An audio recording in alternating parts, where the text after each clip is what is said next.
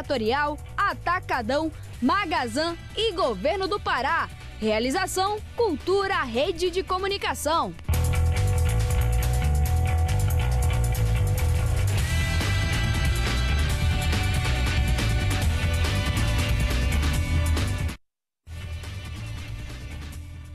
Boa tarde para você que se liga na TV Cultura do Pará. Seja bem-vindo a mais um meio de campo e a mais um jogo também do Campeonato Paraense 2024, agora com imagens aéreas do estádio Leônidas Sodré de Castro, a Curuzu. Daqui a pouquinho a bola rola para Paysandu e Bragantino. Jogo de volta das quartas de final da competição. Lembrando que o Paysandu tem uma boa vantagem, né? Venceu por 3 a 0 o primeiro jogo lá em Bragança e agora traz essa vantagem para jogar em casa, jogar com apoio da torcida na Curuzu contra a equipe do Bragantino. Quem está do meu lado aqui é Jordana Krumpanzer, nosso comentarista, que vai ser comentarista na partida de hoje também. Boa tarde para você, Jordana. Boa tarde, Gilmar. Muito boa tarde para você que está em casa. Hoje tem um confronto complicado, né? Complicado para o Bragantino para reverter esse placar e complicado para o Paysandu depois de perder pela primeira vez na temporada. Exatamente. A gente vai logo direto lá para o estádio da Curuzu nesse momento, porque o Alex Ferreira já está posicionado pertinho da bola do jogo, inclusive. Alex, boa tarde para você. É isso mesmo, Gilmar. Eu tô aqui pertinho dela, como ela chama o craque, né? Ela fica me chamando aqui, mas eu disse, não, tem uma entrada agora na TV Cultura para fazer, depois eu falo contigo, tá certo? Brincadeiras à parte, Gilmar, falando aqui direto do gramado da Curuzu, gramado seco, o sol se fazendo presente, mas tem muitas nuvens aqui ao redor, ao redor do estádio da Curuzu. Pode ser que a gente tenha chuva logo mais quando a bola rolar aqui no estádio Leônidas Sodré de Castro, Bampará, Curuzu. É, a expectativa, é, por um lado, como falou a Jordana, como destacou, o Paysandu tem uma grande vantagem hoje, já que venceu o primeiro jogo por 3 a 0, mas vem dessa desconfiança de uma eliminação que nunca é boa no meio da Copa do Brasil. O Paysandu que tinha essa expectativa de chegar até a terceira fase da competição, até para arrecadar um bom dinheiro também em relação à cota que a CBF costuma pagar, mas agora o Paysandu junta os cascos e fica junta os cacos e fica a expectativa, o que que fará Hélio dos Anjos? Vai repetir a equipe? Vai haver mudanças? Qual deve ser essa postura do Paysandu logo mais aqui no estádio da Curuzu? Já a equipe do Bragantino busca um milagre. O Bragantino que, além de ter perdido por 3 a 0 o jogo de ida, jogar fora de casa hoje, não tem mais aquele que é seu artilheiro. Gileard, atacante, pediu para sair, deixou o clube e a gente vai saber quem que o técnico Marquinhos Taíra, que está fazendo o seu terceiro jogo à frente do Bragantino, ele que venceu o Remo ainda na fase de classificação, perdeu para o Paysandu, vai agora para o seu terceiro jogo. A expectativa é de quem o Marquinhos Taíra vai colocar no lugar do Gileard, se haverá outras mudanças também na equipe do Bragantino. Logo mais eu volto daqui do estádio da Curuzu, onde os torcedores estão chegando. Agora há pouco estive lá fora também, muita gente ali ao redor, né, também é, fazendo aquela social antes de entrar e depois eu retorno com as escalações e com um pouco mais de como é que está aqui o clima no estádio da Curuzu. Eu volto com você, Gilmar. A gente continua rapidinho no bate-papo aí, só para você falar como é que tá o gramado do jogo de hoje, né? Uhum. O jogo uh, de Paysandu e Bragantino, o gramado como é que tá? Você tá pertinho aí? É, eu tô aqui no gramado mesmo, o gramado tá seco, né? É, se a chuva cair, aqui obviamente não vai precisar irrigar. Mas creio que se a chuva ameaçar e não cair, daqui a pouco tem aquela famosa irrigação aqui no gramado. Mas um gramado bom, um gramado que não deve prejudicar não, viu, Gilmar? Pelo menos aparentemente, olhando aqui, não cheguei aí na região ali dos gols, né, da grande área, pequena área. Mas aquilo que a gente vê por aqui, aquilo que a gente nota, é um gramado muito bom para a prática do futebol. Alex, conta pra gente aí, né? O Bragantino vai ter, na verdade, teve uma perda aí nessa semana, que foi o atacante Gilear. Não faz mais parte da equipe do Bragantino, né? Pediu para sair de acordo com a assessoria do clube. Era o artilheiro do time com quatro gols e acabou saindo na quarta-feira durante essa semana. É, o Gilead pediu para sair, né? Apesar dele ser o artilheiro da equipe com quatro gols, é, o Gilead parecia que vivia ali uma relação de amor e ódio com o torcedor, né? Tanto que no jogo passado, em que o Bragantino acabou derrotado por 3 a 0, o torcedor comemorou, o torcedor do Bragantino aplaudiu a saída do Gilead, só para você ter uma noção. Né? Então o Gilead agora vai respirar novos rumos, é, novos ares, né? É, pegou outro rumo, não faz mais parte da equipe do Bragantino, que agora tenta também juntar os cargos para buscar um milagre hoje aqui no estádio da Curuzu, que é vencer por três gols de diferença para levar para os pênaltis, pelo menos por três gols de diferença, né? Senão tem aí a Copa Grão Pará é, para que o Bragantino venha buscar, quem sabe, uma vaga na Copa do Brasil. E daqui a pouco a gente volta também é, destacando sobre a Copa Grão Pará. Tem muita coisa para a gente esclarecer ainda em relação a essa competição que é novidade no Campeonato Paraense, o Bampará Parazão. Então, Alex Ferreira com as primeiras informações aí, direto do estádio da Curuzu. Daqui a pouco ele volta com escalações de Paysandu e Bragantino. A bola rola às 5 horas da tarde lá no Bampará Curuzu. E olha quem está aqui também, Edil Highlander, ex-jogador, é. ídolo da torcida paraense, jogou por Paysandu, por Remo. Edil, seja bem-vindo aqui ao Meio de Campo. Boa tarde para você. É, boa tarde, é um prazer estar aqui, participar do programa Meio de Campo. Para falar de futebol, falar dos, das nossas equipes, Paysandu, campanha dele e do Campeonato Paraense. É um prazer estar aqui, cara. Como é que você está acompanhando o Paysandu nesse momento, Edil? Edil que, o, o Paysandu que venceu por 3 a 0 o primeiro jogo, acabou perdendo ah, durante a semana na Copa do Brasil a vaga lá com o Juventude. Como é que você está acompanhando essa temporada 2024? Olha, o Paysandu vinha fazendo uma campanha muito boa, viu? Só que, eu, eu, no meu pensamento, o Campeonato Paraense não é parâmetro para uma campeonato da, da segunda divisão e até outras competições Copa do Brasil, a não ser que pegue aqueles time mais fraco. O Paysandu pegou uma equipe de primeira divisão. Então, a gente viu como se suportou e precisa melhorar nessa competição. Agora no Campeonato Paraense, está sobrando. É, Para mim é um sério candidato, está invicto aí no Campeonato Paraense. Então eu tenho certeza que o Paysandu é, hoje é um jogo já praticamente é, é, passado já. já o Paysandu tem certeza que ele consegue realmente se classificar hoje, dentro da Curuzu, depois de uma derrota. A equipe vem com outro ânimo, vem com mais moral. É, é mais ou menos assim. O Campeonato Paraense o Paysandu está bem. Tem que melhorar para o brasileiro, vai ter que melhorar. Os campeonatos nacionais, no caso. Nacionais. Exatamente. O brasileiro vai, vai ter que melhorar porque é difícil. Mas o Hélio dos Anjos, que é um grande treinador, foi meu treinador no Vitória da Bahia, Uhum. conhecedor bastante do grupo que ele tem. Ele sabe onde tem que mexer, onde tem que melhorar, onde tem que contratar também. Sim, sabe disso. exatamente. Jordana, quarta-feira, o jogo contra o Juventude, né? O Paysandu acaba perdendo por 3 a 1 Você acha que foi o primeiro grande teste do Paysandu nesse ano?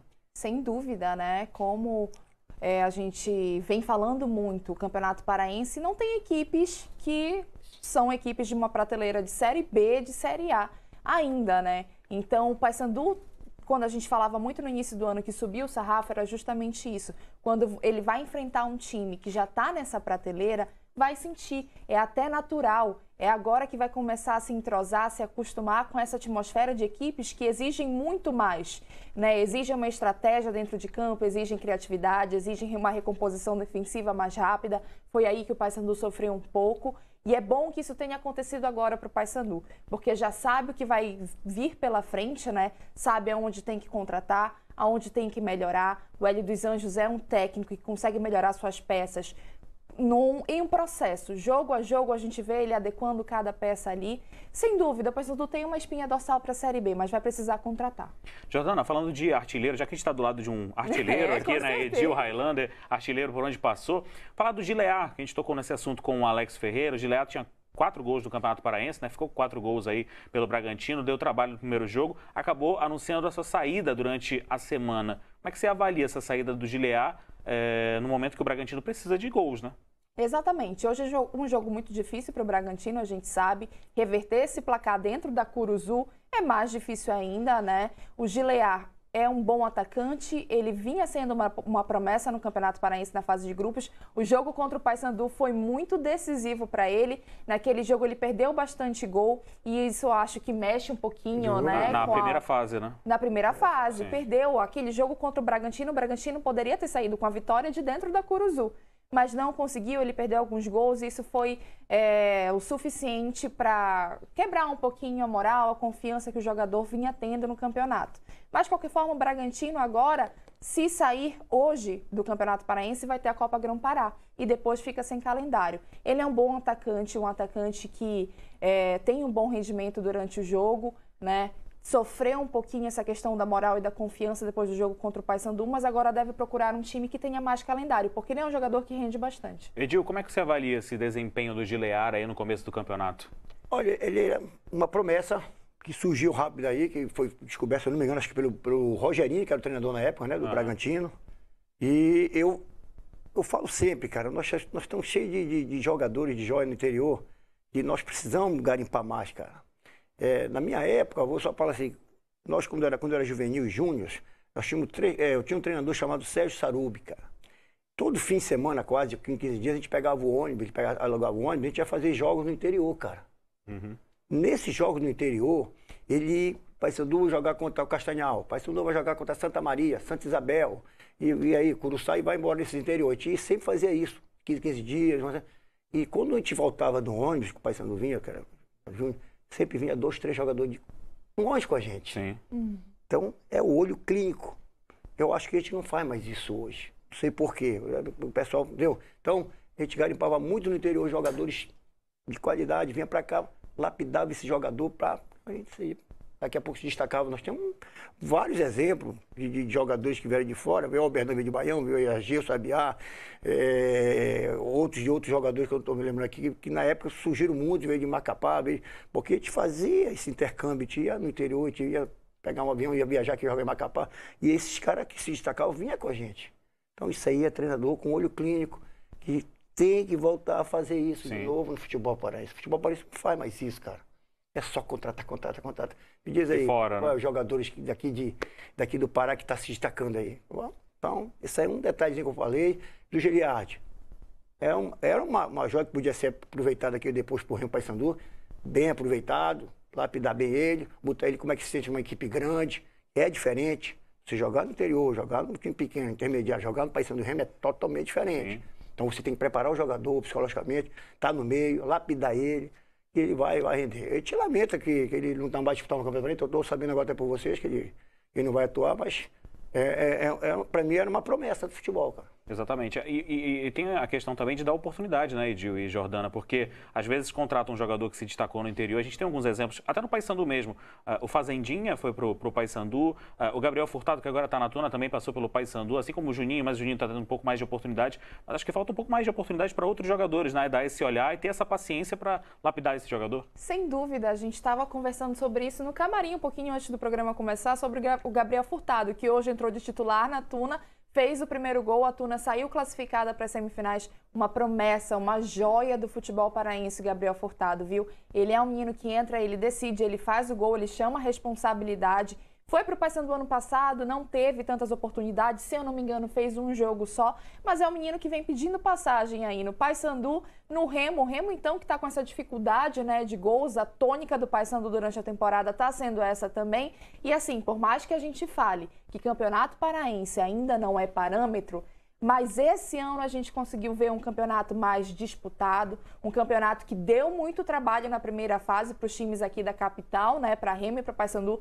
tiveram trabalho sim no interior. Então é muito importante esse garimpo, essa valorização da nossa base. O Roger é um no Paysandu que ainda não jogou, está pedindo passagem. Exatamente. A gente está, inclusive, é, a gente, você falou sobre a Tuna, né? Já que você já comentou sobre isso. Hoje de manhã né, a Tuna venceu é, por 2 a 1 um, né? O gol no finalzinho, um, o Leandro exato. Cearense acabou fazendo o gol ali que levou a disputa para os pênaltis, né? E nos pênaltis classificou por 4 a 2 eh, E tivemos também o Remo já vencendo ontem novamente a equipe do Santa Rosa. E aí tem esse chaveamento, né? Remo e Tuna. Do outro lado, ainda aguardando, Jordana. Ainda aguardando, mas o chaveamento de Remo e Tuna é muito interessante. A Tuna foi vitoriosa na fase de grupos, né? Num jogão, estávamos juntos uhum. nesse jogo. 3 a 2 A Tuna que fez um campeonato muito regular você que está escutando o resultado e pensa, poxa, mas a Tuna perdeu para o São Fra... perdeu o primeiro jogo e depois teve toda essa dificuldade com o São Francisco.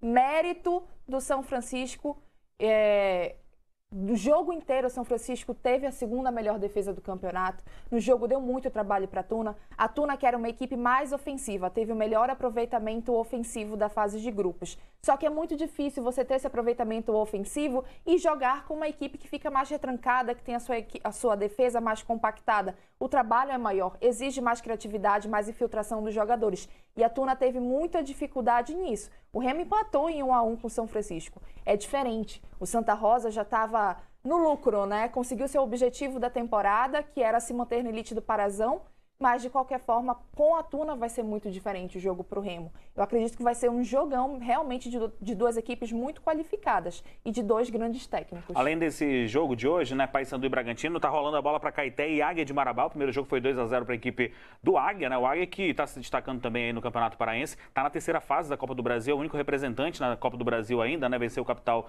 do Tocantins. Edil, te surpreende Tuna e Águia de Marabá, que começaram mal o campeonato, bem agora, já chegando praticamente na semifinal. A Tuna já está na semifinal, né? É, é a, a, Tuna, ela realmente demorou pouco a, a realmente a, a, pegar o, o, o, ritmo certo, entendeu? Então, mas eu, eu, eu, sabia que a Tuna ia fazer uma boa campanha. Entendeu? Pegou o igual o São Francisco. O São Francisco também, cara, ele demorou a entrar, tanto que ele era de repente naquele empate com o Remo, foi buscar ponta, foi buscar outra vitória e conseguiu classificar.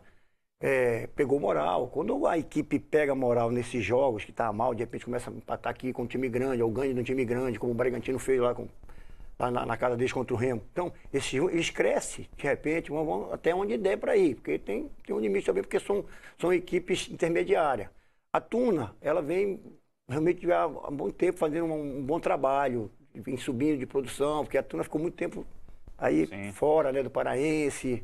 Então agora a gente nota que a Tuna está fazendo um bom trabalho, tem uma equipe lá boa de, de, de, professores, de treinadores que realmente está tá levando jogadores que querem realmente vencer e é levar o nome da Tuna. A Tuna ganhou do Remo no, no Bainão, nesse campeonato. Então, a Tuna é uma série candidata ao título também. Então, Remo cresceu também agora um pouco depois que saiu o treinador, chegou esse outro aí, já deu uma moral. Aí você sabe, mas por que o, o Remo melhorou? Quando um treinador novo chega, muda o ânimo de todos os jogadores. Todos vão ter oportunidade. Então, e o cara já chega cara, um, novo, um novo esquema, nova, novas palavras, novo incentivo para o jogador. E o jogador quer mostrar aquele que está lá, que estava quieto, vai querer mostrar serviço no treinamento e, e já volta o ânimo de novo. Muda tudo, ganhou já de 3 a 0, depois ganhou de novo. Então é assim que vai. Os caras estão motivados. É uma equipe grande, tem nome, tem uma torcida, tem uma massa, os jogadores estão lá é, é o mesmo que estavam mal, que agora estão ganhando. Então, vão ter que mostrar mais serviço, vai ter que melhorar muito. Eu vi o jogo do Remo ontem, vai ter que melhorar muito. Tune e Remo, para mim, não tem favorito. Para mim, hoje clássico, o, né? é clássico, não tem favorito. Eu sempre falei isso. E eu, eu espero que da, da, da desse, desse, dessa situação. Outro, para mim, que vai. Você falou do Águia também, né? Uhum, o Águia. Eu, também, o Águia vem realmente fazendo campanha excelente, começou mal de repente trocou o treinador, já é aquela motivação. São os mesmos jogadores. Você Sim. tem que ver como é que funciona o futebol. Eu tive aí quase 19, 20 anos jogando futebol e toda vez a gente estava aqui mal, mal, mal, de repente chegava um treinador e a gente começava a ganhar de novo. Isso é. Isso não sei se é do psicológico do jogador, se é do futebol brasileiro, mudar o treinador e. Não dá para você mudar os jogadores todos, então tem que mudar o treinador. Muda o ânimo, tem, joga, tem treinador que gosta de o jogador, tem, tem que gosta daquele cara e quer botar para jogar, quer insistir naquele cara, não dá oportunidade para outros. Então, futebol ele funciona assim. E aquele treinador novo chega, vem aquele acha que ele vai jogar. Então, é, o que eu vejo assim, o Águia tem uma equipe excelente, está entrosada, está bem, vem ganhando. Ganhou agora na Copa do Brasil, bem. E vai, para mim, vai passar pelo Caeté, já tem uma vantagem de 2 a 0 então, para mim que vai, vai dar tudo certo e para mim os quatro finalistas são Remo, Paysandu, Águia e Paysandu. A gente falou sobre chaveamento agora há pouco, né? Então a gente vai falar agora com o Saulo Zaire. O Saulo Zaire, perdão, é, preparou uma reportagem juntamente com o Del Filho explicando sobre a Copa Grão Pará. Vamos conferir. Amigos e amigas da cultura, vamos falar aqui direto com o Del Filho, diretor técnico da Federação Paraense de Futebol, e ele é nosso convidado especial para falar sobre a Copa Grão Pará, que já tem o seu nome aí propagado nos grandes veículos, nas redes sociais, e o Del vai explicar para a gente aqui na Cultura como vai funcionar essa Copa Grão Pará, que pela primeira vez será realizada após esse momento de quartas de final do campeonato, né, Del? É, exatamente, é uma competição nova, uma competição que tem o seu primeiro ano a ser realizado no ano 2024, então é normal que se gere as dúvidas e as especulações a respeito do formato de disputa da competição. Mas é um formato de disputa muito simples, tá? É, basicamente, você tem ah, as, oito, as oito equipes que estão jogando as quartas de final do Parazão, quatro equipes não vão passar de fase, né? Quatro equipes serão desclassificadas nesse momento. Essas quatro equipes, né? Desclassificadas nas quartas de final do Parazão descem para jogar a primeira eliminatória só em formato de jogo de ida da Copa Campará. Dessa primeira eliminatória sai dois vencedores que vão esperar os dois eliminados lá da semifinal do Parazão, que já vai estar acontecendo. Descem, fazem mais uma eliminatória só em caráter de ida, lembrando que essas duas fases é, da Copa Dragão Pará é só formato de ida e quem teve a melhor campanha no Parazão tem o direito de resolver o jogo em casa. Empate nos 90 minutos, pênalti. Né? Então, dessa segunda eliminatória, sai duas equipes que irão fazer a final da Copa Dragão Pará, que nessa terceira fase serão jogos de ida e de volta. E o campeão da Copa Grão Pará tem vaga assegurada na Copa do Brasil 2025. E a disputa em paralelo às finais do campeonato. Né? Exatamente. Lembrando que o Campeonato Paraense está acontecendo, né? Está acontecendo as quartas de final, nós vamos ter ah, os jogos de ida das quartas de final agora, depois vamos ter os dois jogos de ida e de volta da semifinal e os jogos de ida e de volta da, da grande final. Então, a ideia e o propósito da federação é que Uh, antes da final do Campeonato Paraense 2024, a gente já tem a final da Copa Grão Pará. É importante a fala do Delfílio, juntamente com o Saulo Zaire, explicando para você de casa como é que vai funcionar essa questão do chaveamento para a Copa Grão Pará, que dá mais oportunidades né, de calendário, Jordana, para os times que vão sendo eliminados. Isso é muito importante, né? A Copa Grão Pará, que esse é o primeiro ano, na verdade agora é um pacote, a gente tem a Super Copa Grão Pará, o Campeonato Paraense e a Copa Grão Pará, que justamente dá mais calendário para os times do interior. A questão do calendário é importante, a questão de manter jogador é importante, de manter um time entrosado, de dar mais renda para esses times também, né? Com questões é, de bilheteria de jogo. Então, é um incentivo muito maior para os times, principalmente do interior. A gente sabe que normalmente Remo e Paysandu e Tunaluso acabam chegando nas semifinais e nas finais do Parazão. Os times do, é muito importante que os times do interior tenham esse calendário, né? A gente viu agora o Águia sendo campeão paraense, então é muito importante todo esse incentivo para o interior do estado. É, é, Edil, na sua época não tinha isso, né? Mas você acha que seria importante, é importante ter esse tipo de calendário estendido, mais uma competição? Eu, eu acho que é importante sim, porque já que você vai, vai almejar uma vaga na Copa do Brasil. Sim. Então aqueles clubes já foram eliminados, é, como Castanhal é, e outros que já estão fora, que ficaram fora, tem oportunidade de almejar alguma coisa mais na frente, entendeu? Então eu acho válido para ter calendário, para os caras não ficarem parados só para o ano de novo. Então eu tenho certeza que é, é, é bem-vinda, é bem feita, e eu acho que Vale a pena sim esse campeonato. A gente falou de artilheiro agora há pouco, né? O artilheiro do Bragantino, que é o Gileá, acabou indo embora. Vamos falar do artilheiro do Paysandu, que é o Nicolas, né? Tem oito gols marcados é, na competição, é, voltou para o Paysandu, né? Em alta, digamos assim. E agora a gente está do lado aqui, como eu disse anteriormente, de um artilheiro também. Edil, eu queria ouvir de ti essa volta do Nicolas, né? Falando de artilheiro para artilheiro. É. Você acha que foi fundamental para a carreira dele voltar para o Paysandu? Ele que foi para o Goiás, Ceará, no Ceará não estava indo tão bem assim, já chega no Paysandu sendo artilheiro no começo do ano. Ah, sem dúvida. Você está num clube, mesmo que seja segunda divisão ou primeira divisão, você não está bem e você já foi artilheiro no Paysandu, é ídolo do Paysandu, e por, por, é, apareceu a oportunidade de voltar é, o Paysandu e, e de repente você começa pé direito de novo fazendo gol, mas isso é muito válido para o Nicolas, entendeu? Então vai disputar uma segunda divisão pelo Paysandu, o Ceará vai disputar a segunda divisão, então, então eu, ele fez certinho, ganhou moral, estava desmotivado aqui fazendo gol, voltou pra, de novo para a mídia, voltou para a torcida que incentiva ele, está numa fase boa, é um goleador, então fez certíssimo no Paysandu, cara. Exatamente. Edil, você começou no Paysandu, né? Comecei Paysandu. Aí passou pelo Remo também, foi pro Vasco, teve outros é, times, né? É, Marítimo de, de, da Venezuela. É, Edil, você voltou, chegou a voltar pro Paysandu, né? Eu, eu gostava de sempre de ir e voltar. Pois é, ir e voltar. O que, que você acha quando dessa eu, ida e volta? quando eu saí para Venezuela, na minha época era passe preso. Ah, sim. Então, o Paysandu era dono do meu passe para Venezuela, depois tive que comprar meu passe para Paysandu para ficar rodando, né? Então, eu fui para Venezuela, Passei dois anos, joguei lá com meu irmão Bebeto, lá, ele é o Marítimo, Venezuela, acho um campeão dois anos lá, é, campeonato nacional lá, jogamos duas Libertadores da América, uma no Chile, uma aqui no Brasil. E, e, quando eu retornei de lá, eu comprei meu passe e comecei a alugar meu passe e sair rodando, né? Pra, pra jogar no. Tava livre para jogar, porque na época era passe preso.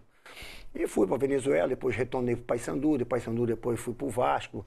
No Vasco eu fui para Vitória da Bahia, Ceará, tive que ir pro Remo, logo, logo em seguida também. Então, fui pro Vasco, depois voltei. E depois voltei de novo, fui para Portugal. Quer dizer, então, rodei o Nordeste todo, joguei no, Ceará, joguei no Ceará, joguei no Vitória da Bahia, joguei no Náutico e joguei no Confiança, né? Dessa minha ida no Nordeste, duas vezes eu fui campeão. Foi no uhum. Náutico e no Confiança, né? No Ceará eu fiquei só seis meses. E no Vitória da Bahia eu também fiquei só seis meses. Mas os dois que eu permaneci o ano todo, eu consegui ser artilheiro e, e, e ser campeão. Então isso foi, um, foi um, muito bom. Quando a gente fica mais tempo no lugar, e vê que está dando certo, a gente consegue realmente ter isso na, na, na carreira. Eu, e onde eu chego, cara? Eu fui ser contratado para fazer gol. Eu sempre gostei de usar a camisa 9. Aham. Quando eu botava a camisa 9, porque eu sabia que a torcida queria ver gol do Edil Railan. Então, não tem, eu tinha que botar na minha cabeça. Eu tinha que treinar mais do que os caras. Eu sempre me dediquei mais. Para quê? Porque a torcida que sabia que ah, vai ter gol hoje, quem é que vai fazer? Ah, hoje é um do Edil Railan e um do outro jogador. Dois do Edil e tal. Então, a torcida tinha confiança em mim. Então, como tem hoje no Nicolas, que está no Paysandu. Então, é, entrou de campo, meu amigo, eu tenho que entrar focado que eu tenho que fazer gol. Se eu não fizer gol, eu vou para casa chateado. É que eu ia, quem penava em casa era minha família, minha esposa, que eu me metia no quarto, ficava deitado, porque eu não conseguia fazer gol, porque eu treinava muito, eu sou um cara dedicado. E eu sabia a cobrança como era dos meus filhos depois no colégio, se perdesse um campeonato, porque eu sou da terra. Quando a gente está jogando aqui, a gente perde um campeonato, ou perde um clássico, no outro dia quem é, quem é, quem é esculachado no colégio é nossos filhos, a gente vai deixar o filho no colégio. Então, a gente sabe que a cobrança é muito grande. E quando eu fiz os meus personagens, Highlander, Carrasco, Braddock, eu estou assumindo a responsabilidade de goleador da equipe. E meus companheiros da equipe sabem que eu sou o cara que vou botar a bola para dentro. Outros tinham de fazer, mas a minha responsabilidade era fazer gol. Eu penso assim até hoje, que todo camisa 9 tem que assumir a responsabilidade. Você foi contratado para fazer gol, então você tem que se dedicar, treinar mais, se dedicar para fazer os gols. Daqui a pouco, depois do intervalo, o Edil vai explicar pra gente melhor esses personagens. Bora pro intervalo então, daqui a pouco tem mais meio de campo.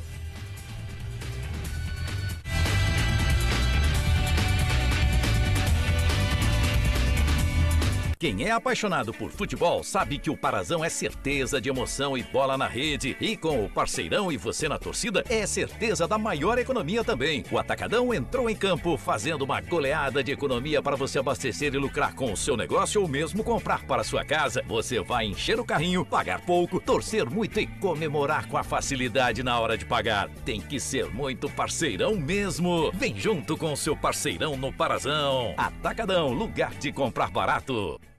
Pra construir ou reformar é melhor ter sempre em quem confiar. O pedreiro adorou, a arquiteta aprovou, Dona Maria essa sempre confiou. Da cozinha sala de estar, VGA é o melhor lugar para construir ou reformar. Pode confiar, VGA. VGA Casa e Construção, Domingos Marreiros, entre 14 e Castelo. Eu, que passei a vida dando aula, fico feliz de ver o professor tão valorizado. As escolas melhoraram muito. Tudo bem com vocês? E o Pará paga hoje o maior salário médio do Brasil. O governo do Pará paga 80% acima do piso nacional. O salário inicial passa de 8 mil reais, mais o vale alimentação. Cheguei! Ainda bem que a filha seguiu a vocação do pai. Valorizar o professor é transformar a educação. Desde que iniciou as atividades no Pará há 25 anos, a Alubar vivenciou profundas mudanças. Hoje é referência em todo o continente na fabricação de vergalhões e cabos elétricos de alumínio. Um sonho transformado em realidade, a partir da dedicação de quem faz da Alubar um grande sucesso. Alubar, há 25 anos produzindo cabos elétricos de alumínio no Brasil. Finzão de semana do consumidor Magazan. Renove sua experiência de bem-estar aproveitando as nossas super ofertas. Lençóis, edredons, colchas de cama, cobertores e mantas com preços imbatíveis. Para você curtir cada segundo de aconchego. Finzão de semana do consumidor Magazan. Super ofertas do lar. Vem que tem! Magazan. Você quer, você tem! Dica da Equatorial para não desperdiçar energia. Troca a borracha de vedação da geladeira quando ela estiver velha. Ó, e nada de secar roupa atrás dela. Não desperdiça energia, tá? Se liga nessa dica da Equatorial para não desperdiçar energia. É que tu ainda tem lâmpada fluorescente incandescente?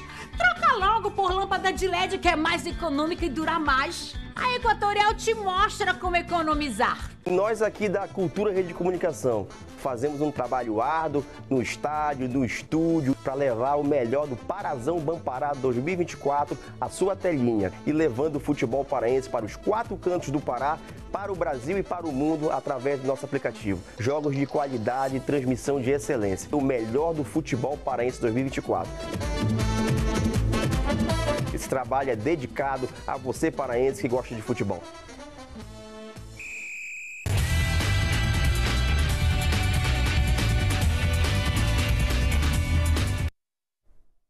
É isso, estamos de volta com imagens da Curuzu e é para lá que a gente vai com Alex Ferreira. Saíram as escalações, Alex, começando com o comandante, que é o Paysandu. É isso, Gilmar. A gente vai falar primeiramente aqui do Paysandu. Paysandu, antes de falar da escalação, só destacando, a música já começou aqui no estádio da Curuzu. O vento está um pouco mais forte e às vezes esse vento ele vem anunciando que vem chuva, né? E realmente fechou um pouco mais o tempo aqui. O sol já não dá mais para ver direito, a gente só vê um pouquinho aqui do, dos raios dele, mas é, por enquanto o clima é agradável. Aqui no estádio da Cruz, o torcedor comparecendo, querendo ver o Paysandu voltar a vencer após a eliminação da Copa do Brasil. E para fazer isso, o técnico Hélio dos Anjos vem com muitas alterações da equipe titular. São seis alterações que eu vou listar agora. Eu vou dar a escalação e vou dizendo a alteração. Olha só, Matheus Nogueira é o goleiro, Brian Borges vai na direita, aí uma novidade, o Wanderson na zaga no lugar do Carlão, uma novidade.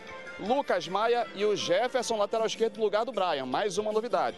Meio de campo todo alterado, tá certo? O Leandro Vilela entra no lugar do Gabriel Bispo, o João Vieira entra no lugar do Val Soares e o Robinho sai da equipe para a entrada do Biel. No ataque, uma alteração apenas. Vinícius Leite, que vai fazer o seu centésimo jogo com a camisa bicolor, ganha o lugar do Jean Dias. O Vinícius Leite, que muita gente já está chamando de inimigo do gol feio. Volto com você aí, Gilmar. É verdade, é verdade, Alex. Obrigado pelas informações. Alex Ferreira, direto da Coruzura. Daqui a pouco a gente vem com a escalação da equipe do Bragantino. Eu ia falar sobre o Vinícius Leite, já que ele tocou nesse assunto, vou falar logo, Jordana. O Vinícius Leite estava vendo é, é, no banco de reservas, né? Jogou contra o Bragantino, aí o torcedor pensava que era uma, uh, um jogo que estava sendo poupado ali por conta da Copa do Brasil, mas na Copa do Brasil também foi banco de reservas. Entrou no segundo tempo e fez o gol. É, o Vinícius Leite tem um detalhe de uma lesão, não foi no início da temporada, a gente não sabe até é, a questão da cautela com o próprio jogador. Lembrando que o Paysandu ainda tem Copa Verde, que ainda tem Série B, então é correto essa cautela com o jogador. Entrou no jogo contra a Copa do Brasil, fez um golaço, por isso que a galera tá chamando ele de inimigo do gol feio, mas é um jogador importantíssimo, um jogador técnico, um jogador de leitura de jogo e que a torcida pediu muito a titularidade do Vinícius Leite e do Biel.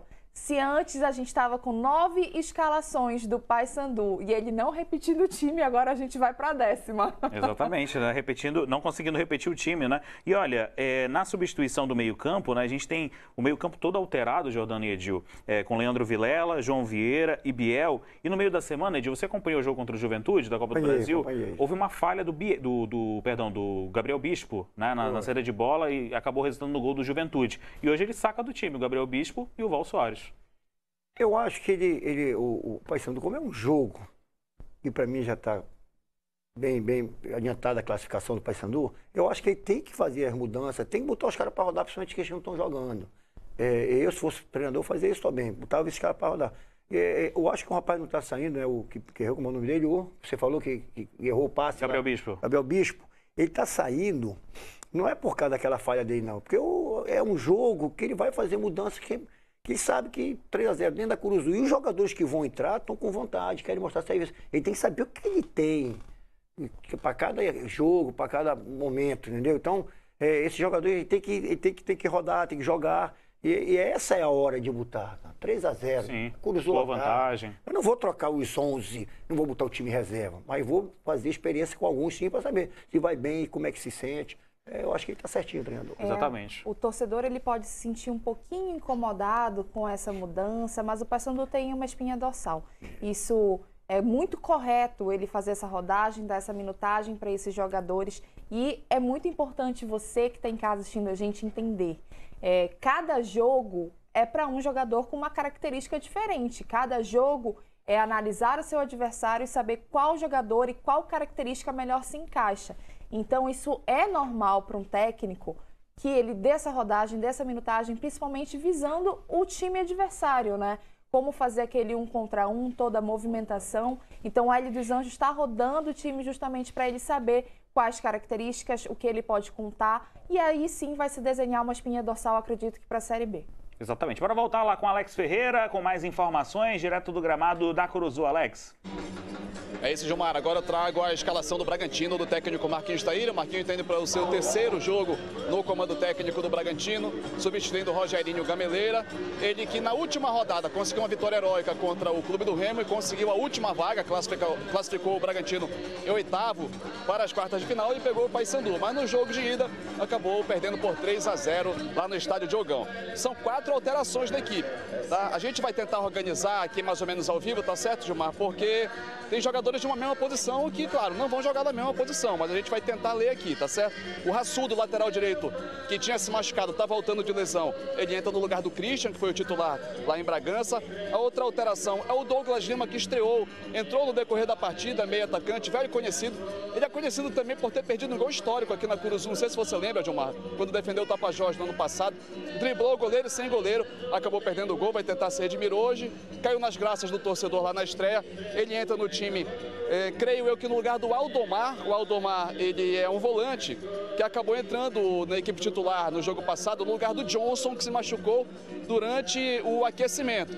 O Aldomar também se machucou durante a partida, então hoje ele deixa a equipe, o Johnson não retorna, quem entra é o Douglas Lima, o Maia é, que também joga de lateral esquerdo entra na equipe hoje, a gente não sabe se vai fazer ele a lateral esquerda ou o Venilson Taperaçu, que também está na escalação. Eu já já vou organizar para você.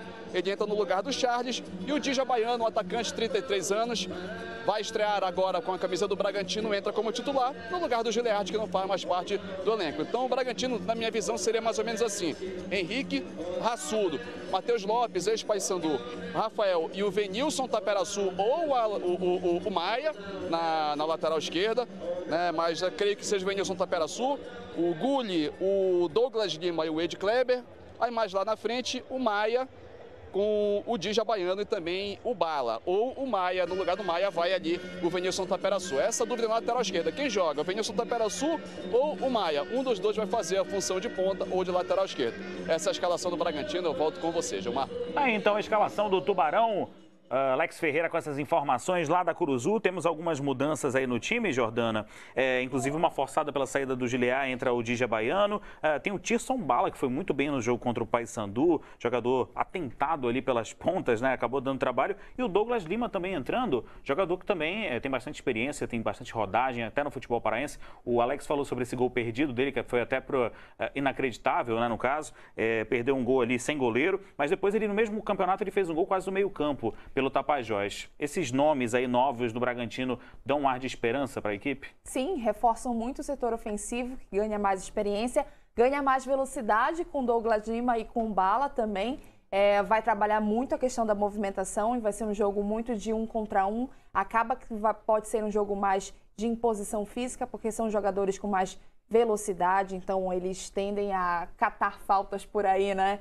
No jogo, mas me chamou muita atenção a questão do meio de campo. Colocar o Charles no banco talvez seja algo que mais cautela né, do Bragantino, mas que pode contar muito para a equipe, porque é um jogador que sabe distribuir muito bem o jogo.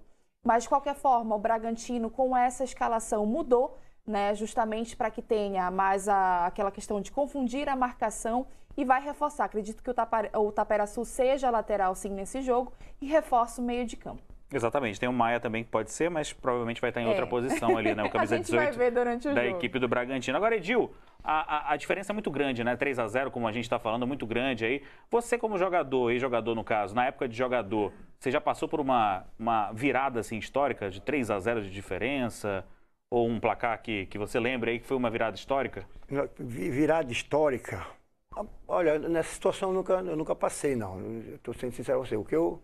É, nós já tivemos de perder uma Copa do Brasil, na época eu estava pelo Clube do Remo, lá em Macapá, uma primeira, antigamente era jogava na casa do adversário, depois ia jogar em casa, né? Então a primeira fase nós perdemos de 1 a 0. Quando chegamos em Belém nós fomos muito hostilizados, Remo, perder para o time do Bragantino, se não me engano era O nome do, do cara que fez o gol na gente lá era Chumbinho. O cara É. mataram o leão com chumbinho. É. Aí nós fomos muito encarnados em Belém. Sim, mas- Chegamos no aeroporto, meu irmão, tipo, era um time lá de Macapá. Eu, eu, eu acho que era o Macapá Esporte Clube. E quando chegou aqui em Belém, meu, a encarnação, em cima dos jogadores do Remo, jogadores, nós, campeão paraense, campeão de tudo, sempre naquela época, a gente foi a segunda divisão na época, eu acho. E nós perdemos esse jogo. Quando chegou aqui em Belém, cara, nós fomos tão hostilizados pela imprensa, por todo mundo. Quando chegou no jogo, meu irmão, cada jogador do Remo nesse jogo foi tão. Tava com sangue nos olhos, meu irmão, de raiva. Meu amigo, o time de Macapá, nós metemos 6 a 0 no primeiro tempo. Eles caíram no segundo para não pegar de 12 mano. Só eu fiz quatro. Olha. Foi o mais que eu, eu acho que eu tive que comprar muita bala, metralhadora, foi o mais metralhou. Eu levei pro banco um revólver assim, do meu filho de brinquedo. Tá tudo gravado, você pode ver. Eu levei um. O Flávio Goiano bate uma falta, bate na trave, bate, eu entrei de cabeça, fiz 1 a 0 E aí começamos, dois, já eu, tá, tá, tá. Fizemos um rapidinho 6 a 0 neles, cara. E eu fui como que eu mais gastei metralhadora, era espingarda, era tudo que eu tinha na mão, eu metralhei, batava, todo mundo, porque nós. Sabe que o Remo é grande, cara. Sim. Mas Sandu, 3 a 0 em Bragança. Na Curuzu, um time preparado para a segunda divisão. Meu Deus do céu, nós temos que ser realistas. O Bragantino veio fechadinho, para não tomar mais gol, para não perder. E se conseguir fazer um, é muito, cara. Vamos ser sinceros, a gente tem que ser realista. Então é assim funciona. Remo Paysandu é muito grande, cara. É time que tem que chegar. E os intermediários que conseguir ganhar de Paysandu Remo, tirar um ponto, tem que agradecer a Deus, que é, é difícil, cara. É, nós que jogamos time grande. Eu joguei já no time intermediário que chama Castanhal, já joguei no Águia. E, e muito diferente, cara. Muito diferente. Eu fui pro Castanhal lá, fizemos uma campanha excelente em 2000. Eu fui artilheiro, com 19, 20 gols lá na BP Castanhal. Uma equipe que tinha jogadores que jogou em Repaysandu, por isso que foi longe o Castanhal. Então, é, é, hoje, ah, melhorou muito a estrutura desses clubes de interior, mas Remy Paysandu tá, tá, tá Camisa pesa também, né? é, daquela torcida, lá dentro da Curuzu não é fácil. Pesa muito. Exatamente. Agora, Jordana, foi construído esse placar de 3 a 0 mas para quem não assistiu o jogo, os dois gols do Paysandu marcados pelo Esli Garcia saíram no final da partida. Teve uma pressão do Bragantino ainda. É, no jogo de ida, o Paysandu teve momentos que é, teve um apagão durante o jogo, né? E era nesse momento que o Bragantino aproveitava. Hoje a gente pode ver o time mais retrancado, mas justamente a mudança nesse setor ofensivo com o Dija Baiano, com o Bala e com o Douglas Lima é justamente para aproveitar o contra-ataque, para aproveitar na velocidade. E é algo que, se você for pegar o jogo do, contra o Juventude na Copa do Brasil, justamente onde a linha defensiva do Paysandu sofreu, né? E é nisso que o Bragantino vai hoje, aproveitando esse momento de apagão do Paysandu naqueles 15 minutos eh, finais do primeiro tempo, 15 minutos finais é, do, do segundo tempo. Às vezes a gente vê isso acontecer na equipe do Paysandu, que é muito importante que para você que está em casa ainda está em entrosamento, ainda está se adequando, ainda está se organizando dentro de jogo. Isso pode acontecer. E é aí que o Bragantino cresce na partida. E foi assim no jogo de ida. Intervalo de jogo lá em Bragança, Caeté 0, Águia 0, né? O Águia está classificando porque ganhou por 2 a 0 o primeiro jogo. Jordana, e o Esli Garcia que fez os dois gols? O Wesley Garcia ganhou o carinho da torcida, né? É um bom jogador, acredito que ainda é um jogador a ser um pouco mais lapidado pelo Hélio dos Anjos, mas é um jogador de bom aproveitamento, jogador que dá uma pressão a mais para a equipe do Paysandu e acaba sendo uma segurança. E apesar dele ser pequenininho, como o Hélio dos Anjos fala, é um jogador muito bom em movimentação. Então, dá essa segurança para o Paysandu no momento que precisa pressionar mais, estar mais ofensivo, um jogador que está rendendo bastante. Sim. Edil, ele veio de lá de onde você jogou, né? Na Venezuela, Venezuela. Venezuela. É, eu, eu vi ele jogar. Realmente, o tamanho dele, para ele estar nesse grupo do Paysandu, pelo tamanho ele não estava. Ele está por causa da bola. E está mostrando quando entra, né? Ele ainda não é titular. Ainda não entrou jogando aí. Então, ele está entrando devagar e está mostrando que tem qualidade para estar no grupo do Paysandu ou até ser titular em alguns jogos. Então, é, é um bom jogador. Como ela falou, tem que ser mais lapidado. que- Ele, vai, ele vai pegando confiança. O Hélio dos Anjos, rapaz. Se você vê o Hélio dos Anjos, é um treinador. Eu tive com ele no Vitória da Bahia, sei que ele, rapaz, ele sabe. Olha, o Paysandu perdeu lá agora para esse time da primeira divisão, que é o Juventude. Aham. Mas ele sabe onde, foi as falhas. Ele já vai. Ela tá, é, como a, a, a Aninha falou aqui, o, as falhas que teve lá não vai ter mais. Te garanto, os jogadores que foram, que erraram, eles não vão mais falhar, porque você pode ver no jogo hoje como essas falhas vai ser tudo é, acertada pelo Hélio dos Anjos. Eu conheço o treinador como é que tem e ele não vai mais ter essas falhas. Então, esses jogos é para isso, é para preparar o Paysandu para a segunda divisão, que acho que a, a meta principal do Paysandu hoje é, é, Série B. Série B e bem, se der para subir melhor ainda, se não, pelo menos se manter, mas eu tenho certeza que o Paysandu, para mim também é um sério candidato a ganhar o Paraense, bem bem, Copa Verde, porque tá com um plantel, ele não tem uma equipe, ele tem um plantel, cara, de qualidade. Jogador que entra, sabe suprir bem a do outro. O senhor agora falou do Vinícius Leite, né, que, o, que, é o, que fez o golaço, é o, o, os gols bonitos, né? Isso. É- então, esse jogador aí, para mim, ele vem voltando de lesão. Ele vem entrando. Ah, por que ele não entra? Porque ele vem voltando de lesão, então tem que ser devagar. O Elisão sabe disso. Então, hoje ele vai entrar como titular. É um jogo para ele começar a pegar mais cancha, vai se soltar. Para mim, é, é titular do Paysandu também. Bora fazer o seguinte. Opa, vamos lá, deixa eu um intervalo, Jordana.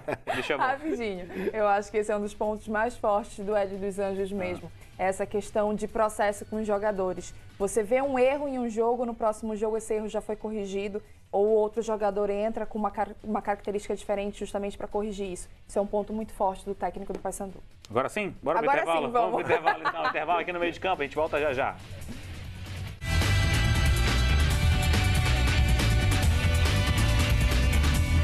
Quem é apaixonado por futebol sabe que o Parazão é certeza de emoção e bola na rede. E com o parceirão e você na torcida, é certeza da maior economia também. O Atacadão entrou em campo fazendo uma goleada de economia para você abastecer e lucrar com o seu negócio ou mesmo comprar para sua casa. Você vai encher o carrinho, pagar pouco, torcer muito e comemorar com a facilidade na hora de pagar. Tem que ser muito parceirão mesmo. Vem junto com o seu parceirão no Parazão. Atacadão, lugar de comprar barato. Desde que iniciou as atividades no Pará há 25 anos, a Alubar vivenciou profundas mudanças. Hoje é referência em todo o continente na fabricação de vergalhões e cabos elétricos de alumínio. Um sonho transformado em realidade, a partir da dedicação de quem faz da Alubar um grande sucesso. Alubar, há 25 anos produzindo cabos elétricos de alumínio no Brasil. Construir ou reformar é melhor ter sempre em quem confiar. O pedreiro adorou, a arquiteta aprovou. Dona Maria, essa sempre confiou. Da cozinha, sala de estar, VGA é o melhor lugar para construir ou reformar. Pode confiar, VGA. Casa e Construção, Domingos Marreiros, entre 14 e Castelo. Liquida louca Semana do Consumidor Magazan. A semana mais louca do ano começou com super ofertas de calçados femininos, masculinos e infantis. Bolsas, mochilas, malas, carteiras e muito mais. Tem ofertas malucas espalhadas pelas seções de calçados e complementos. É só procurar os produtos com etiquetas amarelas. Então fique ligado para economizar e aproveitar muito. Liquida louca Semana do Consumidor Magazan. Loucura é não aproveitar. Vem! O governo do Pará criou as usinas da paz para transformar a vida de milhões de pessoas. Por Cleidiane, aqui do Guamá. Fiz o curso na usina e já tô ganhando meu dinheiro. Por Dona Josi, de Ananindeua. Tudo que eu sei de costura, eu aprendi aqui. Com nove usinas da paz entregues e 40 em construção, o governo do Pará sabe que ainda há muito a ser feito Por todos os paraenses. por todo o Pará. A toda hora, Equatorial. Bom dia, seu Carlos. Que horas são aí? Bom dia! É hora de informar sobre seus direitos e deveres com a Equatorial. Você sabia que é seu direito escolher a data de vencimento da conta de luz? E é seu dever facilitar o acesso ao medidor de energia. Igual o seu Carlos aqui, ó. Assim, cada um faz a sua parte. Não é, seu Carlos? A toda hora, Equatorial. Pelo cliente hoje, pelo futuro, todo dia. Até a próxima, viu? Nós aqui da Cultura Rede de Comunicação fazemos um trabalho árduo no estádio, no estúdio, para levar o melhor do Parazão Bampará 2024 à sua telinha e levando o futebol paraense para os quatro cantos do Pará, para o Brasil e para o mundo através do nosso aplicativo. Jogos de qualidade e transmissão de excelência. O melhor do futebol paraense 2024. Esse trabalho é dedicado a você paraense que gosta de futebol.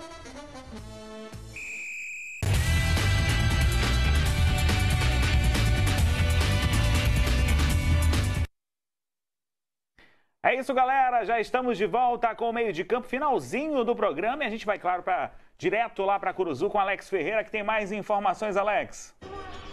É isso, Gilmar. Enquanto a, a, a chuva começa a cair de maneira tímida aqui, a música se faz aqui bastante alta, aqui no estádio da Curuzu. Eu venho conversar com o presidente Maurício Ettinger, da equipe do Paysandu, é, que fala sobre uma ação com as mulheres, no mês da mulher. Dez mulheres vão entrar hoje aqui com os jogadores. Como é que vai funcionar? Isso, a gente está continuando aí uma, uma homenagem ao mês das mulheres. A gente pegou 10 mulheres que compraram na loja Lobo, sorteamos. E hoje elas vão entrar com os jogadores e vão ter uma surpresa aí depois que elas entrarem. Presidente, falando agora aqui do jogo, aquele jogo tudo bem, o Paysandu tem uma vantagem muito grande, mas depois de quem vem de uma eliminação, parece que fica aquele sentimento de mostrar alguma coisa, né? Como é que tá isso aí? A eliminação financeiramente foi muito ruim para o Paysandu. Mas futebol é isso, perde num dia, no outro dia tá jogando, a gente já levantou o astral de todo mundo, todo mundo sabe da importância para esse jogo, a vantagem não quer dizer nada, a gente tem que tomar cuidado e vai para cima aí. Para a gente encerrar aqui, a gente está há pouco mais de um mês, cerca de um mês aí da estreia da Série B. O planejamento está concluído, tem mais coisas, o que, é que deve pintar pela frente? Não, a gente está avaliando aí, o jogador do departamento de análise acompanhando os campeonatos estaduais, devem vir mais algumas peças, tem os dois pedidos da comissão, mas a gente está analisando, assim que acabar os estaduais a gente deve trazer reforços. Né? Tá certo. Muito obrigado pela gentileza, presidente. Eu devolvo com você, Gilmar. Então, então, Alex Ferreira, direto lá do estádio da Curuzu, com o presidente do Paysandu, Maurício Ettinger. Agora, agorinha, Edil, eu, eu prometi, já não lembra? Que eu prometi Oi. sobre os personagens do Edil. A galera de casa, claro, quer saber, tá curiosa. Fala aí, Edil, pra ah, tá. gente. Eu fiz na minha carreira três personagens, né? O primeiro que começou foi do Carrasco, no Paysandu. Uhum. É, o Carrasco começou porque todos os clássicos, Paysandu e Remo, eu fazia gol. Eu era ponta direita, né? O ataque era eu, é, Cabinho, e às vezes Miguelzinho, e às vezes Paulo Você ainda não era nove? Não era no nove, era ponta direita. Uhum. Por isso que eu agora conversei sobre as, a camisa nove. Sim, sim. Que eu tive que passar para ser centroavante, porque eu, como ponteiro direito, eu fazia muito gol também. E, e eu começava a fazer, todo mundo fazia gol em repar. Aí a torcida começou a me chamar de Carrasco do Leão. No, no último repar do jogo de, de, do campeonato, de 87, é, é, a minha mãe fez um capuz. E eu botei dentro da cueca o capuz. E a ideia do meu irmão Carlos Alberto, lá da em Altamira hoje, um abraço meu irmão, lá o pessoal de Altamira, Alberto, e o Carlinhos, meu irmão. É, eu peguei isso e fui. E tinha a felicidade de fazer o segundo gol. Sim. E quando eu fiz o gol, eu peguei, puxei e botei o capuz e fiz aquelas do capuz, então, então carrasco e tal, do leão. E esse pegou na época, por causa do Budeu Capuz, então eu fiz esse personagem. Depois saí, fui pro Remo, né? Uhum. Chegando no Remo lá, tinha um, um, um repórter chamado é, Paulo Cacheado. É que o comando Delta Azulino tá, tá chegando aí, eu cheguei no, chegando contratado, né? Aí ele falava que o comando Delta Azulino vai jogar hoje. Eu disse, pô, comando Delta, comando Delta. O comando Delta é aquele, o ator principal, o Chuck Norris, né? O Braddock. o Braddock, é. Aí eu, pô, vou assumir esse personagem, cara. Aí, vamos estrear primeiro. Na minha estreia logo fiz logo dois, cara. Aí comecei a metralhar, pô, time do Remo, pô, o time do Remo nos anos 90 era, era o top, meu irmão. Guinaldo, Terra, Dema, Gil Sabiá, é, Luiz Carlos Peru, Zé Raimundo, tinha é, Rogério Belém, Ney, Belterra, pô, nosso era um timaço, meu irmão. O que tinha de melhor no, no Pará de, de, da, da, terra que tinha era esses caras aí, meu irmão. E eu me juntei a eles, cara. É, só faltava, só faltava botar ali só o, o Bradock mesmo, cara. Uhum. Aí começou, estreando, aí comecei. A primeira vez que eu peguei lá foi metralhadora, foi no clássico. Eu fiz o gol e fui metralhando, depois eu vi que o pessoal queria outra coisa, aí teve jogo que eu fazia três, quatro gols, tinha que fazer outra, aí jogava granada, era metralhador, os caras jogavam para mim uma, uma, uma, vassoura para me ficar metralhando. Criatividade não faltava. Eu, no, nos treinamentos, o nosso lá acabava, só vou fazer um treinamento. Se eu fizer um gol, nós vamos ficar de costa um pro outro, eu vou, vou eu viro e, pá, e atiro. Sim. Então, era. Isso aí, cara, me trazia motivação, Sim. a torcida gosta disso, não era para menosprezar nenhum adversário. Sim. São personagens para nós brincar entre a gente. E aí chegou o Highlander, né? E no Paysandu já foi o Highlander, né? Eu cheguei, não, não foi no Paysandu. O, o, o Highlander passou no Castanhal. Castanhal. Em 2000. Quando eu cheguei no Castanhal, os jogadores estavam lá, ninguém quer negócio de, de Braddock aqui, ninguém carrasco, não, tem, tem, tem que ser um personagem novo. Aí eu fiquei bolando, bolando, e me chamando, e aí, guerreiro, pô, eu cheguei machucado, estrei na quarta rodada lá, machucado e queria me curar, então me chamavam de guerreiro, guerreiro. Pô, guerreiro. É outra. É Highlander, o Guerreiro Imortal. Highlander. Do filme, né? Do filme. Exatamente. e deu certo, cara. A gente está com um tempo curto aqui, mas foi bacana saber da Muito. história né, do Edil, do personagem. Edil, agradecer sua participação. Ah, prazer, tá? Quero mandar um beijo pra minha esposa, um abraço pra minha família toda, o pessoal lá de casa, lá, minha mãe, meus irmãos. E a seleção Parense Marte joga sábado lá na MEPA contra a seleção dos caras. Beleza, Edil, obrigado, viu, pela participação. Jordana, obrigado. Muito obrigada, Gilmar. Vamos para mais uma transmissão, né? É, daqui a pouquinho a bola rola às 5 horas da tarde com transmissão aqui da TV Cultura. João Vanderlei na narração, Jordana Crumpanza nos comentários e o Alex Ferreira lá na reportagem. Valeu, gente. Tchau.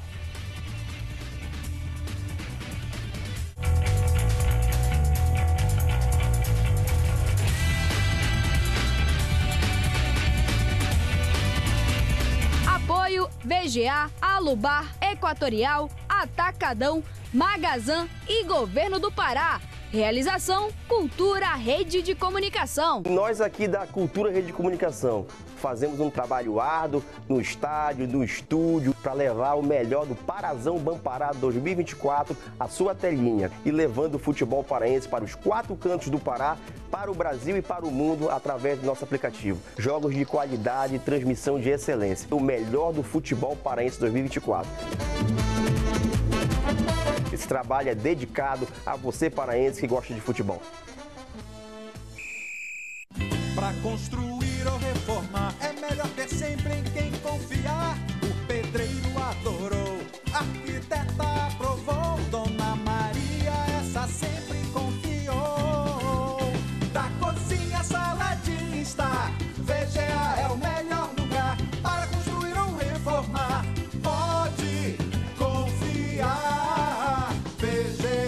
VGA Casa e Construção, Domingos Marreiros, entre 14 e Castelo. Quem é apaixonado por futebol sabe que o Parazão é certeza de emoção e bola na rede. E com o parceirão e você na torcida, é certeza da maior economia também. O Atacadão entrou em campo fazendo uma goleada de economia para você abastecer e lucrar com o seu negócio ou mesmo comprar para sua casa. Você vai encher o carrinho, pagar pouco, torcer muito e comemorar com a facilidade na hora de pagar. Tem que ser muito parceirão mesmo. Vem junto com o seu parceirão no Parazão. Atacadão, lugar de comprar barato. Dica da Equatorial para não desperdiçar energia. Troca a borracha de vedação da geladeira quando ela estiver velha. Ó, e nada de secar a roupa atrás dela. Não desperdiça energia, tá?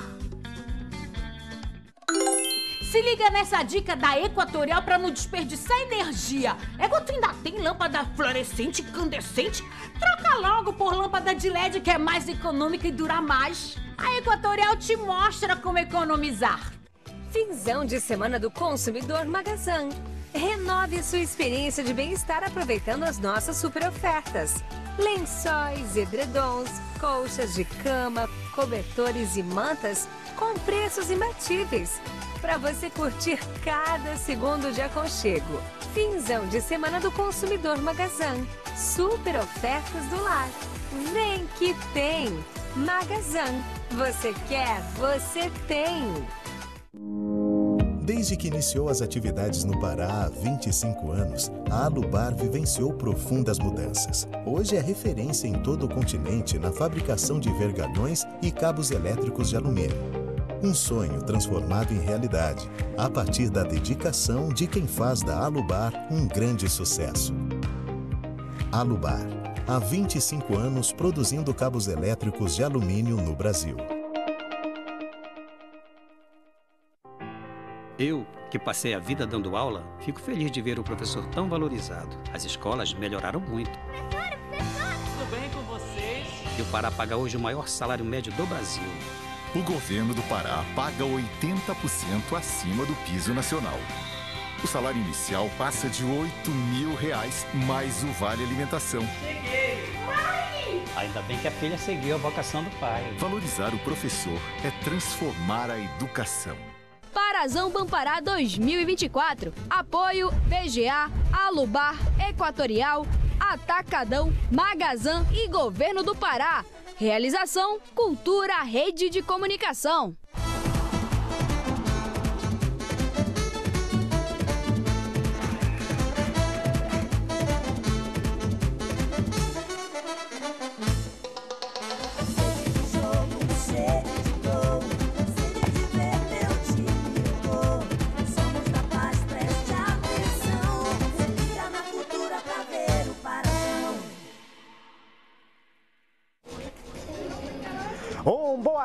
Especial a você. Estamos ao vivo com imagens do estádio Leônidas Castro Acuruzu. Daqui a pouco tem mais uma partida pelas quartas de final do Campeonato Paraense. Jogo da volta entre Bragantino e Paysandu. Paysandu e Bragantino, hoje o segundo capítulo da, do episódio que começou em Bragança no último final de semana. O Paysandu venceu o primeiro jogo por 3 a 0 e tem uma vantagem confortabilíssima. Por outro lado, o Bragantino Bragantino, que não vence o Paysandu desde 2018, tem uma dura missão, a de reverter esse placar de três gols de diferença para levar o jogo no mínimo para os pênaltis para tentar conseguir essa classificação nos pênaltis. É um jogo especial que você confere daqui a pouco com a gente ao vivo aqui na TV Cultura. A gente vai fazer um intervalo rápido, já já voltamos. Parazão Pampará, somos todos do mesmo time.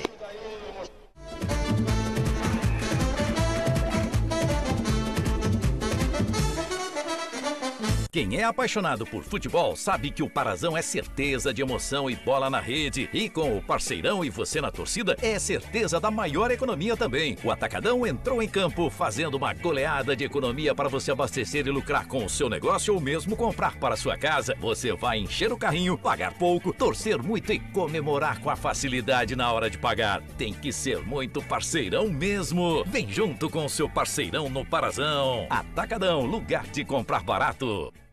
Pra construir ou reformar é melhor ter sempre em quem confiar. O pedreiro adorou, a arquiteta aprovou, Dona Maria essa sempre confiou. Da cozinha sala de estar, VGA é o melhor lugar para construir ou reformar. Pode confiar, VGA. VGA Casa e Construção, Domingos Marreiros, entre 14 e Castelo. Desde que iniciou as atividades no Pará há 25 anos, a Alubar vivenciou profundas mudanças. Hoje é referência em todo o continente na fabricação de vergalhões e cabos elétricos de alumínio. Um sonho transformado em realidade, a partir da dedicação de quem faz da Alubar um grande sucesso. Alubar, há 25 anos produzindo cabos elétricos de alumínio no Brasil. Liquida Louca Semana do Consumidor Magazan. A semana mais louca do ano começou com super ofertas de calçados femininos, masculinos e infantis. Bolsas, mochilas, malas, carteiras e muito mais. Tem ofertas malucas espalhadas pelas seções de calçados e complementos. É só procurar os produtos com etiquetas amarelas. Então fique ligado para economizar e aproveitar muito. Liquida Louca Semana do Consumidor Magazan. Loucura é não aproveitar. Vem!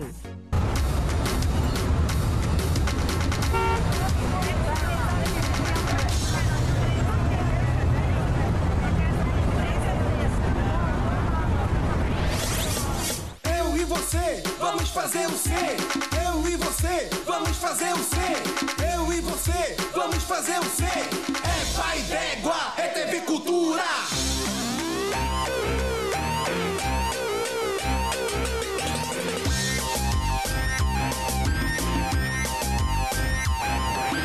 A Cultura do Pará vai te mostrar o sabor envolvente do açaí, tacacá, nosso calor. Aqui rola o carimbó e o mundo com sabor.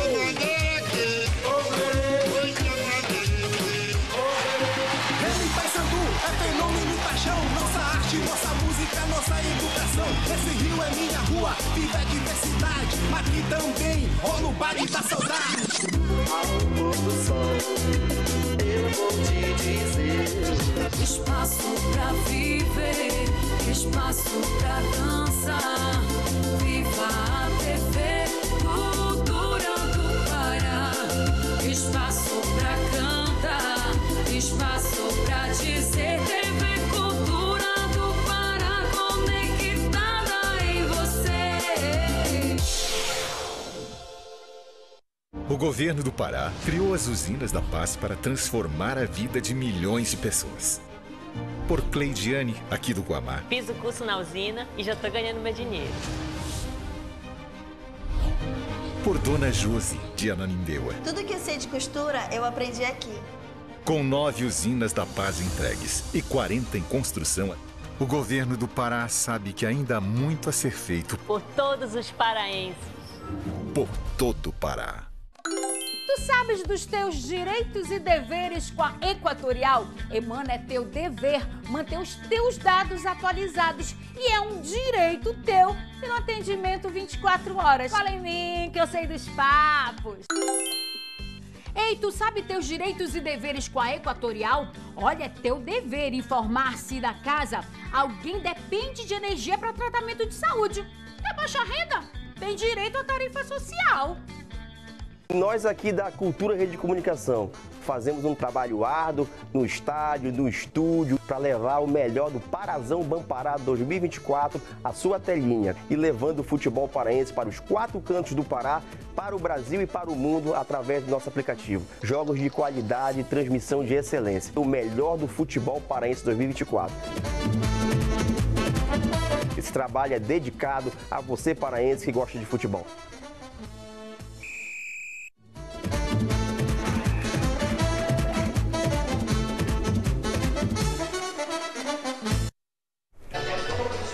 Senhoras e senhores, estamos de volta com imagens aéreas do estádio da Curuzu. Daqui a pouco a bola rola para Paysandu e Bragantino. É a volta das quartas de final. Já temos garantidos Tuna Luso e também ontem o Clube do Remo se classificou. Neste momento está acontecendo o jogo entre Águia de Marabá e Caeté. Então, portanto, por conta da, do horário da partida, o último classificado às semifinais do Campeonato Paraense partirá do duelo de daqui a pouco. Paysandu e Bragantino. Paysandu tem uma vantagem confortabilíssima. Vem de uma eliminação dura na Copa do Brasil, que fez perder a invencibilidade na temporada, mas no Campeonato Paraense continua ainda sem perder. Continua com uma campanha boa de sete vitórias e apenas dois empates contra o Bragantino, que tenta uma reformulação durante a temporada. Perdeu o seu principal jogador, o artilheiro Gilead, foi para o Maranhão e não voltou mais. Bragantino que contratou também nessa reta final e espera que esses novos nomes eh, estejam aptos para jogar contra o Paysandu e desempenhar muito bem, até porque a missão hoje é complicadíssima. Eu sou o João Vanderlei, estou ao lado de Jordana com Panzer na transmissão nesta partida.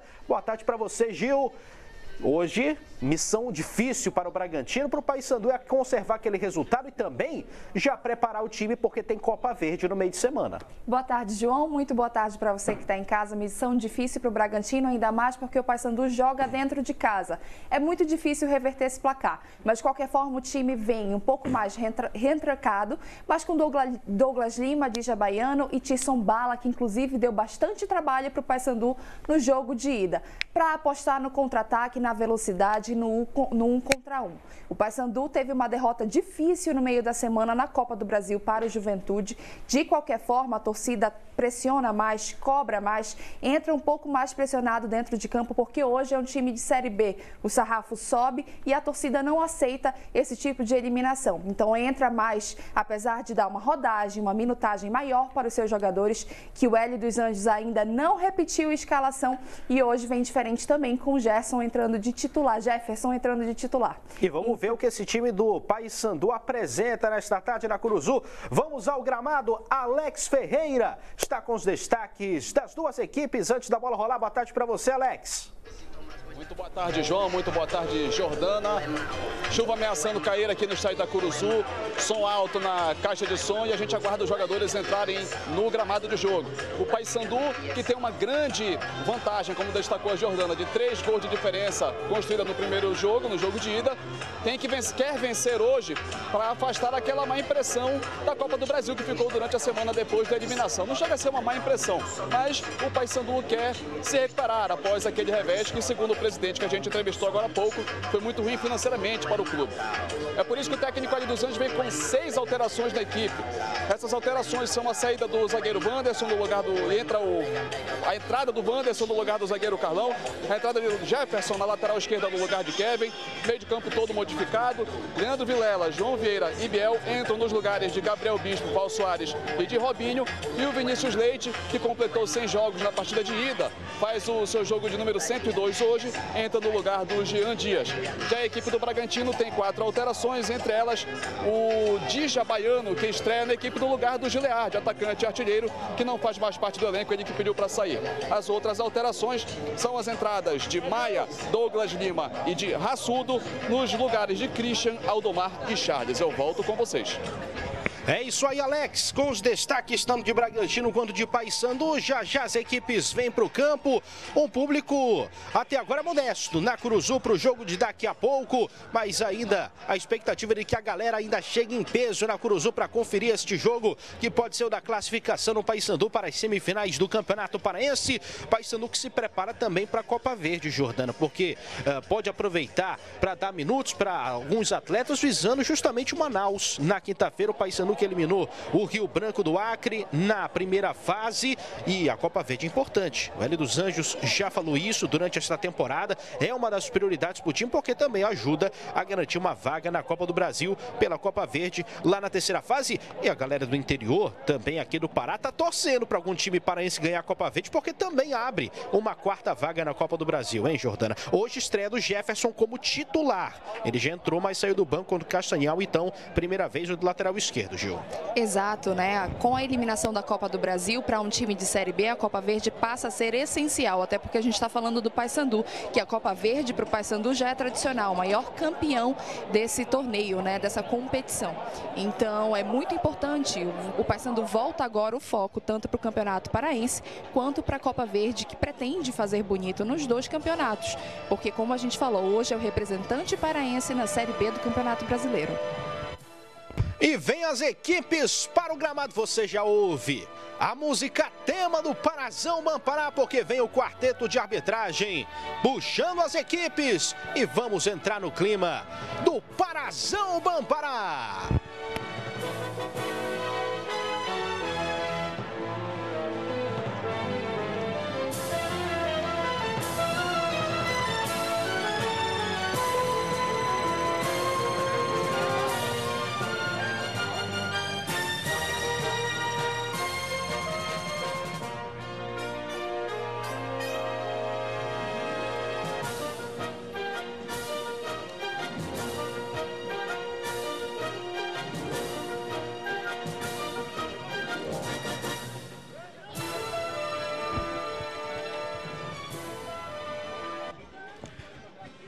Vamos então ao hino nacional brasileiro a ser executado na Curuzu.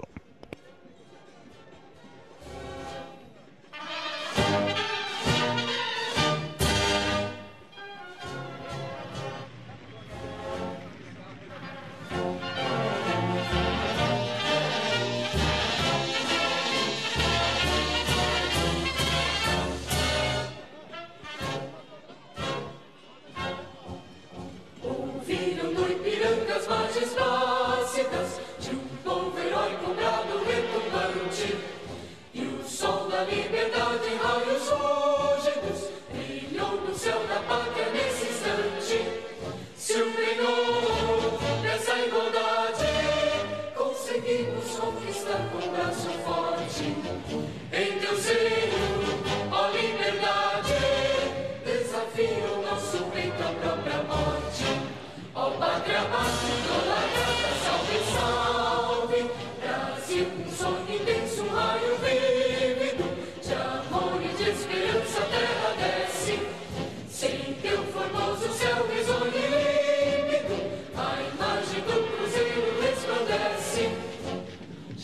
Gigante pela própria natureza, és velha, és forte, envolve do colosso.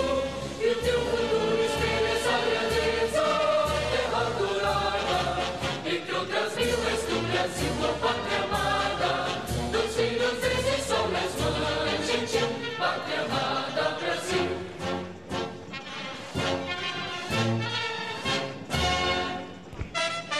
Hino do Estado do Pará.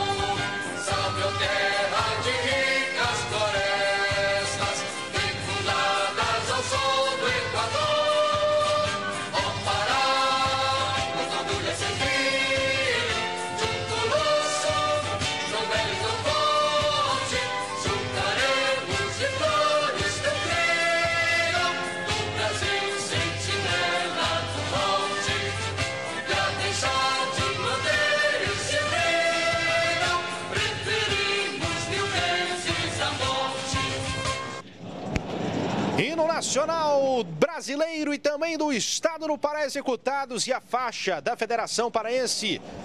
Aí no gramado com jogadores com racismo não tem jogo, é uma campanha da Federação Paraense justamente contra o racismo, que também é adotada pelos jogadores. Aí o quarteiro de arbitragem também em destaque, juntamente com a faixa. Assim também como jogadores né, que exibem ali ao lado de crianças e também mulheres a camisa assinada do Paysandu. E mais uma ação também da equipe, né? Que visa dar uma moral para os seus torcedores e também para as torcedoras. Quando as equipes partem para os cumprimentos, nós vamos saber das escalações. Vamos saber como vem a equipe do Paysandu, o time do Hélio dos Anjos escalado pela décima vez na temporada de maneira diferente. Matheus Nogueira no gol, Brian Borges, Wanderson, Lucas Maia e Jefferson. Essa é a defesa do Paysandu. Meio de campo com o Leandro Vilela, João Vieira e Biel. E na frente no ataque, Vinícius Leite, hoje usando a camisa 100, completou 100 jogos semana passada lá em Bragança, hoje homenageado. Edinho, mais uma vez como titular. E Nicolas é o capitão do Paysandu. Vamos ver a escalação do Bragantino Tubarão do Caeté.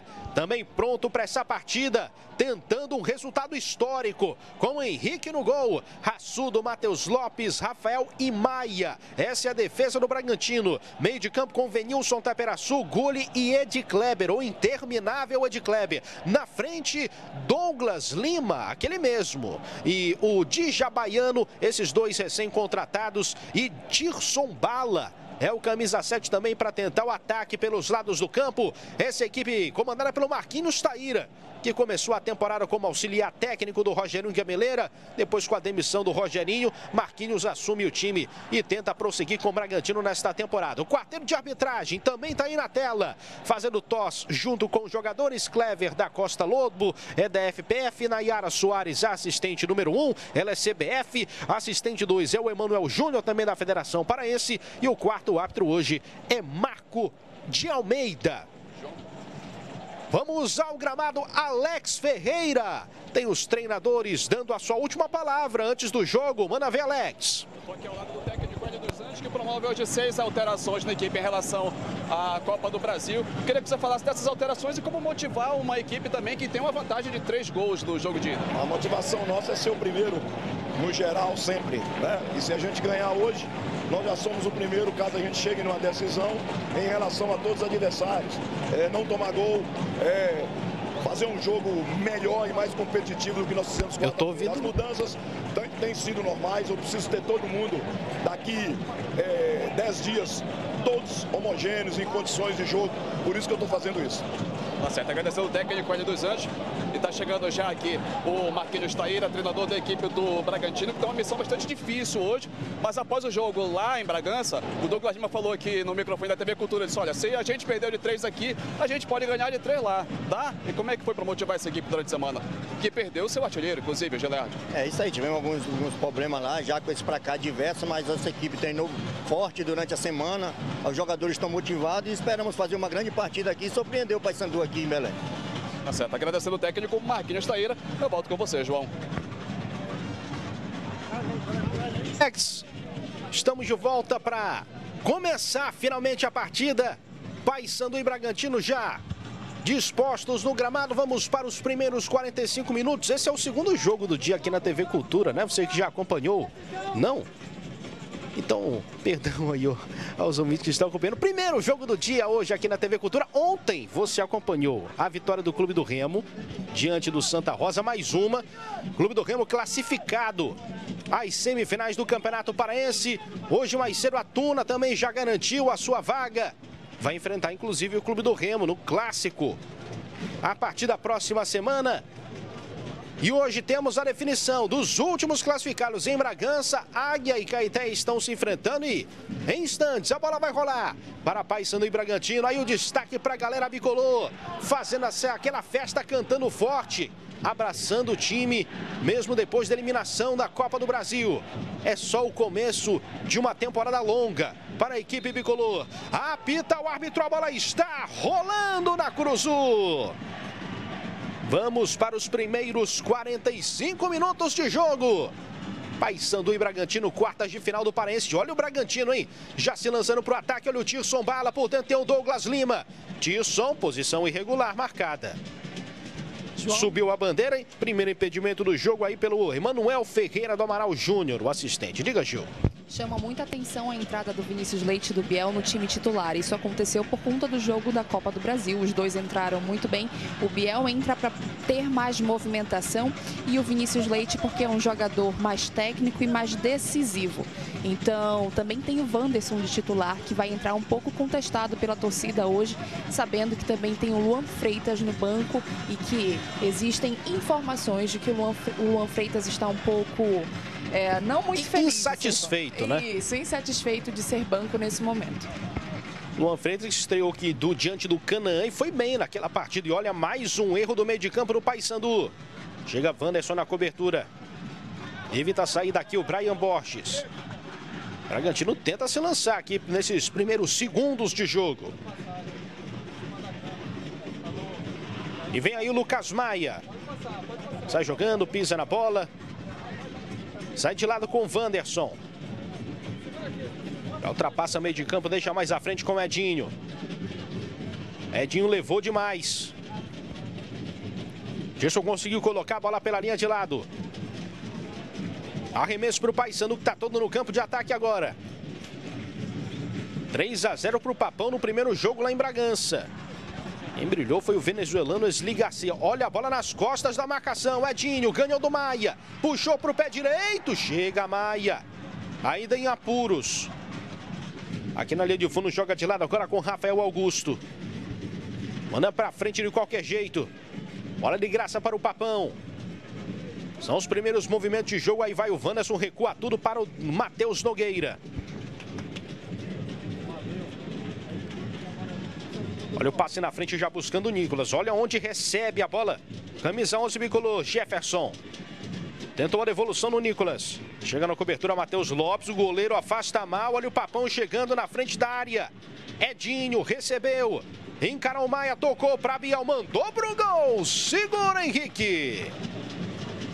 Consertou aí a besteira que fez, ó. Saiu jogando errado.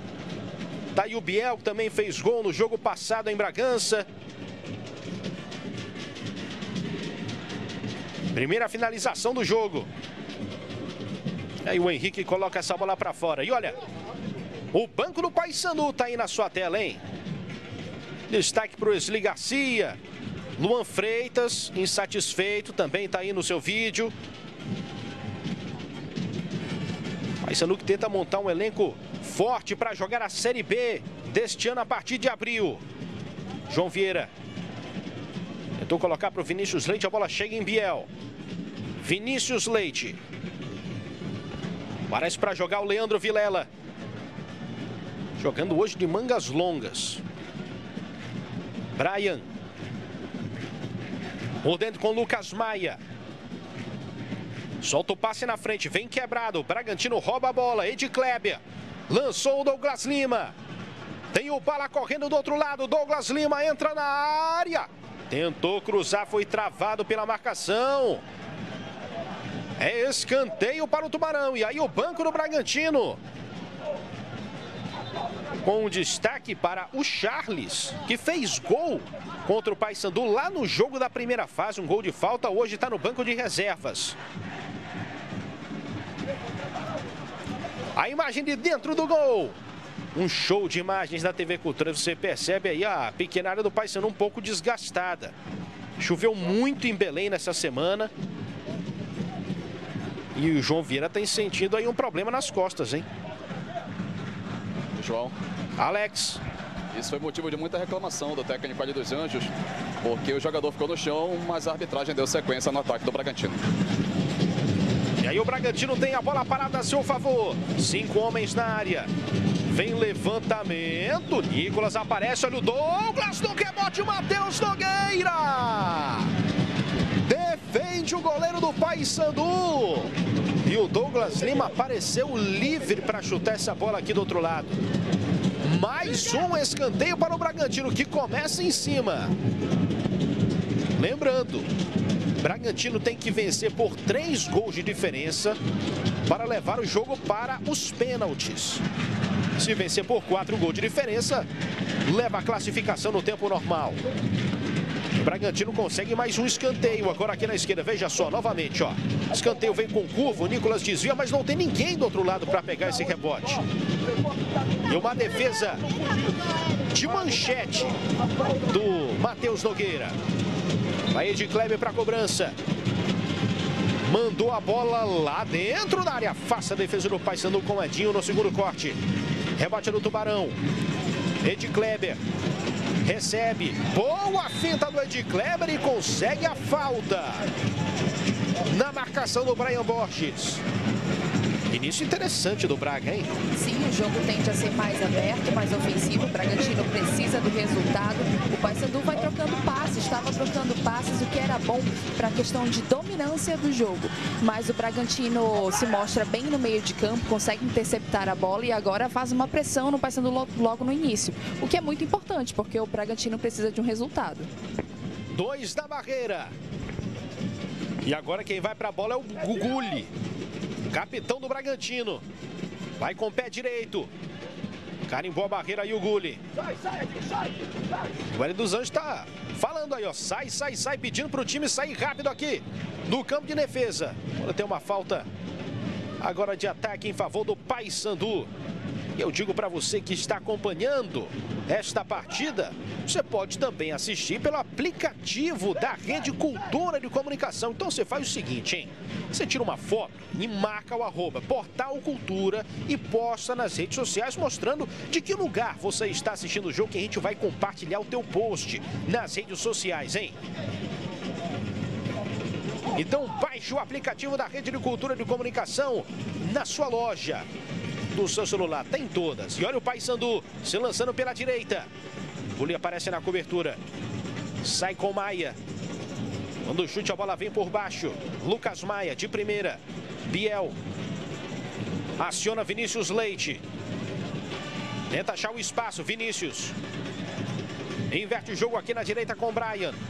Com dificuldade ele domina a bola. Vai para cima no marcador. Tentou a bola com João Vieira. Mas não tinha ninguém para receber na frente. Rafael Augusto. Chutou em, cima do Edinho. Posse de bola do Bragantino. Bragantino que não vence o Paysandu desde 2018. A última vitória foi um 2 a 0 em Bragança no dia 21 de março, na semifinal do Campeonato Paraense daquela temporada. E desde então foram 14 jogos, com 9 derrotas e 5 empates do Tubarão. Inclusive o Paysandu vem de 5 vitórias consecutivas contra o Bragantino em 2024. Esse é o terceiro confronto. Lá na primeira fase o Paysandu venceu por 2 a 1 na Curuzu, com aquele golaço no meio de campo do Nicolas. E nas quartas de final, no último jogo, 3 a 0 E olha a escapada do Bragantino, mas a posição irregular já estava marcada. E naquele ano, João, foi uma das melhores campanhas do Bragantino, tanto no Campeonato Paraense quanto na Copa do Brasil de 2019, que o Bragantino conseguiu chegar à terceira fase da competição. E vem aí o Lucas Maia. Nicolas sai da área para jogar. Jefferson. De volta com Lucas Maia. O Paysandu tem uma longa invencibilidade hoje diante do seu adversário para defender, além da invencibilidade no Campeonato Paraense. Vem o Paysandu, Edinho, Brian, de primeira para o meio, Nicolas, domina. Trabalha de novo com Leandro Vilela. Biel. Escora atrás. Paysandu tem paciência para tocar essa bola. Olha o lançamento na frente. Era para a corrida do Vinícius Leite. Saiu o Henrique no gol. Henrique que é um dos destaques do Bragantino. Goleiro que já fez algumas belas defesas nesse campeonato paraense. Apesar do seu sistema defensivo não ter ajudado muito, né? Bragantino teve 11 gols tomados até agora. Isso chama a atenção nesse jogo até agora a marcação do Bragantino, né? Sendo um pouco mais forte em cima do Paysandu. E como o Bragantino precisa se lançar mais ao ataque, é natural e a gente está vendo o Paysandu achar mais espaços para construir. Por isso que agora começa a chegar mais. E o Paysandu povoando o campo de ataque. Olha a triangulação. Bom lançamento na frente. É para o João Vieira. Se esforça, manda o cruzamento por baixo. O zagueiro bate cabeça. Nicolas está por ali na área. Ameaça. Chega Rafael Augusto. Tira o perigo do jeito que deu, porque agora se vê um em apuros. E a bola está em jogo, hein? Briga por ela o Tirson Bala. Brian recupera para o Paysandu. 10 minutos apenas desse primeiro tempo. Está começando apenas o jogo aqui na TV Cultura. Já já a gente informa o que, está acontecendo em Bragança. No jogo entre Caeté e Águia. E tá 0 a 0 ainda, hein? 30 do segundo tempo, o Águia venceu o primeiro jogo por 2 a 0 enquanto a gente vê caído aí o Douglas Lima. Vai pedir atendimento. Parazão Mampará, somos todos do mesmo time. Usinas da Paz, o melhor equipamento do Brasil. Cidadania, por todos os paraenses, por todo o Pará. João. O Douglas Lima se machucou na queda. Aquele dividiu com o Wanderson uma bola, né? Caiu muito próximo aqui da gente, inclusive onde fica a câmera. O Wanderson foi até próximo da grade aqui do vestiário do Paysandu. Mas o Douglas Lima acabou levando a pior, machucou a costa e está sendo atendido agora. E a gente está vendo novamente a imagem aqui, realmente, né? O jogador do Paysandu chega com o, o braço um pouco mais aberto e acerta ali a nuca do Douglas Lima, que acaba caindo também fora do campo. Tá aí o Douglas Lima reclamando com o Marcos José Soares de Almeida. E a bola volta a rolar na Curuzu. Por enquanto, 0 a 0. Sai para o jogo papão com o Wanderson. Quase 12 minutos deste primeiro tempo. Lucas Maia avança. No lançamento na frente, tentativa de conexão com o Biel, chega na cobertura o Venilson Taperaçu. Tem falta em cima dele. E pro Bragantino, Jordana, é aqui tentar fazer um gol rápido, né? Para tentar incomodar o Paysandu de alguma forma, porque se passarem aqui 20 minutos e o Bragantino não, não anotar, aí o, o, tempo vai passando com a pressão aumentando ainda mais, né? E agora tá com mais dificuldade de chegar ao ataque, né? Ó, o Paysandu saindo pro jogo. Brian vai avançando, ninguém encosta nele. Deixa com Biel. Tem o Jefferson aqui na esquerda. Ele viu. Agora, João, fiquei com a impressão de que cabia um cartão amarelo para o Wanderson, viu? Naquele lance anterior, né, com Douglas Lima.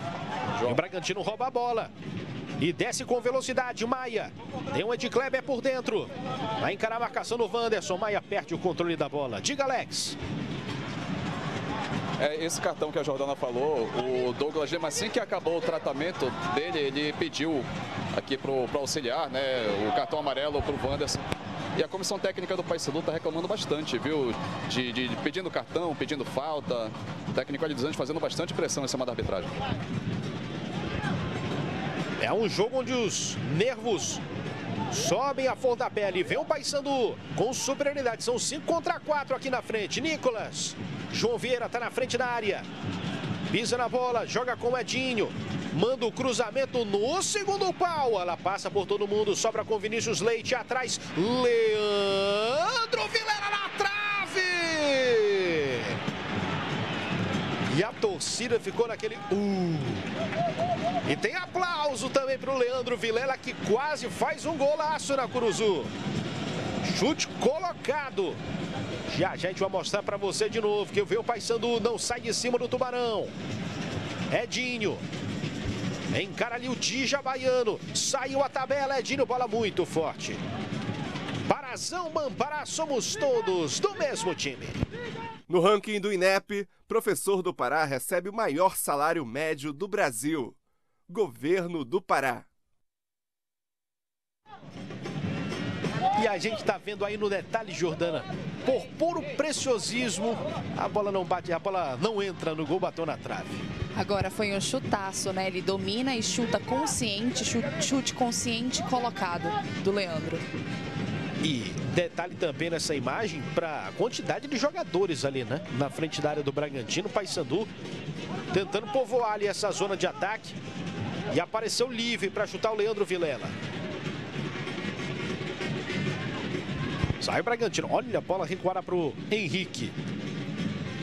Rolou o lançamento lá na frente. Jefferson.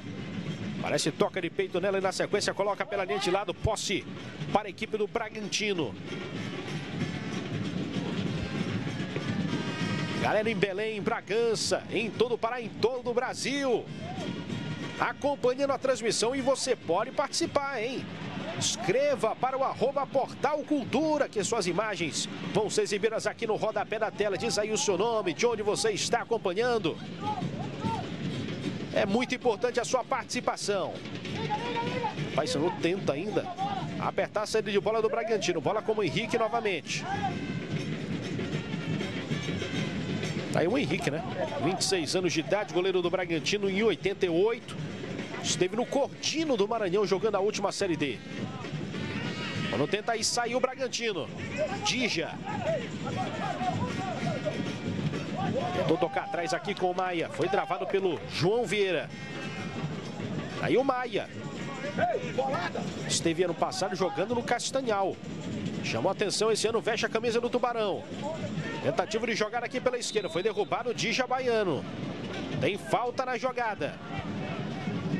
Dija Baiano que é novidade aí no Bragantino. Olha, o Douglas tentando aí jogar rápido. E o juizão dá uma bronca nele, hein? Cléber da Costa Lobo chegou ali falando algumas coisas para o Douglas Lima. E o Banco do Bragantino também bem participativo no jogo, né? A gente vê pelo menos ali tem três integrantes o, do que eu consigo identificar aqui, né? O Paulo Vitor, preparador físico, e também o Marquinhos Taíra. Chega por trás e chega duro. Venilson Taperaçu agora em cima do Wanderson.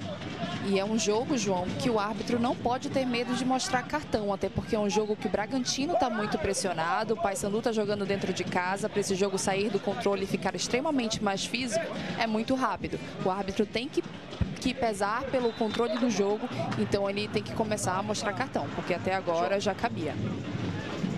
É, até para controlar a partida, né? Exato. Que até que ponto também dá uma estratégia, principalmente do Bragantino, dar uma pilhada no jogo, tirar o Paysandu da zona de conforto para tentar fazer alguma coisa aqui. Mas erra na saída de bola. Olha o Nicolas. Se recupera na cobertura o Matheus Lopes. Rafael Augusto pressionado. João Vieira o persegue. Aí tá preso, ó, tá encaixotado na linha de fundo. Se livrou da bola. Ela volta pro Paysandu, de graça. Edinho. Foi tocado por trás ali pelo Maia. Tem falta na jogada e oportunidade pro Papão, hein? Oportunidade pro Papão jogar essa bola lá dentro da área do Bragantino. Quase 20 minutos desse primeiro tempo.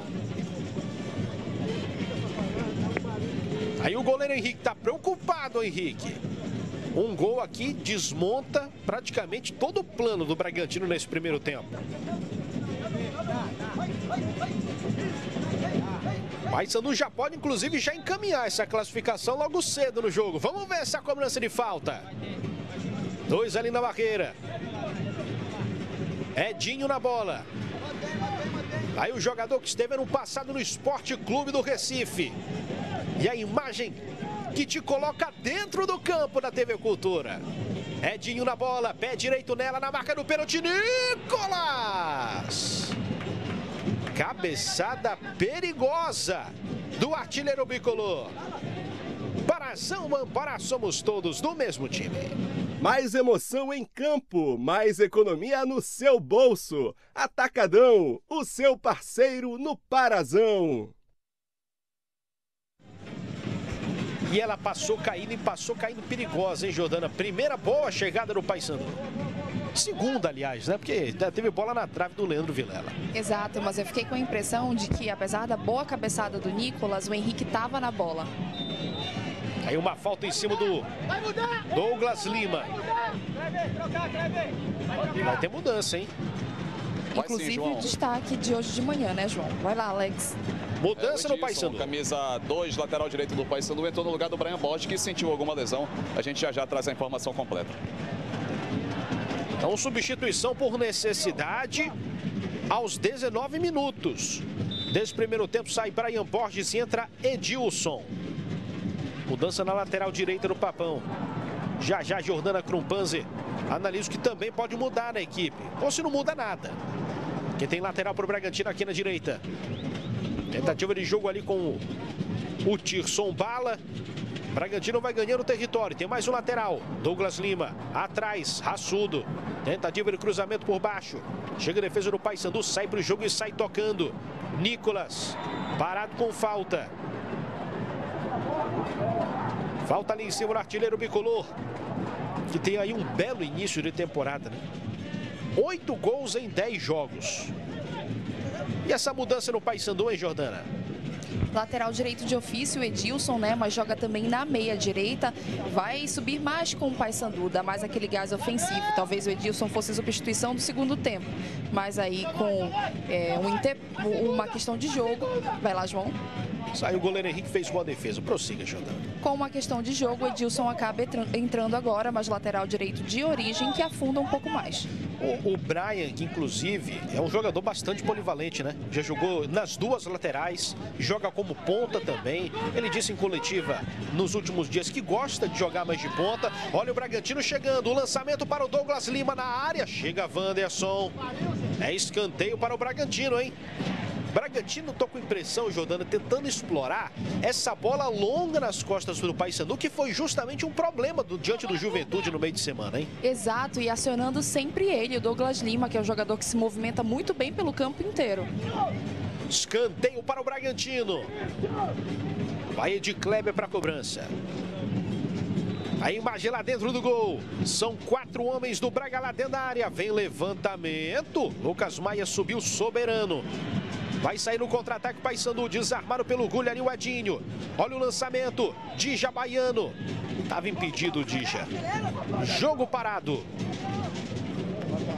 E eu digo para você que já está disponível, já está aberta, quando a gente vê a posição realmente irregular do Dijabaiano, a votação para o troféu meio de campo. A escolha dos melhores do Parazão Bampará está nas suas mãos, torcedor.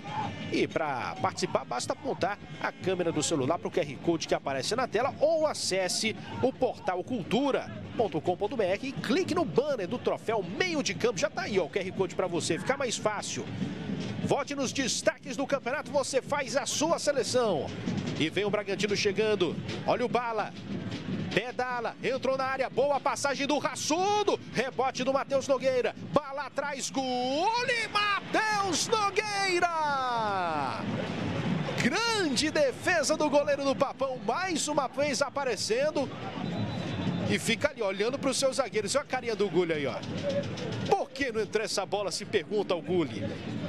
E que bela passagem no raçudo. Cruzamento veio, de Bala teve paciência, olhou para trás e olha que tapa. O Matheus Nogueira dá nessa bola. Ela tinha endereço, tinha CEP, já estava o carteiro lá dos Correios já entregando essa bola, hein? Escanteio. Pressão do Bragantino é de Kleber, levantamento. Lucas Maia afasta o rebote do Bala. Atrás, Gulli de novo, chutou, travado. Paysandu vai tentar sair no contragolpe. Maia e aí ele errou na dose. Mas uma boa chegada do Braga, hein, Jota?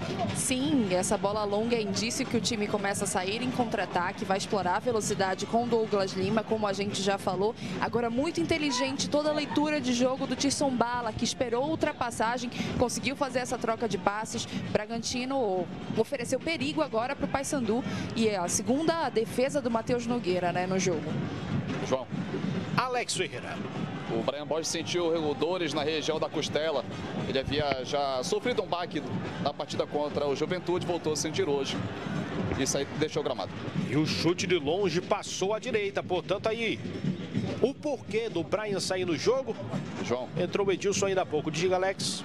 E só para complementar, ele, o próprio Brian Borges já está aqui no, no vestiário, fazendo tratamento com gelo na região da costela. E novamente destaque para você a boa defesa no Matheus Nogueira. Bragantino teve melhores chances por enquanto nesse primeiro tempo. Jogo que vai ganhando um tempero especial, hein? Bragantino pressionando, tentando fazer alguma coisa. O Paysandu tenta sair na boa. 24 minutos, Jordana. Será que vira um jogo até certo ponto perigoso para o Paysandu, desse do Bragantino chegar, ou pode ficar perigoso a partir do momento que os gols saírem? É, da feita que o Paysandu começa a marcar em linha alta, isso, essa bola longa pode ser um problema para o Paysandu, porque se encaixar, traz mais é, opção para o Bragantino, né? Então o Paysandu começa a ficar ligado agora. 25 minutos, já passamos aí na metade desse primeiro tempo e você acompanha tudo aqui na TV Cultura. A partir da próxima semana, já teremos as semifinais do Campeonato Paraense. Quando temos aqui o aviso, tem gol na rodada, gol do Águia de Marabá no Diogão, hein? Bruno Limão abre o placar nesse segundo jogo no agregado agora 3 a 0 para o Águia, encaminhando a sua vaga para as semifinais, 45 no segundo tempo, já praticamente no apagar das luzes. Então, Bruno Limão, 1 a 0 Águia. O Águia que no meio de semana também conseguiu um grande resultado na Copa do Brasil. Erra o passe o Edinho. Bragantino vai tentar sair em velocidade. Condição legal do Douglas Lima. Tá cara a cara. Douglas Lima driblou o goleiro. Matheus Nogueira, incrível! Tira o gol do Douglas Lima. Com a mão direita, sensacional o goleiro do Paysandu. Biel tentou a inversão de jogada, mas Acabou saindo pela linha de lado. Que lance do goleiro do Papão, impedindo o gol do Bragantino. Mais uma chance que o Bragantino perde também. Olha o Biel na frente da área. Edinho. O Jônio na marcação, Ed Kleber. Ninguém avisou que tinha ladrão ali pro Leandro. E o Douglas Lima tem um problema aqui com essa trave do lado esquerdo do Paysandu. Quem não lembra no passado, né? Aquele jogo contra o Tapajós, ele acabou perdendo um gol sem goleiro. E vem Adinho pela direita, boa finta, Edinho tentou mais um drible extra. Acabou perdendo a jogada. O jogo é bom na Curuzu, hein?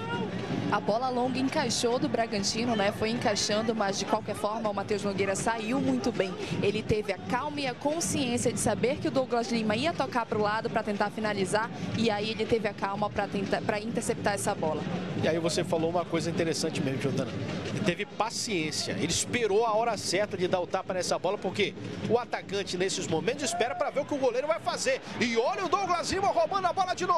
Ele tá ligadão no jogo. Ed Kleber passou. Boa bola, saiu Matheus Nogueira no limite, faz a defesa. Parazão, Mampará, somos todos do mesmo time. Alubar, transformando alumínio em soluções. E vem o Paysandu no contragolpe. Virou trocação na Curuzu. Tentativa de cruzamento saiu. Ali o Rafael Augusto tira essa bola de cabeça.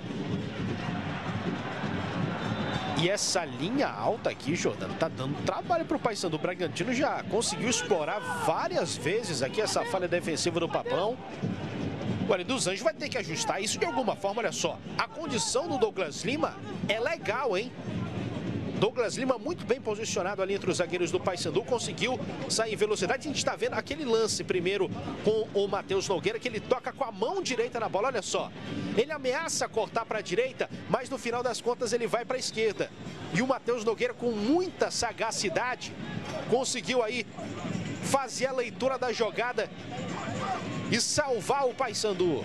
É, o, do, o Douglas Lima está explorando bastante essa costa do, da defesa do Paysandu. Esse é o problema da linha alta, João. Como a gente sempre fala, o futebol ele é um jogo de ganha e perde. Se você vai com a linha alta para marcar a saída de bola, fazer a pressão na saída de bola do adversário, a, a sua defesa fica muito exposta. E o Douglas Lima está sabendo aproveitar muito isso. É, a defesa do Paysandu ainda não tem uma recomposição defensiva muito rápida para conseguir cobrir essa questão. E outra, o Bragantino está jogando hoje com um ataque bem mais móvel e leve, porque o Bragantino não tem centroavante hoje. Com o Gilead fora da equipe, saiu durante essa semana. Douglas Lima, de Sombalho e de Baiano fazem um ataque bem rápido e bem móvel. Você chamou, Alex? João.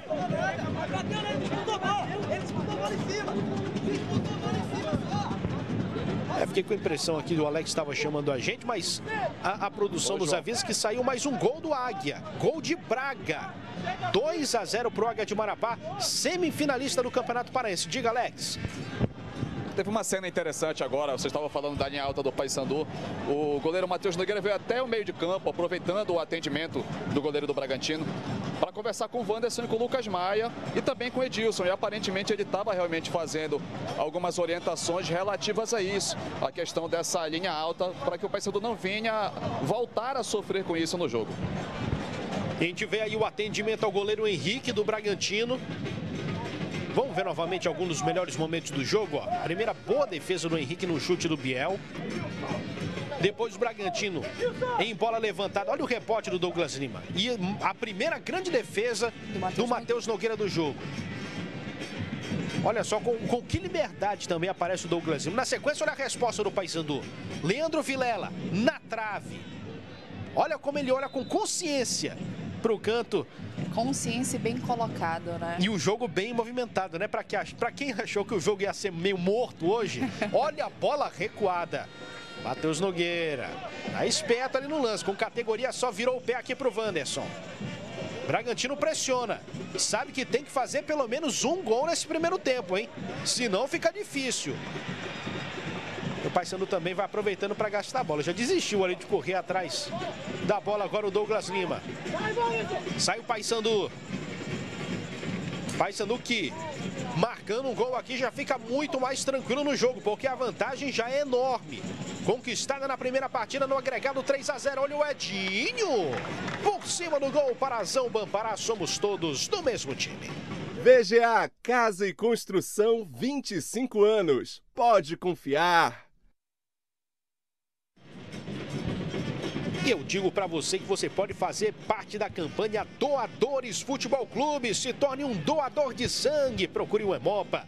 Faça sua doação e salve vidas. Você pode levar para casa aí uma camisa do time do seu coração. Então venha marcar um gol no jogo da solidariedade. Vá ao Hemopa.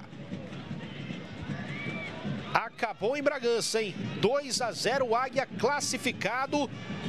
Então, portanto, o Águia espera quem vem daqui. Olha o cruzamento na área. Afasta a defesa do Bragantino. Vinícius Leite, novo cruzamento. Matheus Lopes no alto.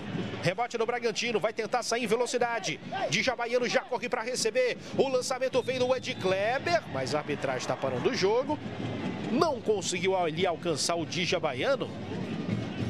Fiquei com impressão de impedimento na jogada. Não sei se veio até um apito da arquibancada, mas a arbitragem acabou no final das contas dando lateral. É o Paysandu com espaço aqui entre as linhas. Edinho vai avançando. Já deixou um para trás, caiu, tem falta. Falta na jogada. 32 minutos. Então, portanto, já temos uma semifinal definida. Clube do Remo e Tuna Luso Brasileira.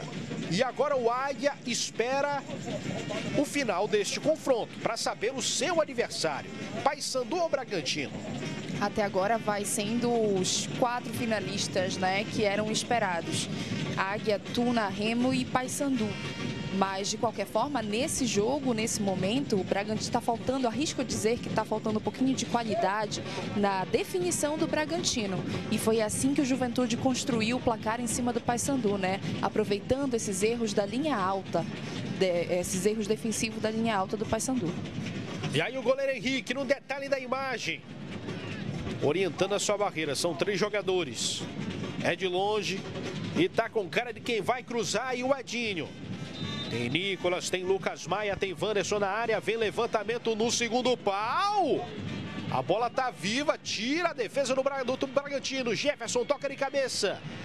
Sem direção, a bola vai ficar com o Tubarão. Sai pro jogo o Matheus Lopes. Por baixo com ele o Maia. Recebe de novo o Matheus. Aí o passe vem espetado aqui perto da linha de lado. O Djabaiano não conseguiu pegar. O Djabaiano não está conseguindo entrar no jogo, hein? Está bastante frustrado. Um dos últimos contratados para o Bragantino nessa temporada. Aí na marcação do Edilson agora o Dija, que tem 33 anos de idade. Foi a contratação de mais nome do Bragantino nessa reta final de Parazão. Conquistou a Série D em 2016 com o Volta Redonda. E o principal destaque daquela campanha. Natural de Feira de Santana, na Bahia. Vamos ver se consegue fazer alguma coisa aqui o Dija Baiano no jogo. Por enquanto, o Paysandu vai controlando, vai mantendo esse resultado. 0 a 0 hoje, 3 a 0 no agregado. Lançamento aqui na direita. Edilson. Tem o Edinho na frente. Vem levantamento no meio da área. Subiu Rafael Augusto. Gulli sai com ela por baixo. Ed Kleber. Fugiu ali da marcação, mas acabou sendo puxado pelo Jefferson. Olha até onde veio o Jefferson, hein? Veio fazer a falta aqui do lado direito. 35 minutos. Quando a gente vê novamente aí o lance, ó. Foi puxado realmente aí o Ed Kleber ter falta. O, o Paysandu querendo já aparece contra-ataque na origem. Paysandu que perdeu a invencibilidade na temporada da Copa do Brasil, mas continua sem perder no estadual. É o dono da melhor campanha até agora, com sete vitórias e dois empates, além de 15 gols marcados e apenas dois sofridos. Na classificação geral, o Paysandu ainda é líder com 23 pontos, o Remo está na cola com 20. Quando o jogo está parado no meio de campo, posse de bola para o Paysandu. Sai Leandro Vilela. Tem Adínio com liberdade. Na verdade, o Edilson. Tentativa de cruzamento acabou sendo barrado. Dija Baiano. Recebe com velocidade. Douglas Lima está na frente, está impedido, hein? O Douglas Lima vai para a bola e ninguém para o jogo. Agora sim, subiu a bandeira. Ficou esperando ali o Douglas Lima. Ninguém vai subir essa bandeira, não? Eu vou. Aquele famoso se colar. Ó, realmente está um pouquinho à frente aí o, o Douglas Lima. Falta um pouquinho de paciência, né, para esperar esse passe. Eu Paysandu, João Vieira, Vinícius Leite, Jefferson. Lateral aparecendo por dentro, a bola dele não foi boa. Parazão Bampará, somos todos do mesmo time. Equatorial Energia, pelo futuro todo dia.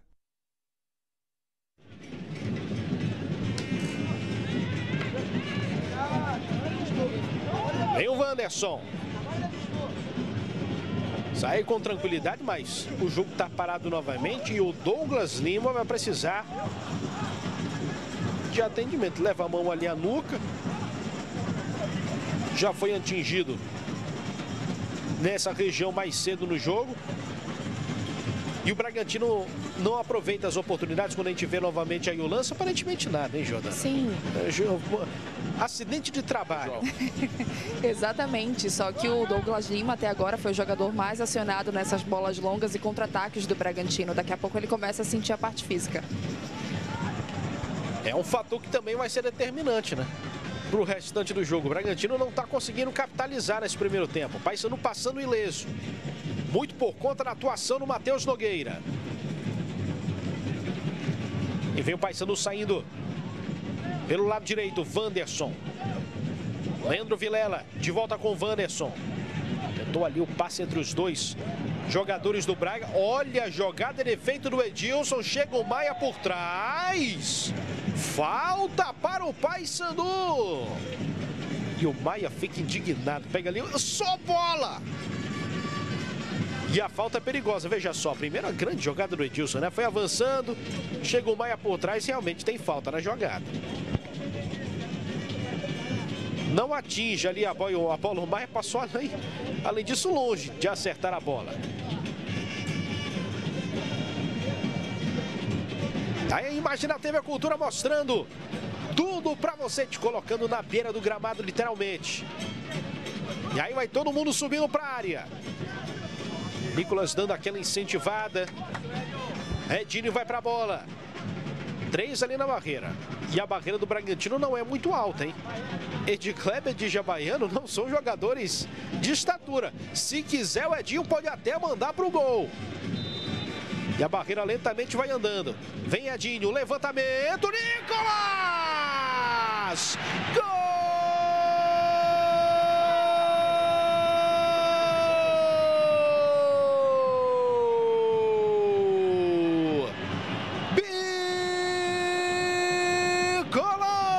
Bicolor! Nicolas! É do Paysandu!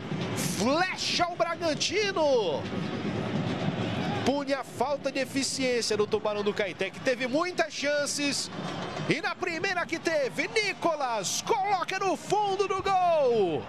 e abre o placar no finalzinho do primeiro tempo. Sem chance para o goleiro Henrique. Gol da marca do artilheiro bicolor, Nicolas. Nove gols na temporada para o artilheiro do time. Paysandu 1, um, Bragantino 0 aos 39, Jordana. É, basta um jogador que seja decisivo, no caso é o Nicolas para o Paysandu. O Paysandu que teve domínio até os primeiros 10 minutos, depois o Bragantino gostou muito do jogo. O Paysandu já não conseguiu mais agredir a defesa adversária, mas de qualquer forma, numa cobrança de falta, o Paysandu tem o Nicolas, que é um jogador importantíssimo. E ele não erra a trajetória do gol. 1 a 0 para o Paysandu. E agora no agregado está 4 a 0 missão do Bragantino fica cada vez mais difícil. E o futebol, João, é aquela tônica, né? Quem não faz. Aquele ditado mais antigo que os dinossauros. Mas que é a pura verdade no futebol. Se você não faz, você vai ser punido. E vem o Paysandu roubando bola aqui no ataque. Tá com apetite o Papão. Olha o Nicolas! Travado pela defesa, Nicolas. A bola ainda fica com ele. Tenta o cruzamento com desvio a escanteio. João. Diga, Alex. O último gol do Nicolas tinha sido contra o Castanhal, na última rodada da fase de classificação. De lá para cá, jogou pela Copa Verde, não marcou. Jogou pela Copa do Brasil, não marcou. Não jogou na partida de ida em Bragança, mas agora volta a balançar as redes. O Nicolas, que chegou até a ser chateado na Copa Verde por não ter feito gols. Agora ele voltou a marcar o nono gol dele no ano pelo Paysandu. E na jogada agora que a gente está vendo o replay, que passe do Biel de letra. A bola passou ainda por baixo das pernas do zagueiro do Bragantino.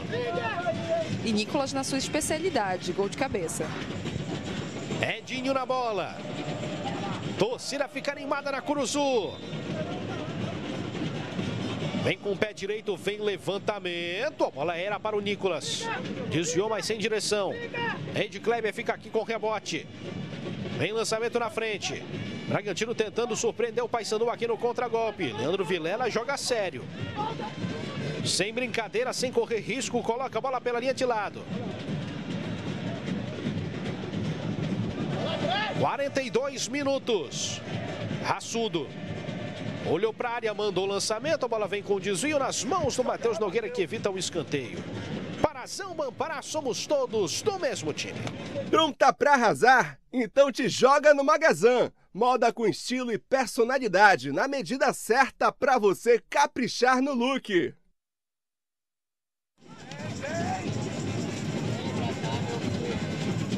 E vem o Paysandu. Eu digo para você que está acompanhando esse Paysandu e Bragantino na televisão, você pode acompanhar também com bastante mobilidade pelo aplicativo da Rede Cultura de Comunicação. Então você faz o seguinte, hein? Você tira uma foto, marca o arroba Portal Cultura e posta também na rede social, mostrando de onde você está assistindo o jogo, que a gente compartilha também nas redes sociais. Vamos movimentar, galera!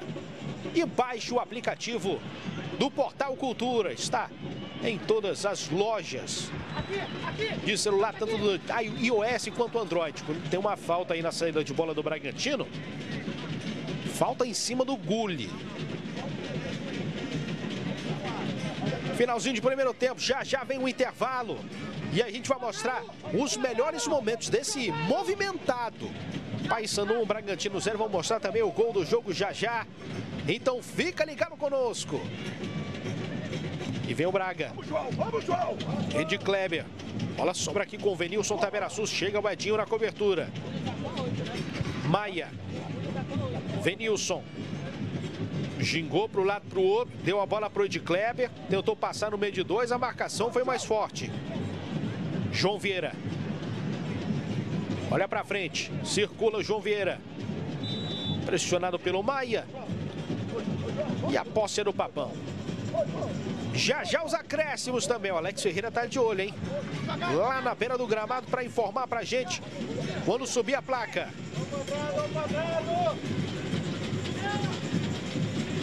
Wanderson. Vem aqui atrás, toca de lado ali com o Edilson. Diz que o remanescente da Série C do ano passado foi titular na reta final da campanha. Mais três. Vamos, portanto, até os 48. Bola recuada ali para o Matheus Nogueira, deu um toquinho por cima. Sai para o jogo Lucas Maia. Ultrapassa ali a metade do campo, manda um lançamento longo, mas não achou ninguém. Nicolas ficou esperando essa bola por dentro. E aí, destaque para você a placa. Vamos até os 48. E aí fica a pergunta, né, para o intervalo, Jordana. Será que o Hélio pode começar a dar rodagem para outros jogadores? Sim, Porque com certeza. quinta-feira tem jogo importante na Copa Verde, hein? Com certeza. E nesse primeiro tempo a gente pode destacar o Biel, o Vinícius Leite, o Edilson entrou pouco, produziu. É, na metade do primeiro tempo, o Biel, Vinícius Leite, que a torcida pediu muito que fossem titulares, também não renderam tanto, apesar do passe lindíssimo do Biel. Então ele pode dar rodagem para jogadores sim. Olha o Rafael Augusto tentando avançar e foi marcada a falta em cima dele.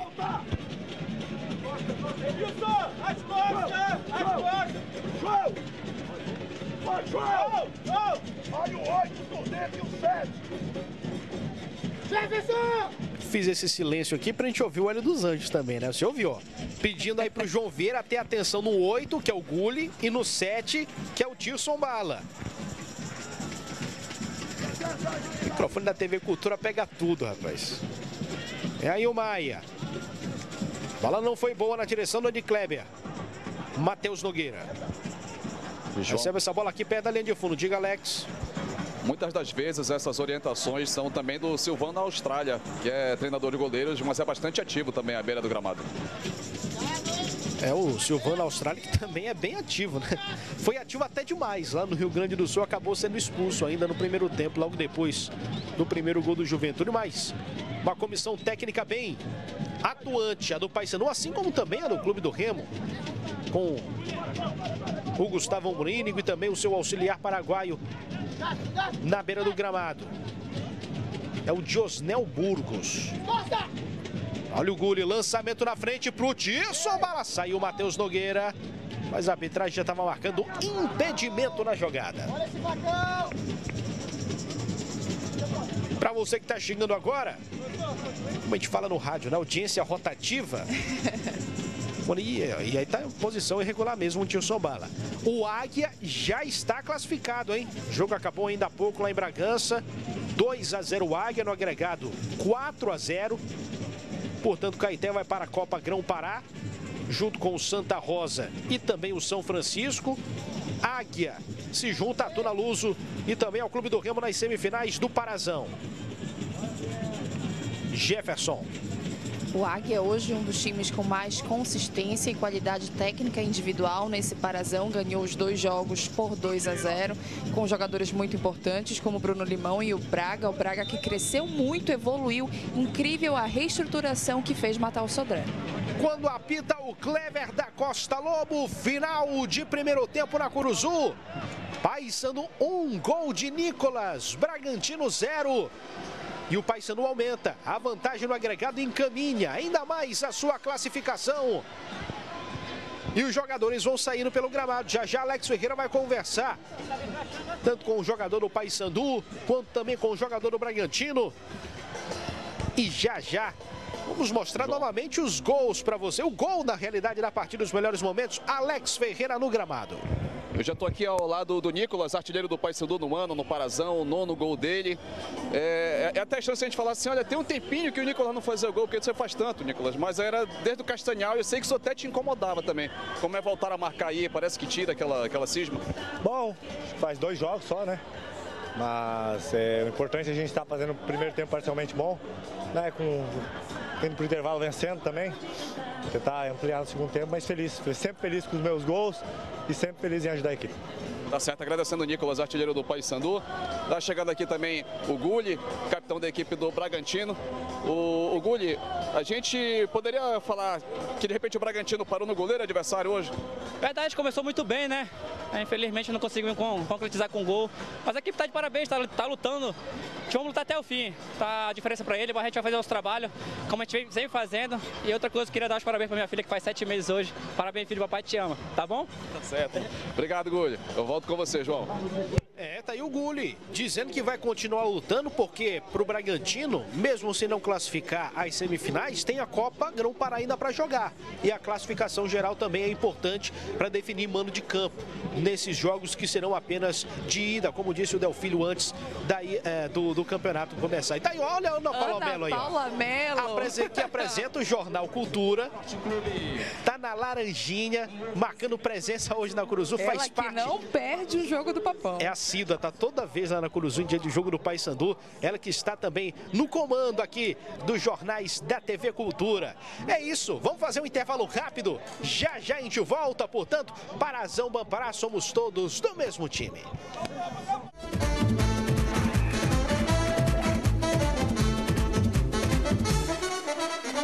Quem é apaixonado por futebol sabe que o Parazão é certeza de emoção e bola na rede. E com o parceirão e você na torcida, é certeza da maior economia também. O Atacadão entrou em campo fazendo uma goleada de economia para você abastecer e lucrar com o seu negócio ou mesmo comprar para sua casa. Você vai encher o carrinho, pagar pouco, torcer muito e comemorar com a facilidade na hora de pagar. Tem que ser muito parceirão mesmo. Vem junto com o seu parceirão no Parazão. Atacadão, lugar de comprar barato. Desde que iniciou as atividades no Pará há 25 anos, a Alubar vivenciou profundas mudanças. Hoje é referência em todo o continente na fabricação de vergalhões e cabos elétricos de alumínio. Um sonho transformado em realidade, a partir da dedicação de quem faz da Alubar um grande sucesso. Alubar, há 25 anos produzindo cabos elétricos de alumínio no Brasil.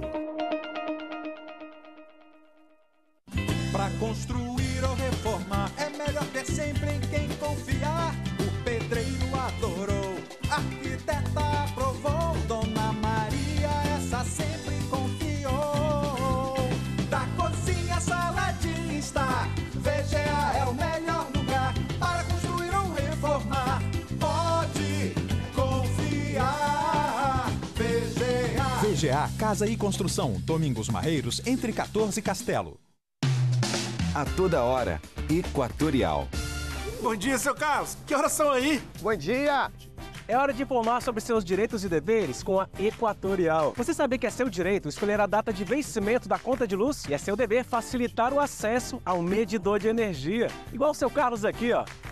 Assim, cada um faz a sua parte.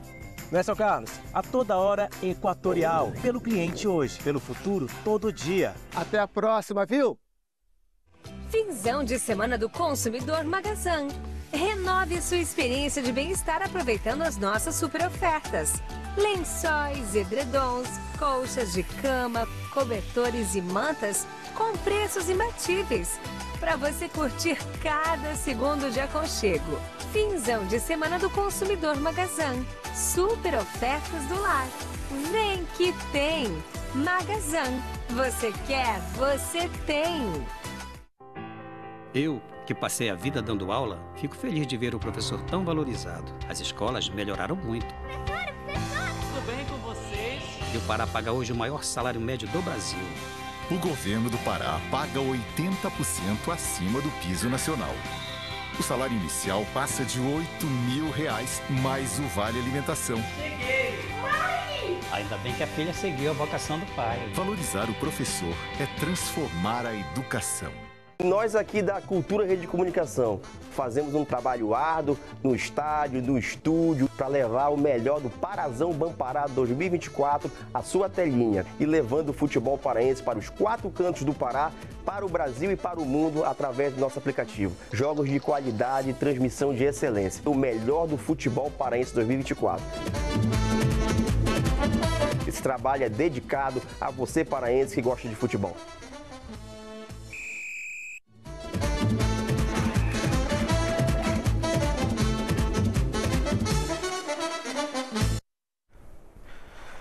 Muito bem, meus amigos, estamos de volta com imagens do estádio da Curuzu. Céu limpo. Em Belém do Pará não tem aquele sol, mas também não tem aquelas nuvens de chuva. O campo seco, propício para a prática do futebol. Estamos vivendo o intervalo de jogo entre Paysandu e Bragantino. 1 a 0 para o Papão. Gol do atacante Nicolas, mais um dele na temporada. Paysandu que até fazer o gol passou por alguns apuros. Vamos dar uma olhada nos melhores momentos com os comentários de Jordana Krumpanzer. Neste intervalo de jogo, Jordana, Bragantino teve várias chances teve né, um jogo mais aberto, como a gente esperava que seria. O Paysandu foi mais dominante nos primeiros 10 minutos, mas deixou espaço para o Bragantino, que começou a trabalhar a bola longa, começou a chegar com mais perigo ao gol do Paysandu. Douglas Lima foi uma peça muito importante para o Bragantino. O Paysandu, mais uma vez, sofreu com a linha alta, deixou espaços, a defesa não conseguia se recompor de forma rápida e os jogadores Tirson Bala, Douglas Lima para o Bragantino estavam aproveitando bastante jogadores jogadores que estavam rodando bastante o campo. Mas tem aquela tônica, né? Quem não faz, leva. E aí o Paysandu conseguiu com o gol do Nicolas, que fez no, na sua maior característica, que é o gol de cabeça. A gente está vendo agora alguns dos lances dos melhores momentos. Aí o Bragantino apostando na bola longa e assim, o, o Bragantino não teve uma qualidade na definição, até porque foram nove impedimentos durante o primeiro tempo. É, o Bragantino tentando explorar essa jogada a rodo. E olha só que defesa espetacular do Matheus Nogueira, né? E, e com o Bragantino se oferecendo para jogar, Jordana, o jogo virou uma trocação, porque o Paysandu, vendo o espaço, tentou aproveitar as oportunidades e aproveitou essa no finalzinho. Aproveitou essa no finalzinho com o Nicolas, como eu falei. O Nicolas teve a sua maior característica nesse momento. O gol de cabeça é um jogador decisivo, um jogador que define para o Paysandu. Conseguiu, o Paysandu agora fica tranquilo. E o primeiro tempo, destaque foi o Matheus Nogueira, né? E a gente vendo o jogo de hoje de manhã de Tunis São Francisco, segundo jogo que o goleiro é o grande destaque, até porque em Tunis São Francisco, Gustavo foi para o São Francisco e o Iago Reis acabou pegando dois pênaltis nas disputas de penalidades. Isso é interessante da gente analisar agora nas quartas de final do Parazão. É verdade, olha só, a análise de toda a rodada você vai ter no Papo da Rodada. Você que está na TV, quando acabar o jogo, pode vir para o YouTube, no canal Esporte na Cultura, que você vai ter a repercussão de todas essas quartas quartas de final do Campeonato Paraense e, é claro, já uma análise das semis que vem por aí. Jordana, antes da gente fazer mais uma pausa, Bragantino, você mudaria alguma coisa no estilo ou em alguns jogadores ou tentaria jogar do jeito que está mesmo? Porque Bragantino está tentando da mesma forma, né? Está tentando da mesma forma, isso deixa o jogo mais aberto. Eu acho que é até interessante o Bragantino agora que vai para a Copa Grão Pará, é importante marcar um gol, sair com um pouco de moral desse confronto, apesar de estar sendo eliminado nesse exato momento momento. Eu não mudaria, continuaria apostando. A defesa do Paysandu deixa esses espaços justamente para a velocidade do Bragantino. Eu manteria isso. E você, falando agora sobre o Paysandu, Jordana, você mudaria alguma coisa? Para o Paysandu, eu mudaria. É, eu dava mais rodagem, minutagem para alguns jogadores. Hoje, o Biel, Vinícius Leite, o Edilson deixaram a desejar dentro de campo. O João Vieira também está um pouco lento para as funções que ele está fazendo hoje dentro de campo. Então, eu mudaria, daria mais rodagem, minutagem para outros jogadores. Aí, ó, a gente vê imagens da Curuzu, trânsito bastante é, claro, né, cristalino aí na Almirante Barroso, sem congestionamento e a galera toda presente aí no estádio, só esperando para começar o segundo tempo e já já a gente volta também, porque faremos uma pausa e na volta estaremos com os últimos 45 minutos desta última quarta de final e vamos conhecer o último classificado para as semis do Campeonato Paraense. Parazão Bampará, somos todos do mesmo time.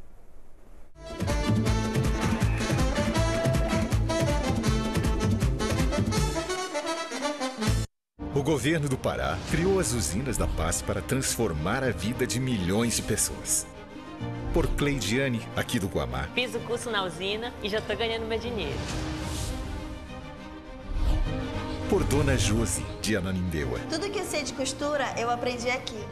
Com nove usinas da paz entregues e 40 em construção, o governo do Pará sabe que ainda há muito a ser feito por todos os paraenses.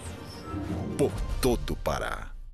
Para construir ou reformar, é melhor ter sempre em quem confiar. O pedreiro adorou, a arquiteta aprovou, Dona Maria, essa sempre confiou. Da cozinha, sala de estar, VGA é o melhor lugar para construir ou reformar. Pode confiar, VGA. VGA Casa e Construção, Domingos Marreiros, entre 14 e Castelo. Sabes dos teus direitos e deveres com a Equatorial? Emana, é teu dever manter os teus dados atualizados e é um direito teu um atendimento 24 horas. Fala em mim que eu sei dos papos. Ei, tu sabe teus direitos e deveres com a Equatorial? Olha, é teu dever informar se da casa alguém depende de energia para tratamento de saúde. É baixa renda? Tem direito à tarifa social. Desde que iniciou as atividades no Pará há 25 anos, a Alubar vivenciou profundas mudanças. Hoje é referência em todo o continente na fabricação de vergalhões e cabos elétricos de alumínio. Um sonho transformado em realidade, a partir da dedicação de quem faz da Alubar um grande sucesso. Alubar, há 25 anos produzindo cabos elétricos de alumínio no Brasil. Quem é apaixonado por futebol sabe que o Parazão é certeza de emoção e bola na rede. E com o parceirão e você na torcida, é certeza da maior economia também. O Atacadão entrou em campo fazendo uma goleada de economia para você abastecer e lucrar com o seu negócio ou mesmo comprar para sua casa. Você vai encher o carrinho, pagar pouco, torcer muito e comemorar com a facilidade na hora de pagar. Tem que ser muito parceirão mesmo. Vem junto com o seu parceirão no Parazão. Atacadão, lugar de comprar barato. Liquida Louca Semana do Consumidor Magazan. A semana mais louca do ano começou com super ofertas de calçados femininos, masculinos e infantis. Bolsas, mochilas, malas, carteiras e muito mais. Tem ofertas malucas espalhadas pelas seções de calçados e complementos. É só procurar os produtos com etiquetas amarelas. Então fique ligado para economizar e aproveitar muito. Liquida Louca Semana do Consumidor Magazan. Loucura é não aproveitar. Vem! Nós aqui da Cultura Rede de Comunicação fazemos um trabalho árduo no estádio, no estúdio, para levar o melhor do Parazão Bampará 2024 à sua telinha e levando o futebol paraense para os quatro cantos do Pará, para o Brasil e para o mundo através do nosso aplicativo. Jogos de qualidade e transmissão de excelência. O melhor do futebol paraense 2024. Esse trabalho é dedicado a você paraense que gosta de futebol.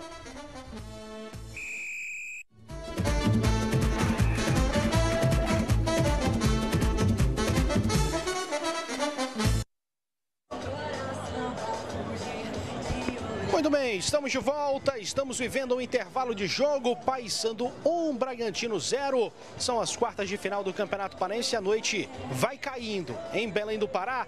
Uma noite bonita, e com um público bem interessante hoje no estádio da Curuzu para essa partida.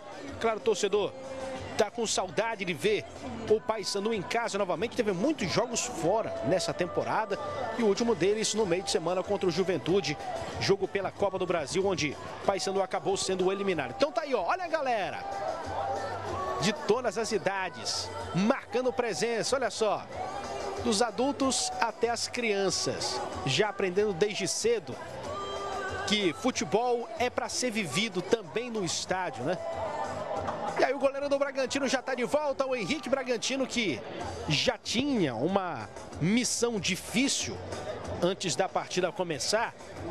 Agora já virou aquela quase missão impossível, né? Será que tem algum Tom Cruise no, no elenco do Tubarão do Caeté? Quando a gente vê aí a galera voltando para o intervalo, Jordana? Olha, João, o futebol se decide dentro de campo nos 90 minutos, mas de qualquer forma agora é muito difícil para o Bragantino. O Paysandu está em vantagem, já está com a sua classificação encaminhada. O que o Bragantino pode fazer é sair justamente com moral para ir para a Copa Grão, Grão Pará. E depois do jogo de hoje, né, em todo esse primeiro tempo, eu acredito que isso acontece sim para o Bragantino. O Bragantino que foi muito bem até agora na partida, deu uma murchada, né, com o gol do Paysandu, mas isso é natural. O time acabou sentindo. E o Jordano, uma informação interessante também que vem da assessoria de comunicação do Paysandu, o Meia Robinho é uma ausência hoje, não aparece nem do banco de reservas, porque foi liberado pela direção do clube para acompanhar um procedimento cirúrgico na família. Então aí o Robinho sendo liberado aí para acompanhar a, a, sua família, né? Então a gente espera que tudo dê bem nesse procedimento com os familiares aí do, do Robinho. Com certeza, a gente deseja que tudo dê certo, mas de qualquer forma acredito também que as substituições que o Hélio dos Anjos fez hoje já faria, mesmo com o Robinho à disposição dele, mas é uma questão desde o jogo, do jogo contra a Copa do Brasil, o Robinho não foi bem e acabou dando espaço para o Biel.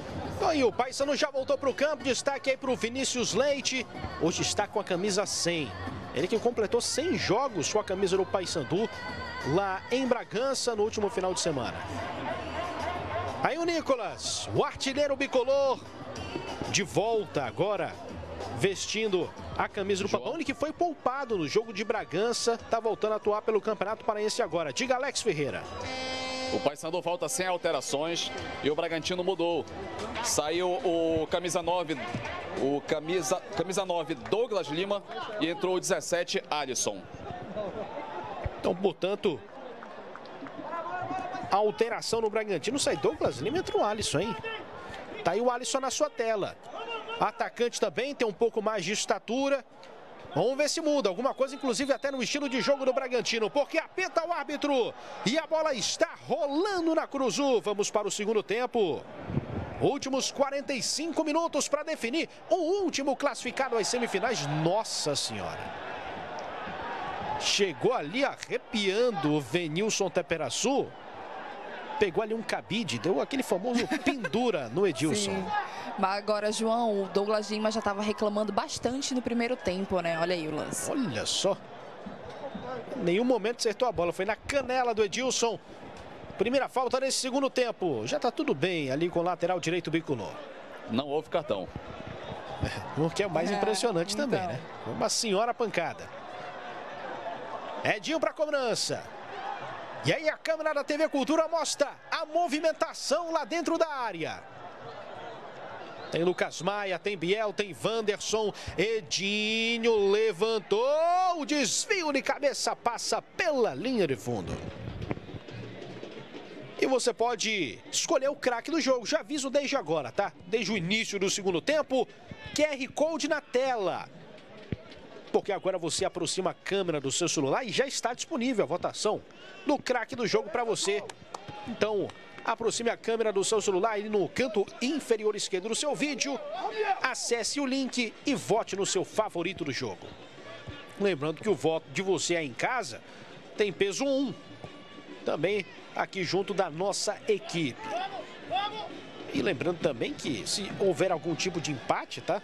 O, o- o peso do desempate é de você aí em casa. Então, seu voto é muito importante. Meu pai Sandu. Leandro Vilela. Por dentro com o Jefferson. Olha onde está o lateral esquerdo. Joga por dentro com o Edinho. Edinho para Nicolas. É atrapalhado pelo Matheus Lopes. O Rafael Augusto também estava na retaguarda. Bala. Maia. De volta com bala. Tentou sair na velocidade e acabou sendo parado. Falta para a equipe do Bragantino. Paysandu já vai tentando matar os contra-ataques do Bragantino desde a origem, desde o finalzinho do primeiro tempo e agora o protocolo procede.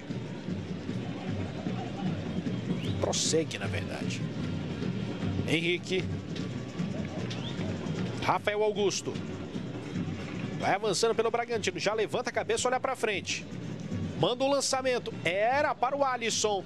Se esforça, consegue roubar a bola de novo. Bala. Aí já estava marcado o impedimento na jogada na origem, ali com o Alisson. O Alisson, que é base do Vitória. O Alisson, ele é centroavante, mas tem posição secundária de ponta. Como eu falei, o Douglas Lima reclamava muito no primeiro tempo. Era uma substituição previsível, né? Mas o Alisson entra com um repertório um pouquinho maior. Quando tá caído aí o Edinho, atacante do Paysandu tá no chão, levando ali a mãos ao rosto, né? E tá aí o Marquinhos Taíra, técnico do Bragantino, Clube do Pará. Já comandou interinamente a equipe em outras temporadas e hoje se vê também na mesma situação após a demissão do Rogério Gameleira antes da última rodada do Campeonato Paraense. O jogo parado. E o Marquinhos Taíra também foi jogador do Bragantino. Era um, meia. Um futebolista bastante conhecido também em Bragança. Jogou futsal também, futsal em Bragança, que é sempre muito forte. Era atacante e também meia. Marcou aí a história. Alex Ferreira. O, o técnico ali dos Anjos aproveitou aquela parada para atendimento ao Edilson para reclamar bastante com a arbitragem. Que, segundo ele, estaria deixando passar muitos lances perigosos, né? Muitos lances um pouco mais fortes. É, porque o jogo vai ficando aí o- com uma pegada um pouco mais forte das equipes. E olha o Ed Kleber. E aí o Dilson Bala não estava ligado, parou no meio do caminho, perdeu a passada. Na sequência tem falta de ataque.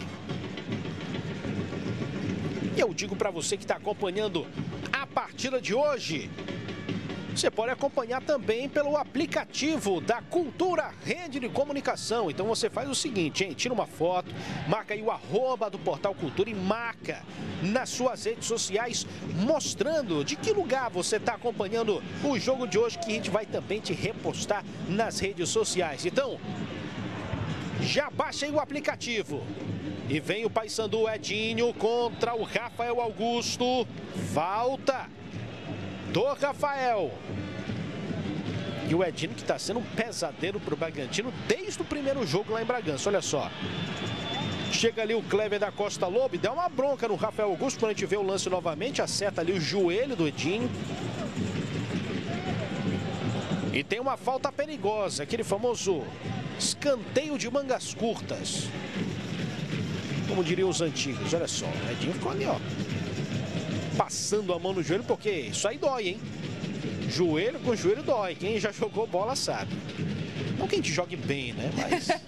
Sim, mas essa já é a terceira vez que o Edinho é parado com falta. Ele vai ajeitando aí a bola para cobrança da falta. Mas você joga bem, João. Você é goleiraço. É, eu sou goleiro. Eu sou, às vezes, responsável por dar pancada nos outros, mas... Vem Edinho na cobrança. Jordana tá rindo aqui, mas há provas, hein, que eu jogo. Escan... Escanteio já. Falta pro Paysandu. Tem Biel na área. Leandro Vilela também tá por ali. E o Clever tá conversando com os jogadores, ó. Quero saber de empurra, empurra aqui não, hein? E não adianta nada, porque tá todo mundo se agarrando ali dentro da área. Edinho, pé direito, levantou. Wanderson, defendeu o goleiro, olha o gol! Gol!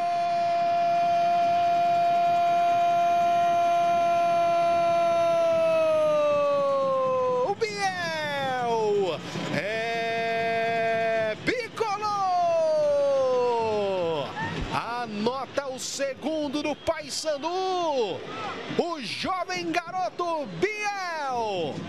Olha só, levantamento, Wanderson cabeceia, um milagre do Henrique. Biel estava esperto, oportunista. De peito colocou para o fundo do gol. É o segundo do Paysandu.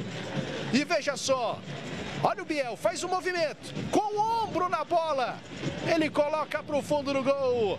E o Paysandu aumenta a vantagem no comecinho do segundo tempo, aos 7 minutos. Paysandu 2, Bragantino 0, Giordana Krumpanzer. Mesmo gol, mesma situação, falta no Edinho, bola parada decidindo para o Paysandu. E vem o Paysandu de novo com apetite.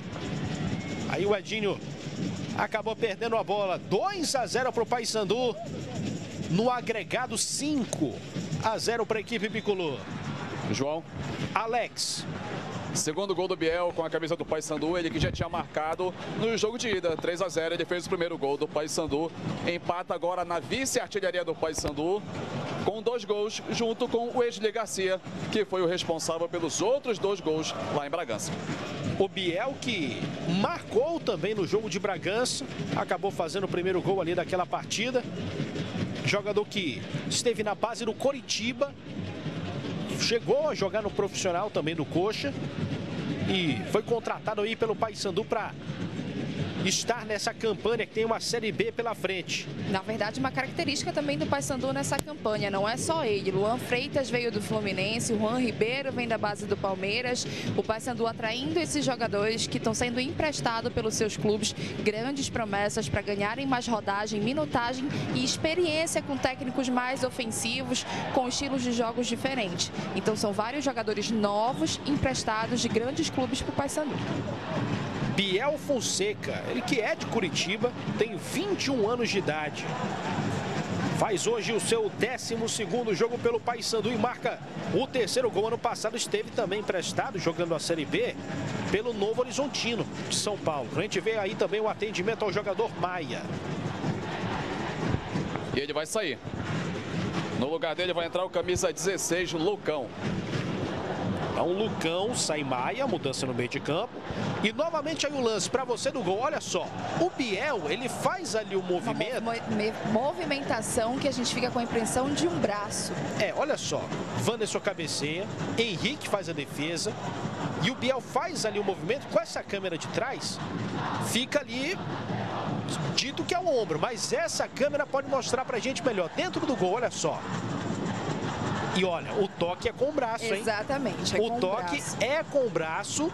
A arbitragem não viu, lembrando que não tem VAR nessa fase do Campeonato Paraense. Portanto, gol do Paysandu do Bial com aquela malandragem. O Raçudo não conseguiu acompanhar o rebote, ele que estava na marcação.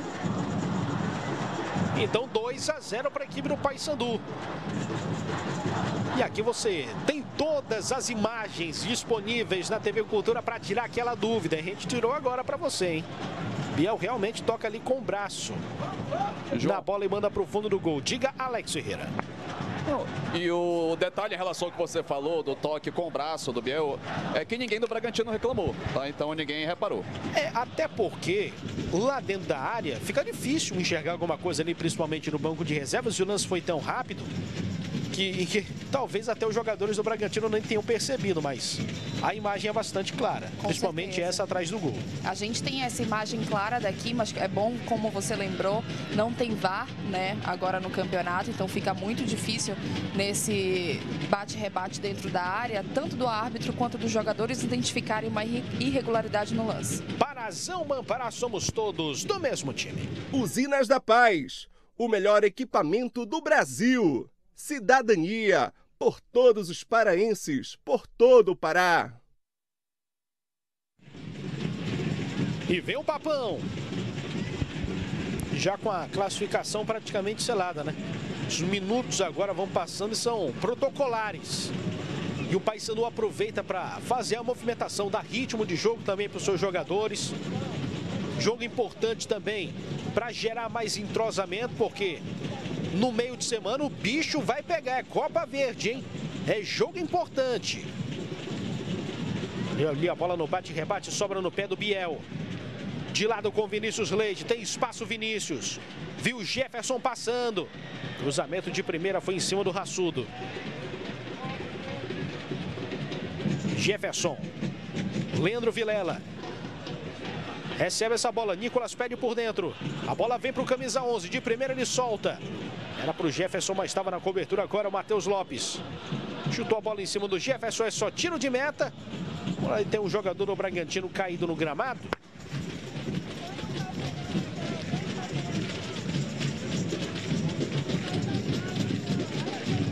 E aí o Matheus Lopes aproveitando também para dar aquela amargada na chuteira. Vamos ver aí, ó. O lance foi com o Raçudo. Ele se chocou com o Nicolas e foi para o chão. Mas nada intencional. Um acidente de trabalho apenas. E eu digo para você que você pode fazer parte da campanha Doadores Futebol Clube. Se torne um doador de sangue, procure o Hemopa. Faça sua doação e salve vidas. Você ainda pode levar para casa uma camisa do time do seu coração. Então venha marcar um gol no jogo da solidariedade. Vá ao Hemopa e doe sangue.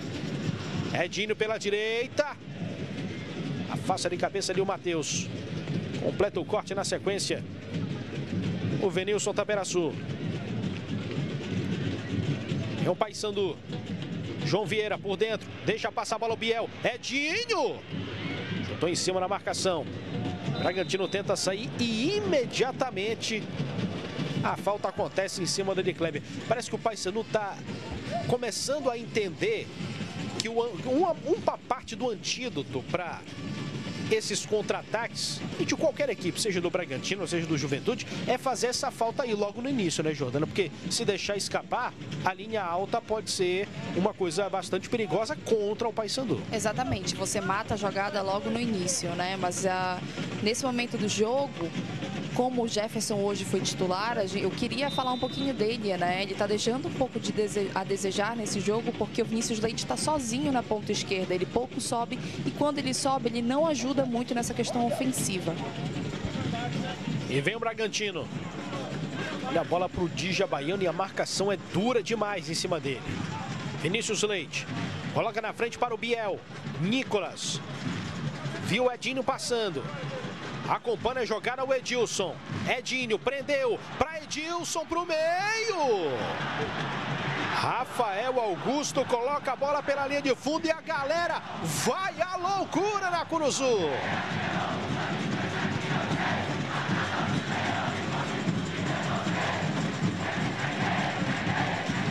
Canta fiel bicolor. Empurra o seu time.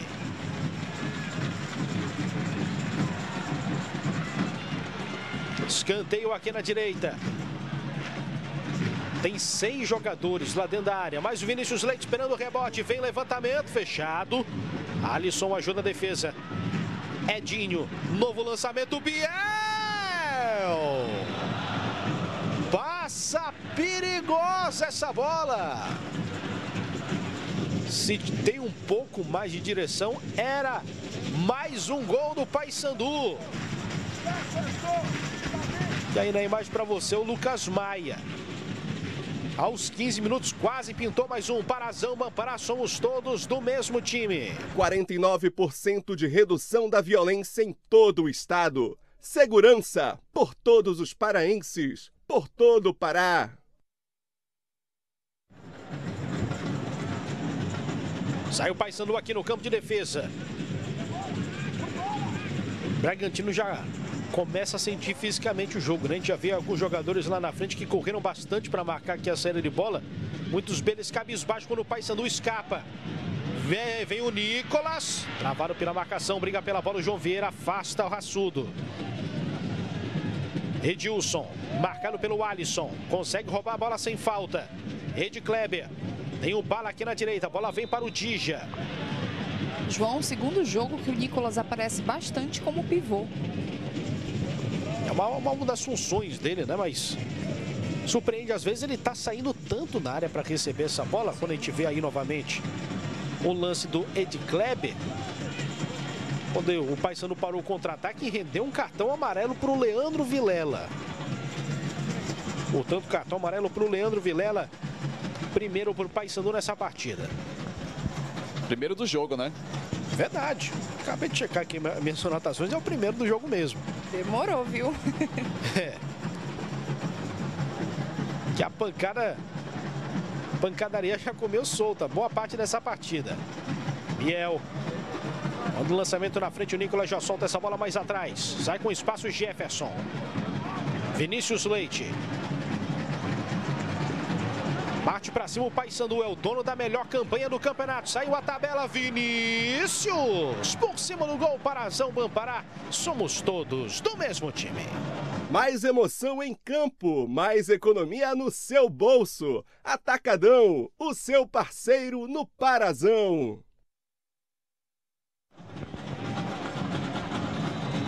E eu digo para você que está aberta a votação para o troféu meio de campo.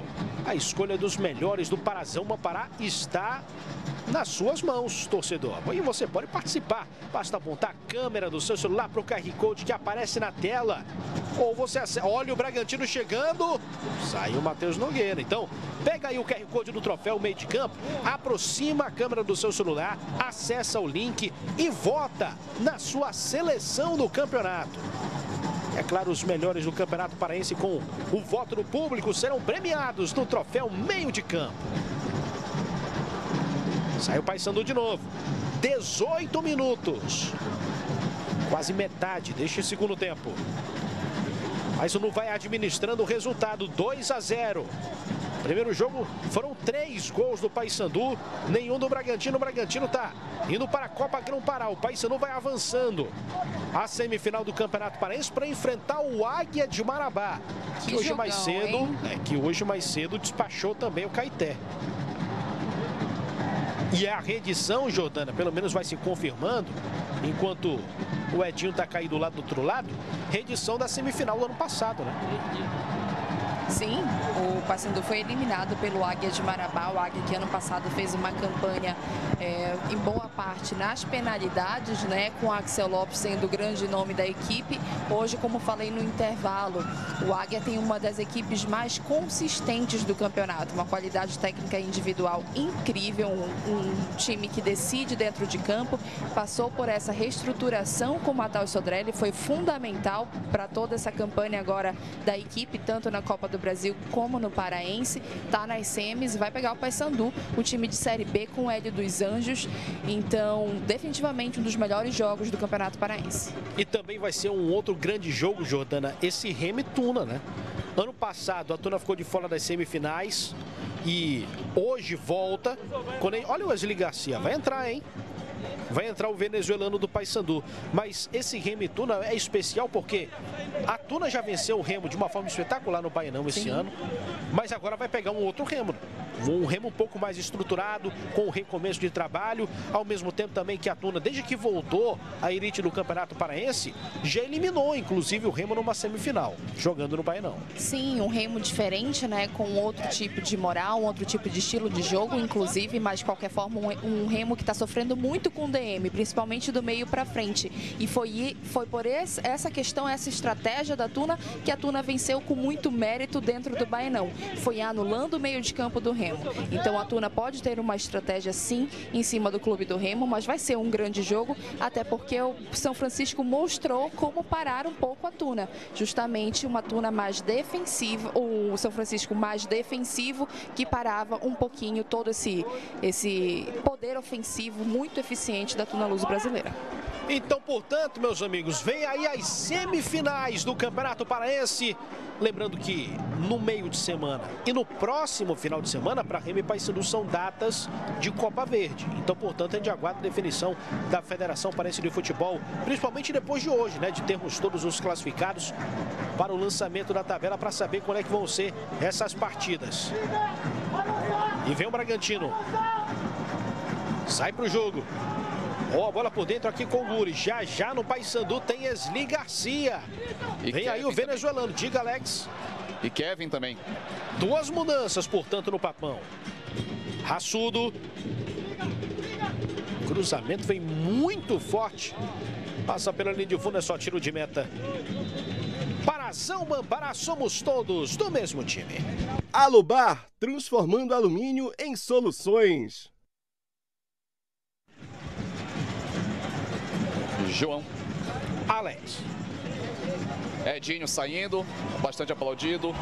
Entrando Esli Garcia, muito festejado.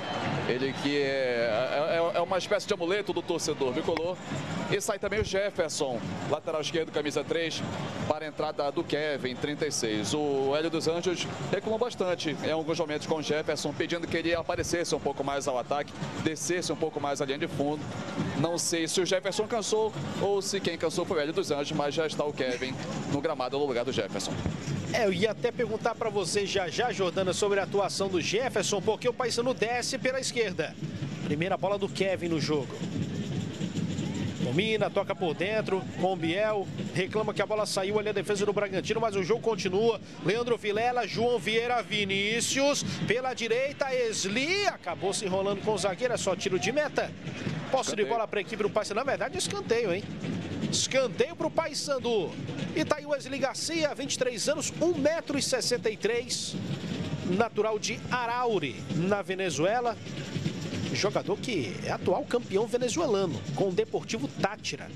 Que vai disputar a Libertadores. Tá, deixou de jogar Libertadores para jogar a Série B esse ano com o Paysandu. Vem Vinícius Leite, levantou. Henrique sai do gol. E aí o Bragantino vai ter a possibilidade no contra-ataque. Bala. Boa bola pro Dija. Tentou colocar na frente João Vieira. Aparece no carrinho e mata o contragolpe. Sem o Douglas Lima, o Bragantino acabou perdendo muito o poder do contra-ataque e das bolas longas, né? Ele era o jogador mais acionado, mas também conta muito esses 2 a 0. Ali o João Vieira. Agora tem falta a favor do Bragantino. Queria discutir, Jordana, também sobre a partida do Jefferson, primeira dele como titular do Paysandu. É, eu falei dele no primeiro tempo, no intervalo também. O Jefferson pouco ajudou o Paysandu hoje. Na verdade, o Vinícius Leite ficou muito sozinho na ponta esquerda. Ele pouco subiu, pouco ajudou essa questão ofensiva. No entanto, que quando o Kevin entra, o Hélio dos Anjos pede justamente para que ele afunde mais. Já a entrada do Esli Garcia é para oxigenar. O Edinho foi muito bem na partida, mas vai oxigenar agora com a entrada desse jogador. E quem também vai oxigenar é o Bragantino, como aqui no Estair, hein, Alex? Exatamente. Entra o Matheus Ceará, camisa 21, ele que vai no lugar do 7 Bala. Saiu também o, o Ed Kleber e entrou o 20 Charles no lugar dele. Portanto, aí as mudanças no Bragantino. Sai o Ed Kleber, sai também o Tirson Bala. O Ed Kleber que foi mais utilizado durante o jogo, Jordana. Já já se fala porque tem falta para o Bragantino. Olha o gole. Matheus Nogueira defende. O Ed Kleber até tentou armar esse jogo aqui, deu boas bolas, inclusive para o Douglas Lima, que não soube aproveitar. Uma partida interessante aí do Ed Kleber, mais uma temporada no Bragantino. Exatamente, ele é um jogador de mais experiência, um jogador mais organizador de, de jogo, é um jogador que conhece, conhece também muito bem o futebol paraense, então a tendência é essa, ele usa muito da experiência dentro de campo. Eu chamei o Ed Kleber de interminável antes do jogo, ele só tem 29 anos, hein? Olha a bola invertida aqui do outro lado, bola pela linha de fundo. O Ed Kleber, o Ed Kleber que começou cedo, jogava na base do Remo, base do e, Remo, e ele é natural de São Caetano de Odivelas, no nordeste do Pará. É um meia extremamente ofensivo, mas tem como posição secundária a ponta esquerda também. Olha o Paysandu roubando a bola aqui na frente. Esli recebeu, Biel colocado! Gol!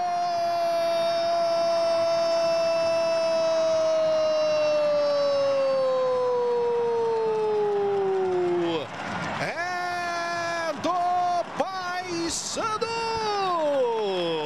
Biel marca o no jogo para felicidade da torcida do Papão na Curuzu.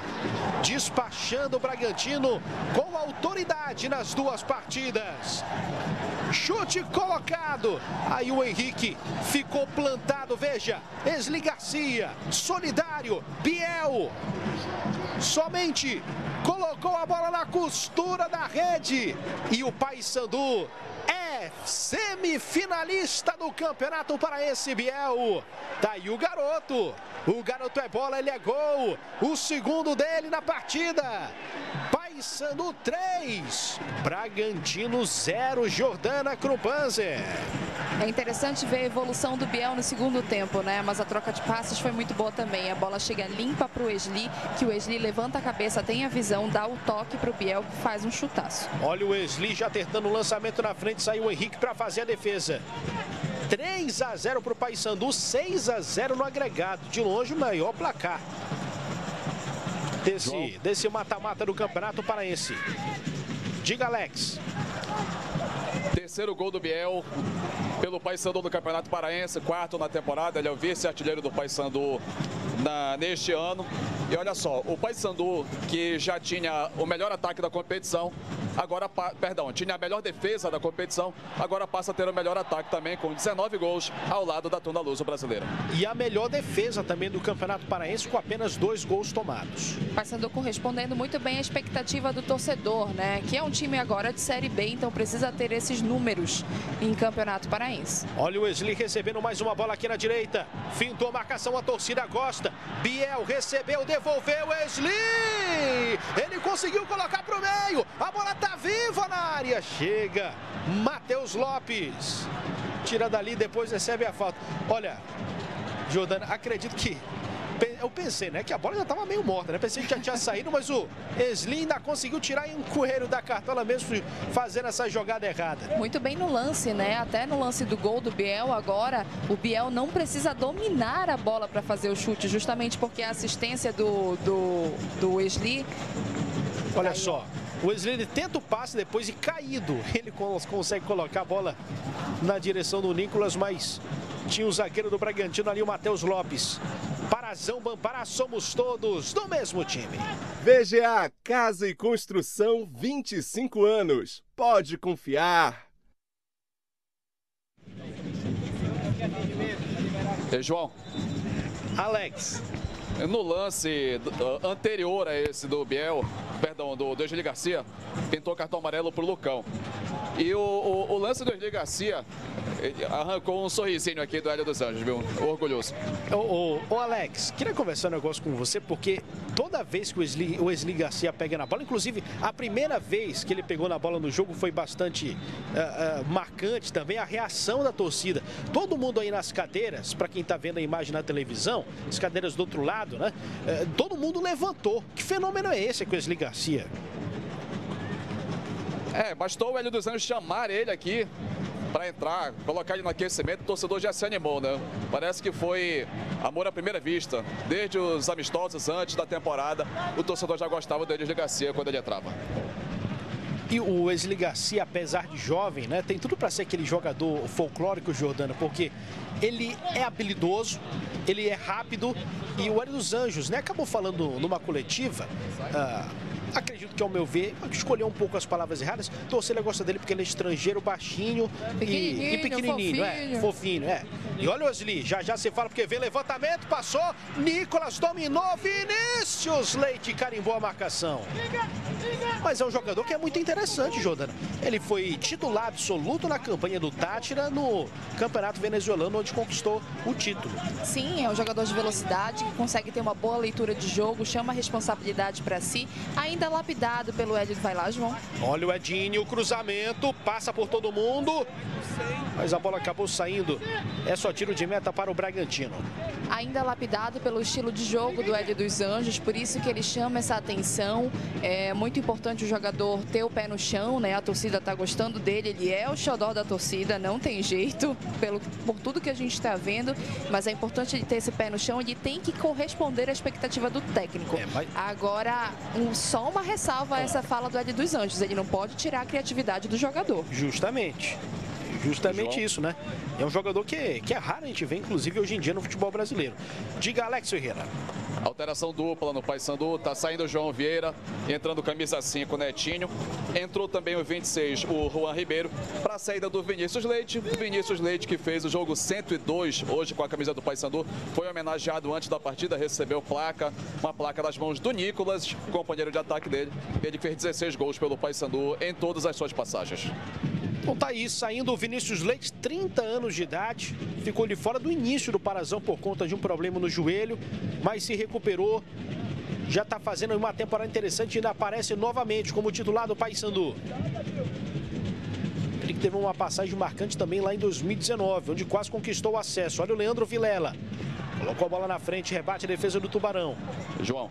Alex. E um dos remanescentes daquele ano era o técnico Ali dos Anjos, né? E também o Nicolas, que foi o jogador que entregou a placa hoje em homenagem ao Vinícius Leite. É, e são jogadores que têm uma confiança no técnico quando subiu um cartão amarelo por ali. Não deu pra gente ver para quem foi exatamente, já já o Alex confirma, ficou a impressão de que foi ali para o zagueiro do Paysandu, parece ser o Wanderson, que acaba afastando a bola lá de dentro da área. João, mudanças para renovar o fôlego do Paysandu, né? O Netinho que tem mais qualidade na saída de bola, o Juan Ribeiro que é centroavante, mas pode jogar mais aberto. João. Alex. E o cartão amarelo foi para o Juan Ribeiro. Entrou e já recebeu o amarelo. Então, olha o Bragantino chegando. Tentativa de conexão ali com o Matheus. Defesa do Paysandu acabou afastando. Então, cartão amarelo, confirmação aí na tela para você. Juan Ribeiro acabou de entrar e já foi amarelado. E eu digo que você pode votar no craque do jogo. Deixa eu ver o QR Code aí na tela. Você aí em casa pode escolher o craque da partida. O seu voto tem peso, assim como também da equipe da TV Cultura. Portanto, vote no favorito da partida. Agora são 33 minutos. Ainda dá tempo de sobra aí para você escolher a votação. Vai até o finalzinho do jogo. E no final, é claro, a gente anuncia quem é o craque do jogo da TV Cultura. Vai ganhar um troféu bacana na hora da entrevista. Olha o Biel. Escapando. Tentativa ali para o Nicolas, ele pediu a bola mais por dentro. Matheus Lopes. Fez o giro, sai com ela no pé. Culi se apresenta. Solta a bola de primeira. Raçudo. Na frente com o Alisson. Tentou fugir ali no meio de dois.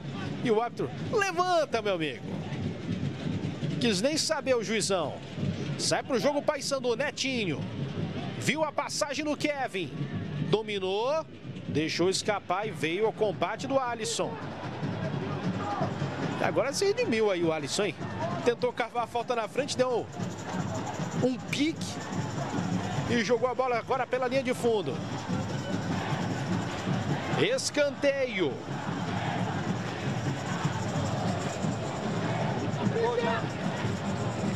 Bola parada a favor do Paysandu. Canta a torcida na Curuzu.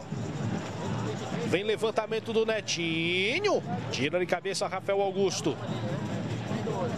Vai correndo ali atrás da bola.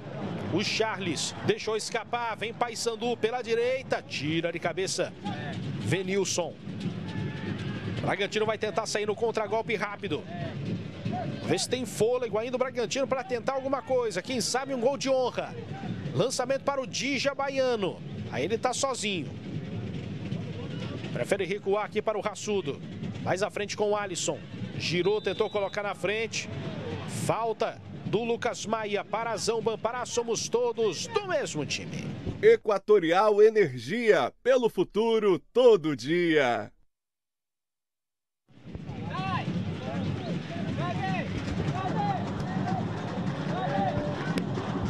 João. Alex. Última alteração do Bragantino. Saindo camisa 11 estreante Dija Baiano e entrando o 23 Andrezinho. Então tá aí o Dija saindo, bastante discreto. Entra Andrezinho, Jordana. O Dija, que era uma grande aposta para o Bragantino, a gente chegou aqui a contar um pouco da história dele mais cedo no jogo. Ele foi campeão brasileiro da Série D em 2016 pelo Volta Redonda. É, ele acabou sentindo também a pressão de jogar dentro da Curuzu, é, tendo que reverter esse placar. Vai lá, João. Olha o lançamento do Gulho, toque de cabeça, gol! Gol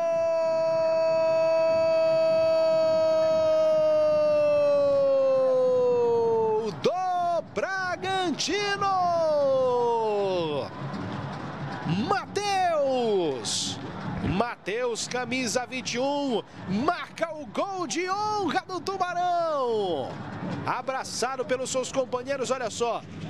Jogada de um dois, cruzamento na área, escora para o fundo da rede, Matheus. Cercado por três jogadores do Paysandu, mesmo assim ele toca na bola e diminui o placar aos 36 do segundo tempo, o Bragantino tem um, Paysandu tem três, Jordana Krumpanzer. Ele pulou entre três jogadores, né? Aparentemente não foi só o Bragantino que sofreu com essa bola aérea, mas o Bragantino consegue fazer esse gol de honra, né, no placar. E no agregado diminui, né? Agora no agregado, Paysandu 6, Bragantino 1. E o Bragantino rouba a bola. Já já o Alex, porque desce o Tubarão. Guli colocou na frente. É para o Matheus. Acabou de estar, tá empolgado pelo gol. Tentou o cruzamento, foi travado pelo Lucas Maia. Diga, Alex. Primeiro gol dele, é o Matheus Ceará, com a camisa do Bragantino nessa temporada. E fechou o tempo aqui no, no banco do Paysandu. O Hélio dos Anjos não gostou nada do gol que tomou. O Silvano Austrália deu um soco aqui no, no, no, no banco, também não gostou nada. Não gostaram nada de sofrer gol, a, camisa, a comissão técnica do Paysandu. Olha o Bragantino chegando, bola atrás, Gulli bateu torto, mas quase achou o Alisson. E o detalhe, Paysandu foi o terceiro gol tomado no Campeonato Paraense. E dois do Bragantino, né? Dois desses três gols foram do Bragantino, porque o, pai, o Bragantino acabou também fazendo um lá naquele jogo da primeira fase. E o Hélio dos Anjos chama atenção justamente porque no gol há uma falha defensiva. O jogador foi muito bem, ele pula entre três jogadores do Paysandu. O Hélio dos Anjos chamando atenção para isso mais uma vez. Parazão Bampará, somos todos do mesmo time. Você quer moda, eletro, informática, celulares e muito mais com preços imbatíveis? Vem pro Magazan que você tem!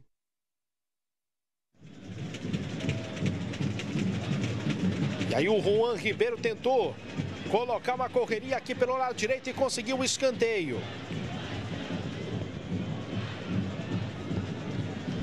Posse de bola para o Paysandu. vai tentar aumentar o placar. Paysandu que dá, não conseguiu uma goleada para chamar de sua no Campeonato Paraense. Uma tão elástica assim. Tem uma oportunidade hoje aqui na Curuzu. Pela direita sai o Papão. Tá todo mundo ainda lá dentro da área. Edilson. Descolou o lançamento. Olha o Wesley. Cabeceou pro meio. Wanderson tira lá de dentro. Matheus Lopes. E o Wesley acreditou nessa bola, hein? Matheus Lopes, que foi um dos jogadores destaques do Bragantino em toda essa campanha do Campeonato Paraense. Um zagueiro que trabalha muito com antecipação. Bragantino vai tentar sair na bola longa. Desarmado aí na sequência o André. 39 minutos, Jordana. Já a gente vai escolher o craque do jogo. Olha o Biel do meio do campo. Tentando emular o que o Nicolas fez naquele jogo da primeira fase. Também um gol no meio do campo. Pegou o Henrique desprevenido naquela oportunidade. O que, que dá para falar desse time do Paysandu, Jordana, já pensando em Copa Verde, porque quinta-feira tem o Manaus, o em Manaus, jogo importante, jogo de ida. E olha só, só antes da Jordana falar, a gente mostra a imagem para você. Na hora do cruzamento, o jogador do Bragantino, Pedimento. o Matheus Ceará, está em condição irregular, hein? Ele está na frente e dá, fica bastante claro esse impedimento, ainda mais usando a linha da grande área como referência. Então, Jordana, e o Paysandu já pensando no Manaus na quinta-feira, o que, que dá para dizer desse time? O Paysandu é favorito, mas tem que ter um pouco de cuidado. Copa Verde já é tradição para o Paysandu, deve voltar seus titulares, principalmente no meio de campo, com o Val Soares, com certeza volta ao time. É, o Paysandu é franco favorito para o confronto, mas é muito bom ter cuidado e ter cautela, de qualquer forma. 40 minutos, a gente vai escolher o craque do jogo, hein? Já já tem o craque do jogo, a gente vai saber também aqui na tela da TV Cultura o voto de você aí em casa. Quem desce o papão? Juan Ribeiro. Com o Netinho. Girou, procura opções. Sai jogando mais atrás ali com o Edilson. É o Paysandu garantindo vaga nas semifinais para enfrentar o Águia de Marabá. Jogadinha aqui na direita, não entendeu ali o Juan. Posse de bola para o Bragantino nesse finalzinho de jogo. João. Alex. Você falava agora há pouco, o Paysandu ainda não conseguiu uma, uma goleada, né? Mas ah, as últimas três vitórias do Paysandu, em todas o Paysandu marcou três gols. 3 a 0 em cima do Castanhal, 3 a 0 em cima do Rio Branco pela Copa Verde e 3 a 0 em cima do, do Bragantino também, né, no jogo de ida do Parazão. Teve a derrota de 3 a 1 do Juventude na Copa do Brasil, mas hoje o Paysandu volta a marcar três gols pela quarta vez seguida quando saiu vitorioso. E olha o Paysandu chegando, Nicolas. Consegue ficar com a bola, saiu a tabela rápida. Nicolas abriu, Presli Garcia, puxou para o pé direito, tem muita gente na frente. Bloqueado no passe, Leandro Vilela colocou para o Eslia, ele errou o passe. Sai o Bragantino, sai mal, mas tem falta na jogada, falta do Biel na sequência. Mas aí depende, Jordana, sabe? Porque goleada pode ser um conceito meio subjetivo. Tem gente, por exemplo, que já considera o 3 a 0 uma Sim. goleada. Mas tem gente que só considera, por exemplo, parte de quatro gols. O seu, o seu conceito de goleada é a partir de quanto? De quatro. De quatro gols. Três, a, três para mim ainda não é goleada. Agora sim, João, você estava falando do confronto contra o Manaus na Copa Verde. O Paysandu é franco favorito. Acho que ele pode ter mais trabalho na semifinal do Parazão com o Águia de Marabá, para onde vai, vai ter mais foco agora nessas semifinais do Parazão, justamente porque o Águia é um time que pode dar muito mais trabalho. Nesses apagões do Paysandu, como a gente viu no primeiro tempo, depois que tenta o domínio e apaga um pouco no jogo, aí é fatal para o Águia.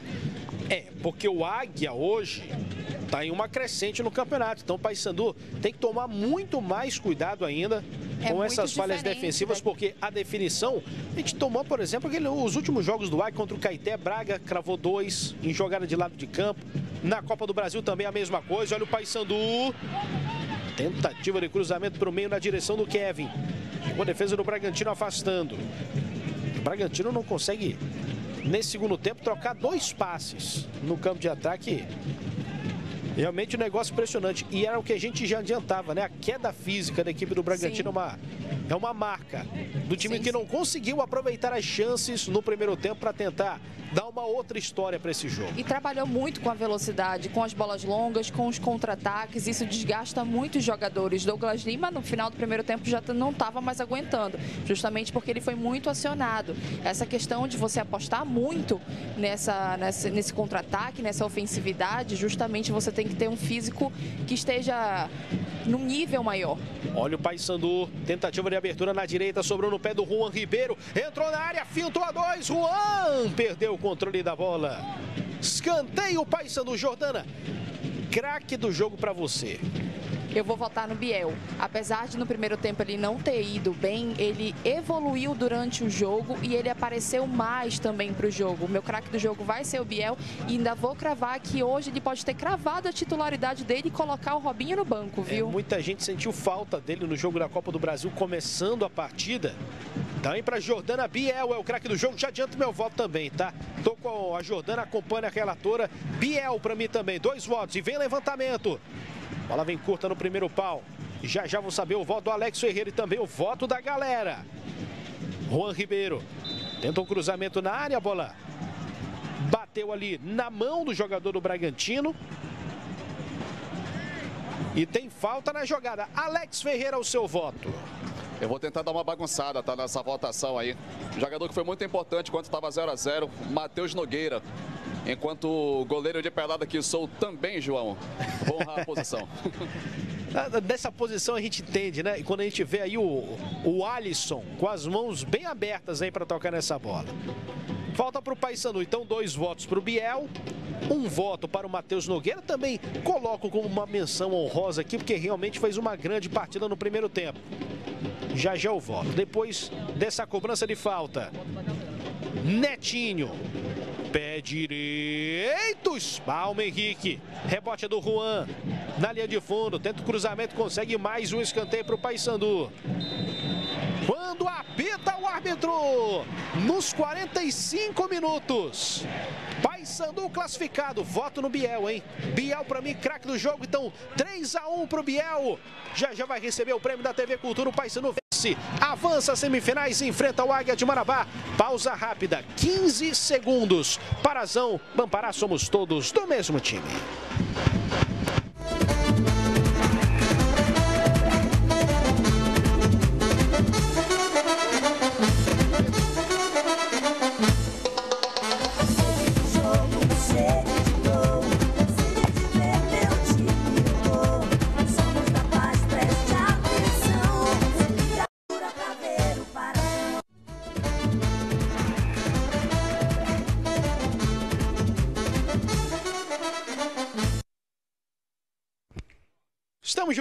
Vitória do Paysandu, festa na arquibancada e o Paysandu está nas semifinais e vai enfrentar o Águia de Marabá. Eu lembro a você, você que está aí agora ligado na televisão, tá vendo aí o Nicolas, um dos goleadores do jogo, vai pro YouTube, hein? Daqui a pouquinho a repercussão da rodada do Parazão continua com falando, falando sobre todos os jogos das quartas de final e já projetando as semis no YouTube. Daqui a pouco tem o papo da rodada com o Gilmar Prete também com o Júnior Cune. Tá aí o Nicolas. Cumprimentando a galera lá no gramado, olha só, trocando aí cumprimentos com jogadores do Bragantino. Ele que fez um gol pelo Paysandu hoje. E já já o Alex Ferreira vai chegar para entrevistar o craque do jogo, Biel com bastante justiça, né, Jordana? Ele fez dois gols hoje, fora a partida, fora o desempenho também no meio de campo do Paysandu. E é muito interessante a gente ver a evolução do jogador dentro de campo, né? No mesmo jogo, no primeiro tempo não apareceu tanto, mas no segundo tempo evoluiu bastante e brilhou. Alex Ferreira no gramado. Eu tô aqui com o Dija Baiano, jogador da equipe do Bragantino. Chegou para ser homem gol, mas hoje não deu. O goleiro, o Matheus Nogueira também estava muito bem, né? Mas foi um jogo bastante difícil. Queria que você falasse aí, Dija. É, foi um jogo bastante difícil, a gente chegou aqui sabendo, né? Para reverter o placar ser muito difícil, mas nossa equipe estava ciente da dificuldade que ia ter. É, infelizmente perdemos um gol ali no começo do jogo com o Douglas, mas, mas a nossa equipe não deixou de lutar, fomos até o final. E agora é treinar, continuar treinando e se preparar para a próxima partida. Tá certo, agradecendo aqui o Dija Baiano, jogador da equipe do Bragantino. E está chegando aqui com a gente agora o Biel, jogador da, da equipe do Paysandu, eleito craque da partida. E a gente vai conversar com ele. O Biel, 3 a 1 dois gols. Queria que você falasse dessa sua atuação e fazer gol aqui diante do torcedor mais, ou mais, mais duas vezes, né? Eu estou muito feliz, principalmente pela classificação, né, que era o nosso maior objetivo. É, o gol, claro que eu fico feliz, mas é uma marca individual e eu penso sempre no coletivo. Então, estou muito feliz aí pelos gols e pela classificação também. Quero falar que meus pais estão aqui assistindo hoje. Quero mandar esses gols para ele, para minha família, para todos meus amigos aí que me apoiam. E é isso. Falando em marca individual, a gente tem um presente aqui para você hoje, que foi a eleição do craque do jogo. O que, que a gente pode falar? Não, quero agradecer a, a eleição de craque do jogo. É, vou continuar trabalhando para que venham mais desse aí. E é isso. Muito obrigado. A nossa comentarista falou que eu acho que ele cravou a vaga de titular agora. Será? Isso aí eu deixo com ele. Vou continuar fazendo a minha parte e o professor sabe o que, que, ele, que, que ele faz, então eu sempre faço a minha parte e o resto eu deixo para quem manda. Tá certo, agradecendo aí o simpático Biel. Volto com você, João. E ele não vai se comprometer, não é, Jota? Com certeza, com certeza, até porque cravar uma vaga de titular é dizer que Robinho vai para o banco, né? Robinho que era o maestro dessa equipe do Paysandu. Então, de forma correta, ele joga aí para o técnico e ele que resolva. É isso aí, enquanto a gente vê os melhores momentos e também novamente os gols da partida. Um dos gols foi do Biel. De mão, foi, com o braço. Mas valeu. A arbitragem apontou o centro do campo e foi o segundo do Paysandu um nesta braço, partida. Outro impedido, tá tudo bem. o impedido do Bragantino, ó. Sim, sim. Esse é o segundo gol do Biel, com a qualidade demonstrada no seu pé direito, chutando a bola no canto do goleiro Henrique. Bragantino vai jogar a Copa Grão Pará. O Paysandu vai enfrentar o Águia de Marabá no Campeonato Paraense. Vamos ver o cruzamento? Quero na tela o cruzamento do chaveamento do Campeonato Paraense, o Bampará 2024, Parazão Bampará 2024. A gente vê aí o gol do Bragantino, ó. O gol de honra marcado pelo Matheus Ceará. E já temos todas as definições no Campeonato Paraense. Clube do Remo vai enfrentar a Tuna Luso Brasileira, Jordana. E o Águia de Marabá enfrentará o Paysandu. As quatro equipes principais do Parazão, né, na fase de grupos, chegaram às semifinais, algo que já era esperado por toda a nossa equipe. Paysandu, Tuna, Águia de Marabá e Remo. A Tuna com um pouquinho mais de sofrimento. Drama, né? Foi de drama, foi um jogaço contra o São Francisco. Uma equipe que tem um poder ofensivo muito forte, muito eficiente como a Tuna Luso. Achou problema justamente na segunda melhor defesa da fase de grupos. O São Francisco soube jogar contra a Tuna e aí a Tuna conseguiu fazer uma pressão no finalzinho do jogo. Tentou, Leandro Cearense fez o gol nos últimos minutos, foi para penalidades e o goleiro Iago Reis brilhou, pegou duas penalidades.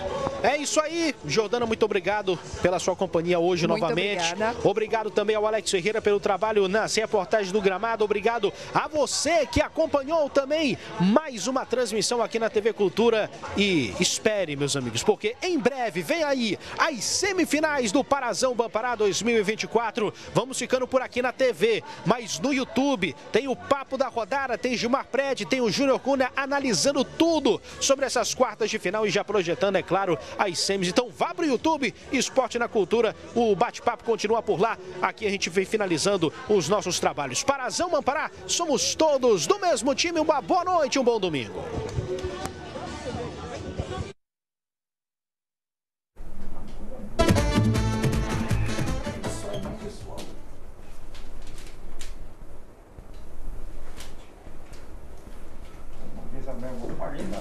É isso, estamos no ar agora com o Papo da Rodada. Boa noite para você que está ligado aqui no YouTube, no portal do aplicativo Cultura também. Papo da Rodada, agora sim temos os semifinalistas do Parazão Bampará 2024. Quem está aqui do meu lado é Júnior Cunha novamente. Júnior, boa noite para você. Já temos definidos agora o chaveamento né, eh, dos semifinalistas do Parazão. Boa noite. Boa noite, Gilmar. Boa noite para você que está acompanhando aqui o Papo da Rodada. Deu a lógica, né? Paysandu de um lado, Águia do mesmo lado, Remituna do outro, sem muitas surpresas. Falei contigo aqui no final do, da primeira fase que a minha conta era essa, né? Chegar essas quatro equipes na semifinal. Falei com o Matheus Miranda durante a semana toda também no Esporte Cultura que era Aham. sobre isso e deu a lógica. O Remo com tranquilidade ontem, o Paysandu com tranquilidade hoje, o Águia é, também com certa tran- tranquilidade, Tranquilidade, é, porque no fez 2 final a dos 0 no final né? do Exato. jogo e a Tuna sofreu o que tinha que ser sofrido, mas chegou aí na semifinal da competição agora.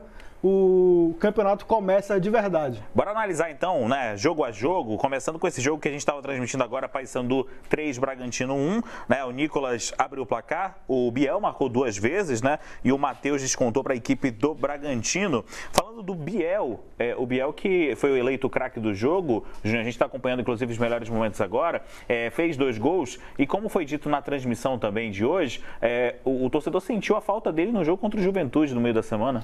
É, o jogo contra o Juventude foi um jogo à parte do ano do Paysandu, né? Um jogo contra uma equipe de Série A, de fato um teste para o Paysandu. São dois testes nesse início de ano que Remy e Paysandu tem. Um é o clássico Repá e o outro é quando chega numa fase é, de segunda ou terceira fase da Copa do Brasil e pega times de divisões acima. O Paysandu não passou no teste contra o Juventude.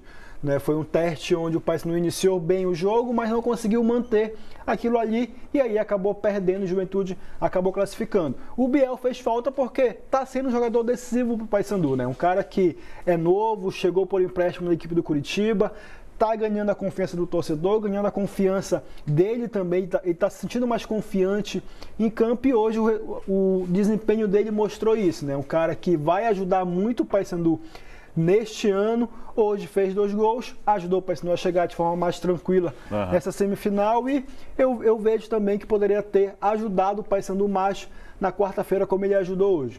Pois é, né? O outro o destaque é o Nicolas fazendo seu nono gol, né, pelo Paysandu no Campeonato Paraense. Agora um destaque do primeiro tempo principalmente, o goleiro Matheus Nogueira foi decisivo, né? Porque olha, a gente está acompanhando os melhores momentos. O Douglas Lima teve algumas oportunidades, o Bragantino como um todo, o Gulli também teve uma chance para boa defesa do Matheus Nogueira. Foi um destaque do primeiro tempo que salvou o Paysandu de levar gols, né? É, o Douglas parece que tem uma assina contra o Paysandu. É, né? verdade. Quando tava no Tapajós, perdeu o gol feito na Exato. Curuzu.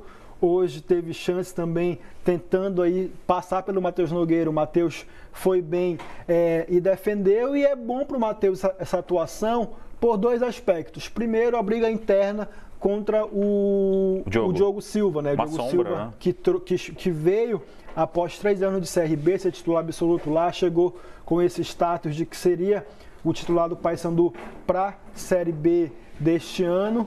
Mas o Matheus Nogueira vai se firmando até agora aí, botando essa dúvida na cabeça do Hélio. E o segundo ponto é porque o Matheus tem contrato finalizando até daqui a pouco, né? Terminou o Parazão, o Matheus Nogueira vai voltar lá para o Portimonense. O Paysandu deve tentar aí uma renovação com ele, então as atuações boas dele podem servir também na hora do Paysandu é, lutar um pouco a mais para deixar o Matheus Nogueira aqui por mais um tempo. Para finalizar o papo Paysandu e Bragantino, é, Júnior, analisando os três jogos desse ano entre Paysandu e Bragantino, tivemos na primeira fase, né, o Paysandu vencendo na Curuzu, é, depois tivemos agora na segunda fase o jogo de ida e agora esse jogo de volta também na Curuzu. É, eu percebi que o Bragantino perdeu muitas oportunidades, tanto na primeira fase com o Gileá perdendo vários gols, né, de cara pro gol, lá no jogo em Bragança também, e hoje perdendo gols também com o Douglas Lima no primeiro tempo. É, gols que fizeram falta para o Bragantino. Né? Se o Gilear faz pelo menos dois gols na primeira fase contra o Paysandu, o resultado era diferente. O Bragantino tinha vencido o jogo dentro da Curuzu. Lá em Bragança, a mesma coisa. Se faz os gols que perdeu, poderia ter vencido ou empatado o jogo.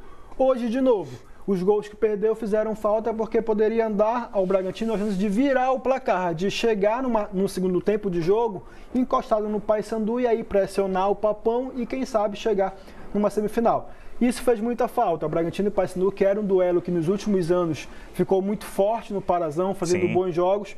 Esse ano tiveram três oportunidades e o Paysandu é, conseguiu vencer três vezes. Exatamente. Bora falar do jogo de ontem, né? Ontem tivemos o jogo aí Remo e Santa Rosa. Ah, o Remo já tinha vencido por 3 a 0 o Santa Rosa no próprio Bainão, mas com mando de campo da equipe eh, do Macaco Prego. E ontem venceu por 2 a 0 gols do Silas e do Natan. O agregado ficou 5 a 0 para a equipe do Remo. Como é que você analisou esse jogo entre Remo e Santa Rosa, o jogo de volta, hein, Júnior? O Remo não fez muito esforço ontem, né? O Santa Rosa ainda tentou alguma coisa, tentou apertar o Remo, pressionar, buscar esse resultado logo no início do jogo, mas depois o Remo deu uma equilibrada no, nas ações, o Remo começou a mandar no jogo e aí o Silas acabou abrindo o placar e no segundo tempo o Ronald, que tinha acabado de entrar é, numa, numa jogada em linha no meio de campo, ele conseguiu achar o Natan entrando livre, livre pela esquerda e o Natan foi feliz no chute cruzado e acabou é, fazendo o segundo gol do Remo. Remo passa tranquilo, venceu o primeiro jogo por 3 a 0 o segundo por 2 sem susto, Santa Rosa, que na primeira fase fez uma boa campanha,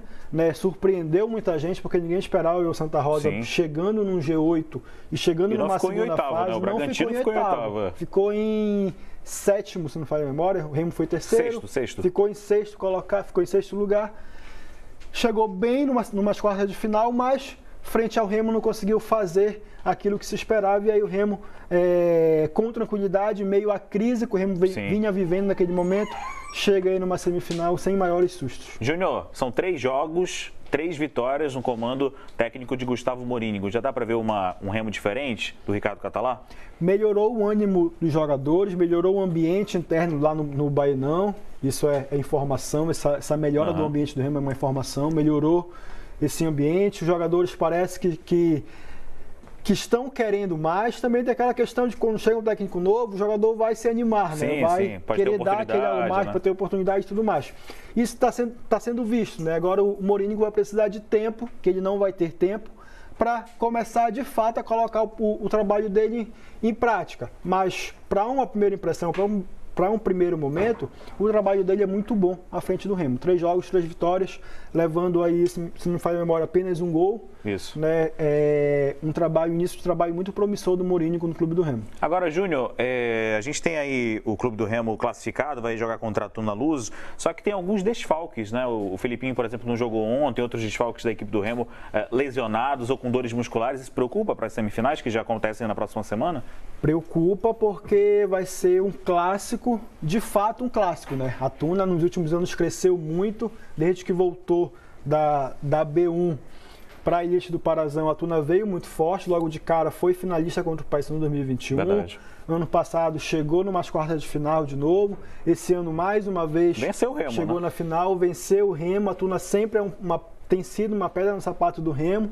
Então, esses desfalques eles vão fazer falta para o Remo porque, por se tratar de uma Tuna que nos últimos anos cresceu muito e vem dando trabalho para o Remo. Então, desfalques vão ser de fato desfalques para o Remo. Pois é. Bora falar então da Tuna, né? Já que a gente tocou no assunto da Tuna Luz, o Águia Guerreira do Souza venceu hoje de manhã a equipe do São Francisco lá no estádio Francisco Vasques, o Souza, é, 2 a 1 mas o jogo foi bem complicado, bastante emocionante, inclusive, né? É, a equipe do São Francisco abriu o placar com o. Perdão, o Gabriel Furtado fez 1 a 0 foi isso, né? O Negueba empatou. Furtado fez 1 a 0 é... o Negueba empatou. Aí o Leandro Cearense no finalzinho, né? Fez o segundo gol da equipe da Tuna Luz, que levou a disputa para os pênaltis. E nos pênaltis, a equipe venceu por 4 a 2 jogo bastante emocionante, até porque o Leandro Cearense, como você falou, marcou no finalzinho ali para matar Foi, o coração. Literalmente no Matar o torcedor minuto, de coração, né? do coração. No último né? lance, se fosse de noite seriam apagadas as luzes. É, mas foi de manhã. Não, foi né? de manhã, não tem como fazer essa piada.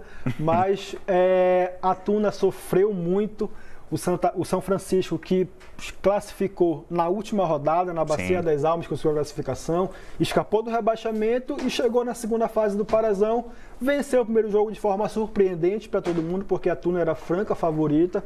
E aí no jogo de hoje a Tuna conseguiu, é, começou bem, fez 1 a 0 mas veio o empate, aí o Leandro Cearense acabou achando Sim. o gol para nos pênaltis a Tuna classificar. Um resultado que deixa a Tuna muito mais forte para a semifinal, vai dar muito mais trabalho para o Remo e que mostra que o São Francisco é, não foi aquele desastre que, que, aparentou ser no, na, na, primeira fase. Né? Chegou forte para a segunda fase, mas infelizmente a gente sabe que o futebol é no uhum. detalhe. O detalhe hoje fez a diferença, chamado Leandro Cearense no tempo normal e Iago Reis nos pênaltis. Nos pênaltis, exatamente. São Francisco cresceu muito na fase final ao comando do técnico Samuel Cândido, bastante experiente aí no futebol paraense. Vamos falar do Caeté, Caeté e Águia de Marabá, né? Outro classificado é o Águia de Marabá, 2 a 0 para a equipe do Águia, os gols marcados no final, o jogo de ida tinha sido 2 a 0 lá em Marabá para a equipe do Águia, ficou no agregado 4 a 0. Bruno Limão e Braga construíram a vitória aí, um agregado 4 a 0 Parece que foi fácil, mas esse segundo jogo foi no finalzinho, né, gente? É, o Bruno Limão que vem muito bem no Águia, né? O Bruno Limão se achou na equipe do Matal Saudé, Sodré, tanto no ano passado como neste ano. E o Braga, que vem aí sendo o grande destaque da equipe. No meio de semana, é, marcou dois gols pela Copa do Brasil. Agora marcou mais um, vencendo aí de fato um dos principais nomes de ataque da equipe do Águia, que lá no início do ano ninguém dava nada para o Braga, né? Veio Sim. o Elielton, veio o Aleilson, caras de nomes que todo mundo esperava que fosse formar o ataque titular uhum. da equipe do Águia, e aí você vê o Aleilson saindo, você vê o Elielton perdendo espaço e vê o Braga chegando para ser de fato o homem-gol do Águia. A Águia também chega forte, cresceu muito com o Matheus Sodré, vem crescendo e vai chegar forte na semifinal contra o Paysandu. Semifinais do ano passado parecidas com a desse ano, só o Cametá que está de só fora e tá entra a Tuna, no caso. Paysandu e, e Águia de Marabá vão se enfrentar de novo em semifinais. A gente tem inclusive a tabela, o chaveamento, né, agora, uh, dá para mostrar, inclu mostrar inclusive para quem está acompanhando a gente no portal aqui eh, e no YouTube. Vamos lá, Remo e Tuna se enfrentam, né, uh, e Paysandu e Águia de Marabá. Júnior, o que, que dá para falar dessas semifinais aí eletrizantes? Jogos muito complicados para os times é, eu ia falar times da capital, mas Sim. Tuna e Remo são da capital, né? Muito complicados para Paysandu e Clube do Remo. O Águia, é, como eu falei, vem crescendo com o Matal Sodré. Ano passado foi campeão paraense. Esse ano fez um investimento bom para a competição, vem embalado de uma classificação para a terceira fase da Copa do Brasil. Agora chega numa semifinal de Parazão mais uma vez, possibilidade real de ser bicampeão paraense. Confronto muito, muito difícil, muito encardido para o Paysandu, mas ainda aposto que o Paysandu vai conseguir é, chegar na final do Parazão, diferente do que foi no ano passado. Uhum. Remy Tuna eu deixo em aberto, porque, difícil, como eu né? falei mais cedo, a Tuna cresce muito contra o Remo. Os últimos jogos do Remo contra a Tuna não foram favoráveis ao time azulino. A Tuna sempre dando muito trabalho. É, prenúncio de, dois, de, de, quatro bons jogos. Sim. Dois entre Paysandu e Águia e dois entre Remo e Tuna, mas eu aposto que o Paysandu chega na final e aí a gente joga a vaga na final para cima, Remo e Tuna, e... quem pegar é. avança é. para, quem sabe, enfrentar o Paysandu. E esses dois duelos já aconteceram no Parazão na primeira fase, né? O Paysandu acabou vencendo um Águia ainda fragilizado naquele tempo com 3 a 0 lá em Marabá e o Remo perdeu para Tuna no clássico por 3 a 2. É, quando o Paysandu ganhou o Águia lá, o Hélio, se não me falha a memória, deu a seguinte, a seguinte declaração. Não é qualquer equipe que chega aqui em Marabá e ganha o Águia. O Remo Sim. veio ano passado e não conseguiu ganhar aqui. Nós viemos ano passado também não conseguimos ganhar. Esse ano ganhamos. Então isso mostra é, o tamanho que o Águia se tornou após ser campeão paraense. E Remituna, falo mais uma vez, é, joga a vaga para cima, quem pegar avança para a final. É isso, Júnior. Obrigado pela participação mais uma vez. Valeu. Aqui foi o Papo da Rodada, finalizando para você. Claro que você vai acompanhar as semifinais eletrizantes aqui do Parazão Ampará 2024 na tela da TV Cultura. Tchau, até a próxima.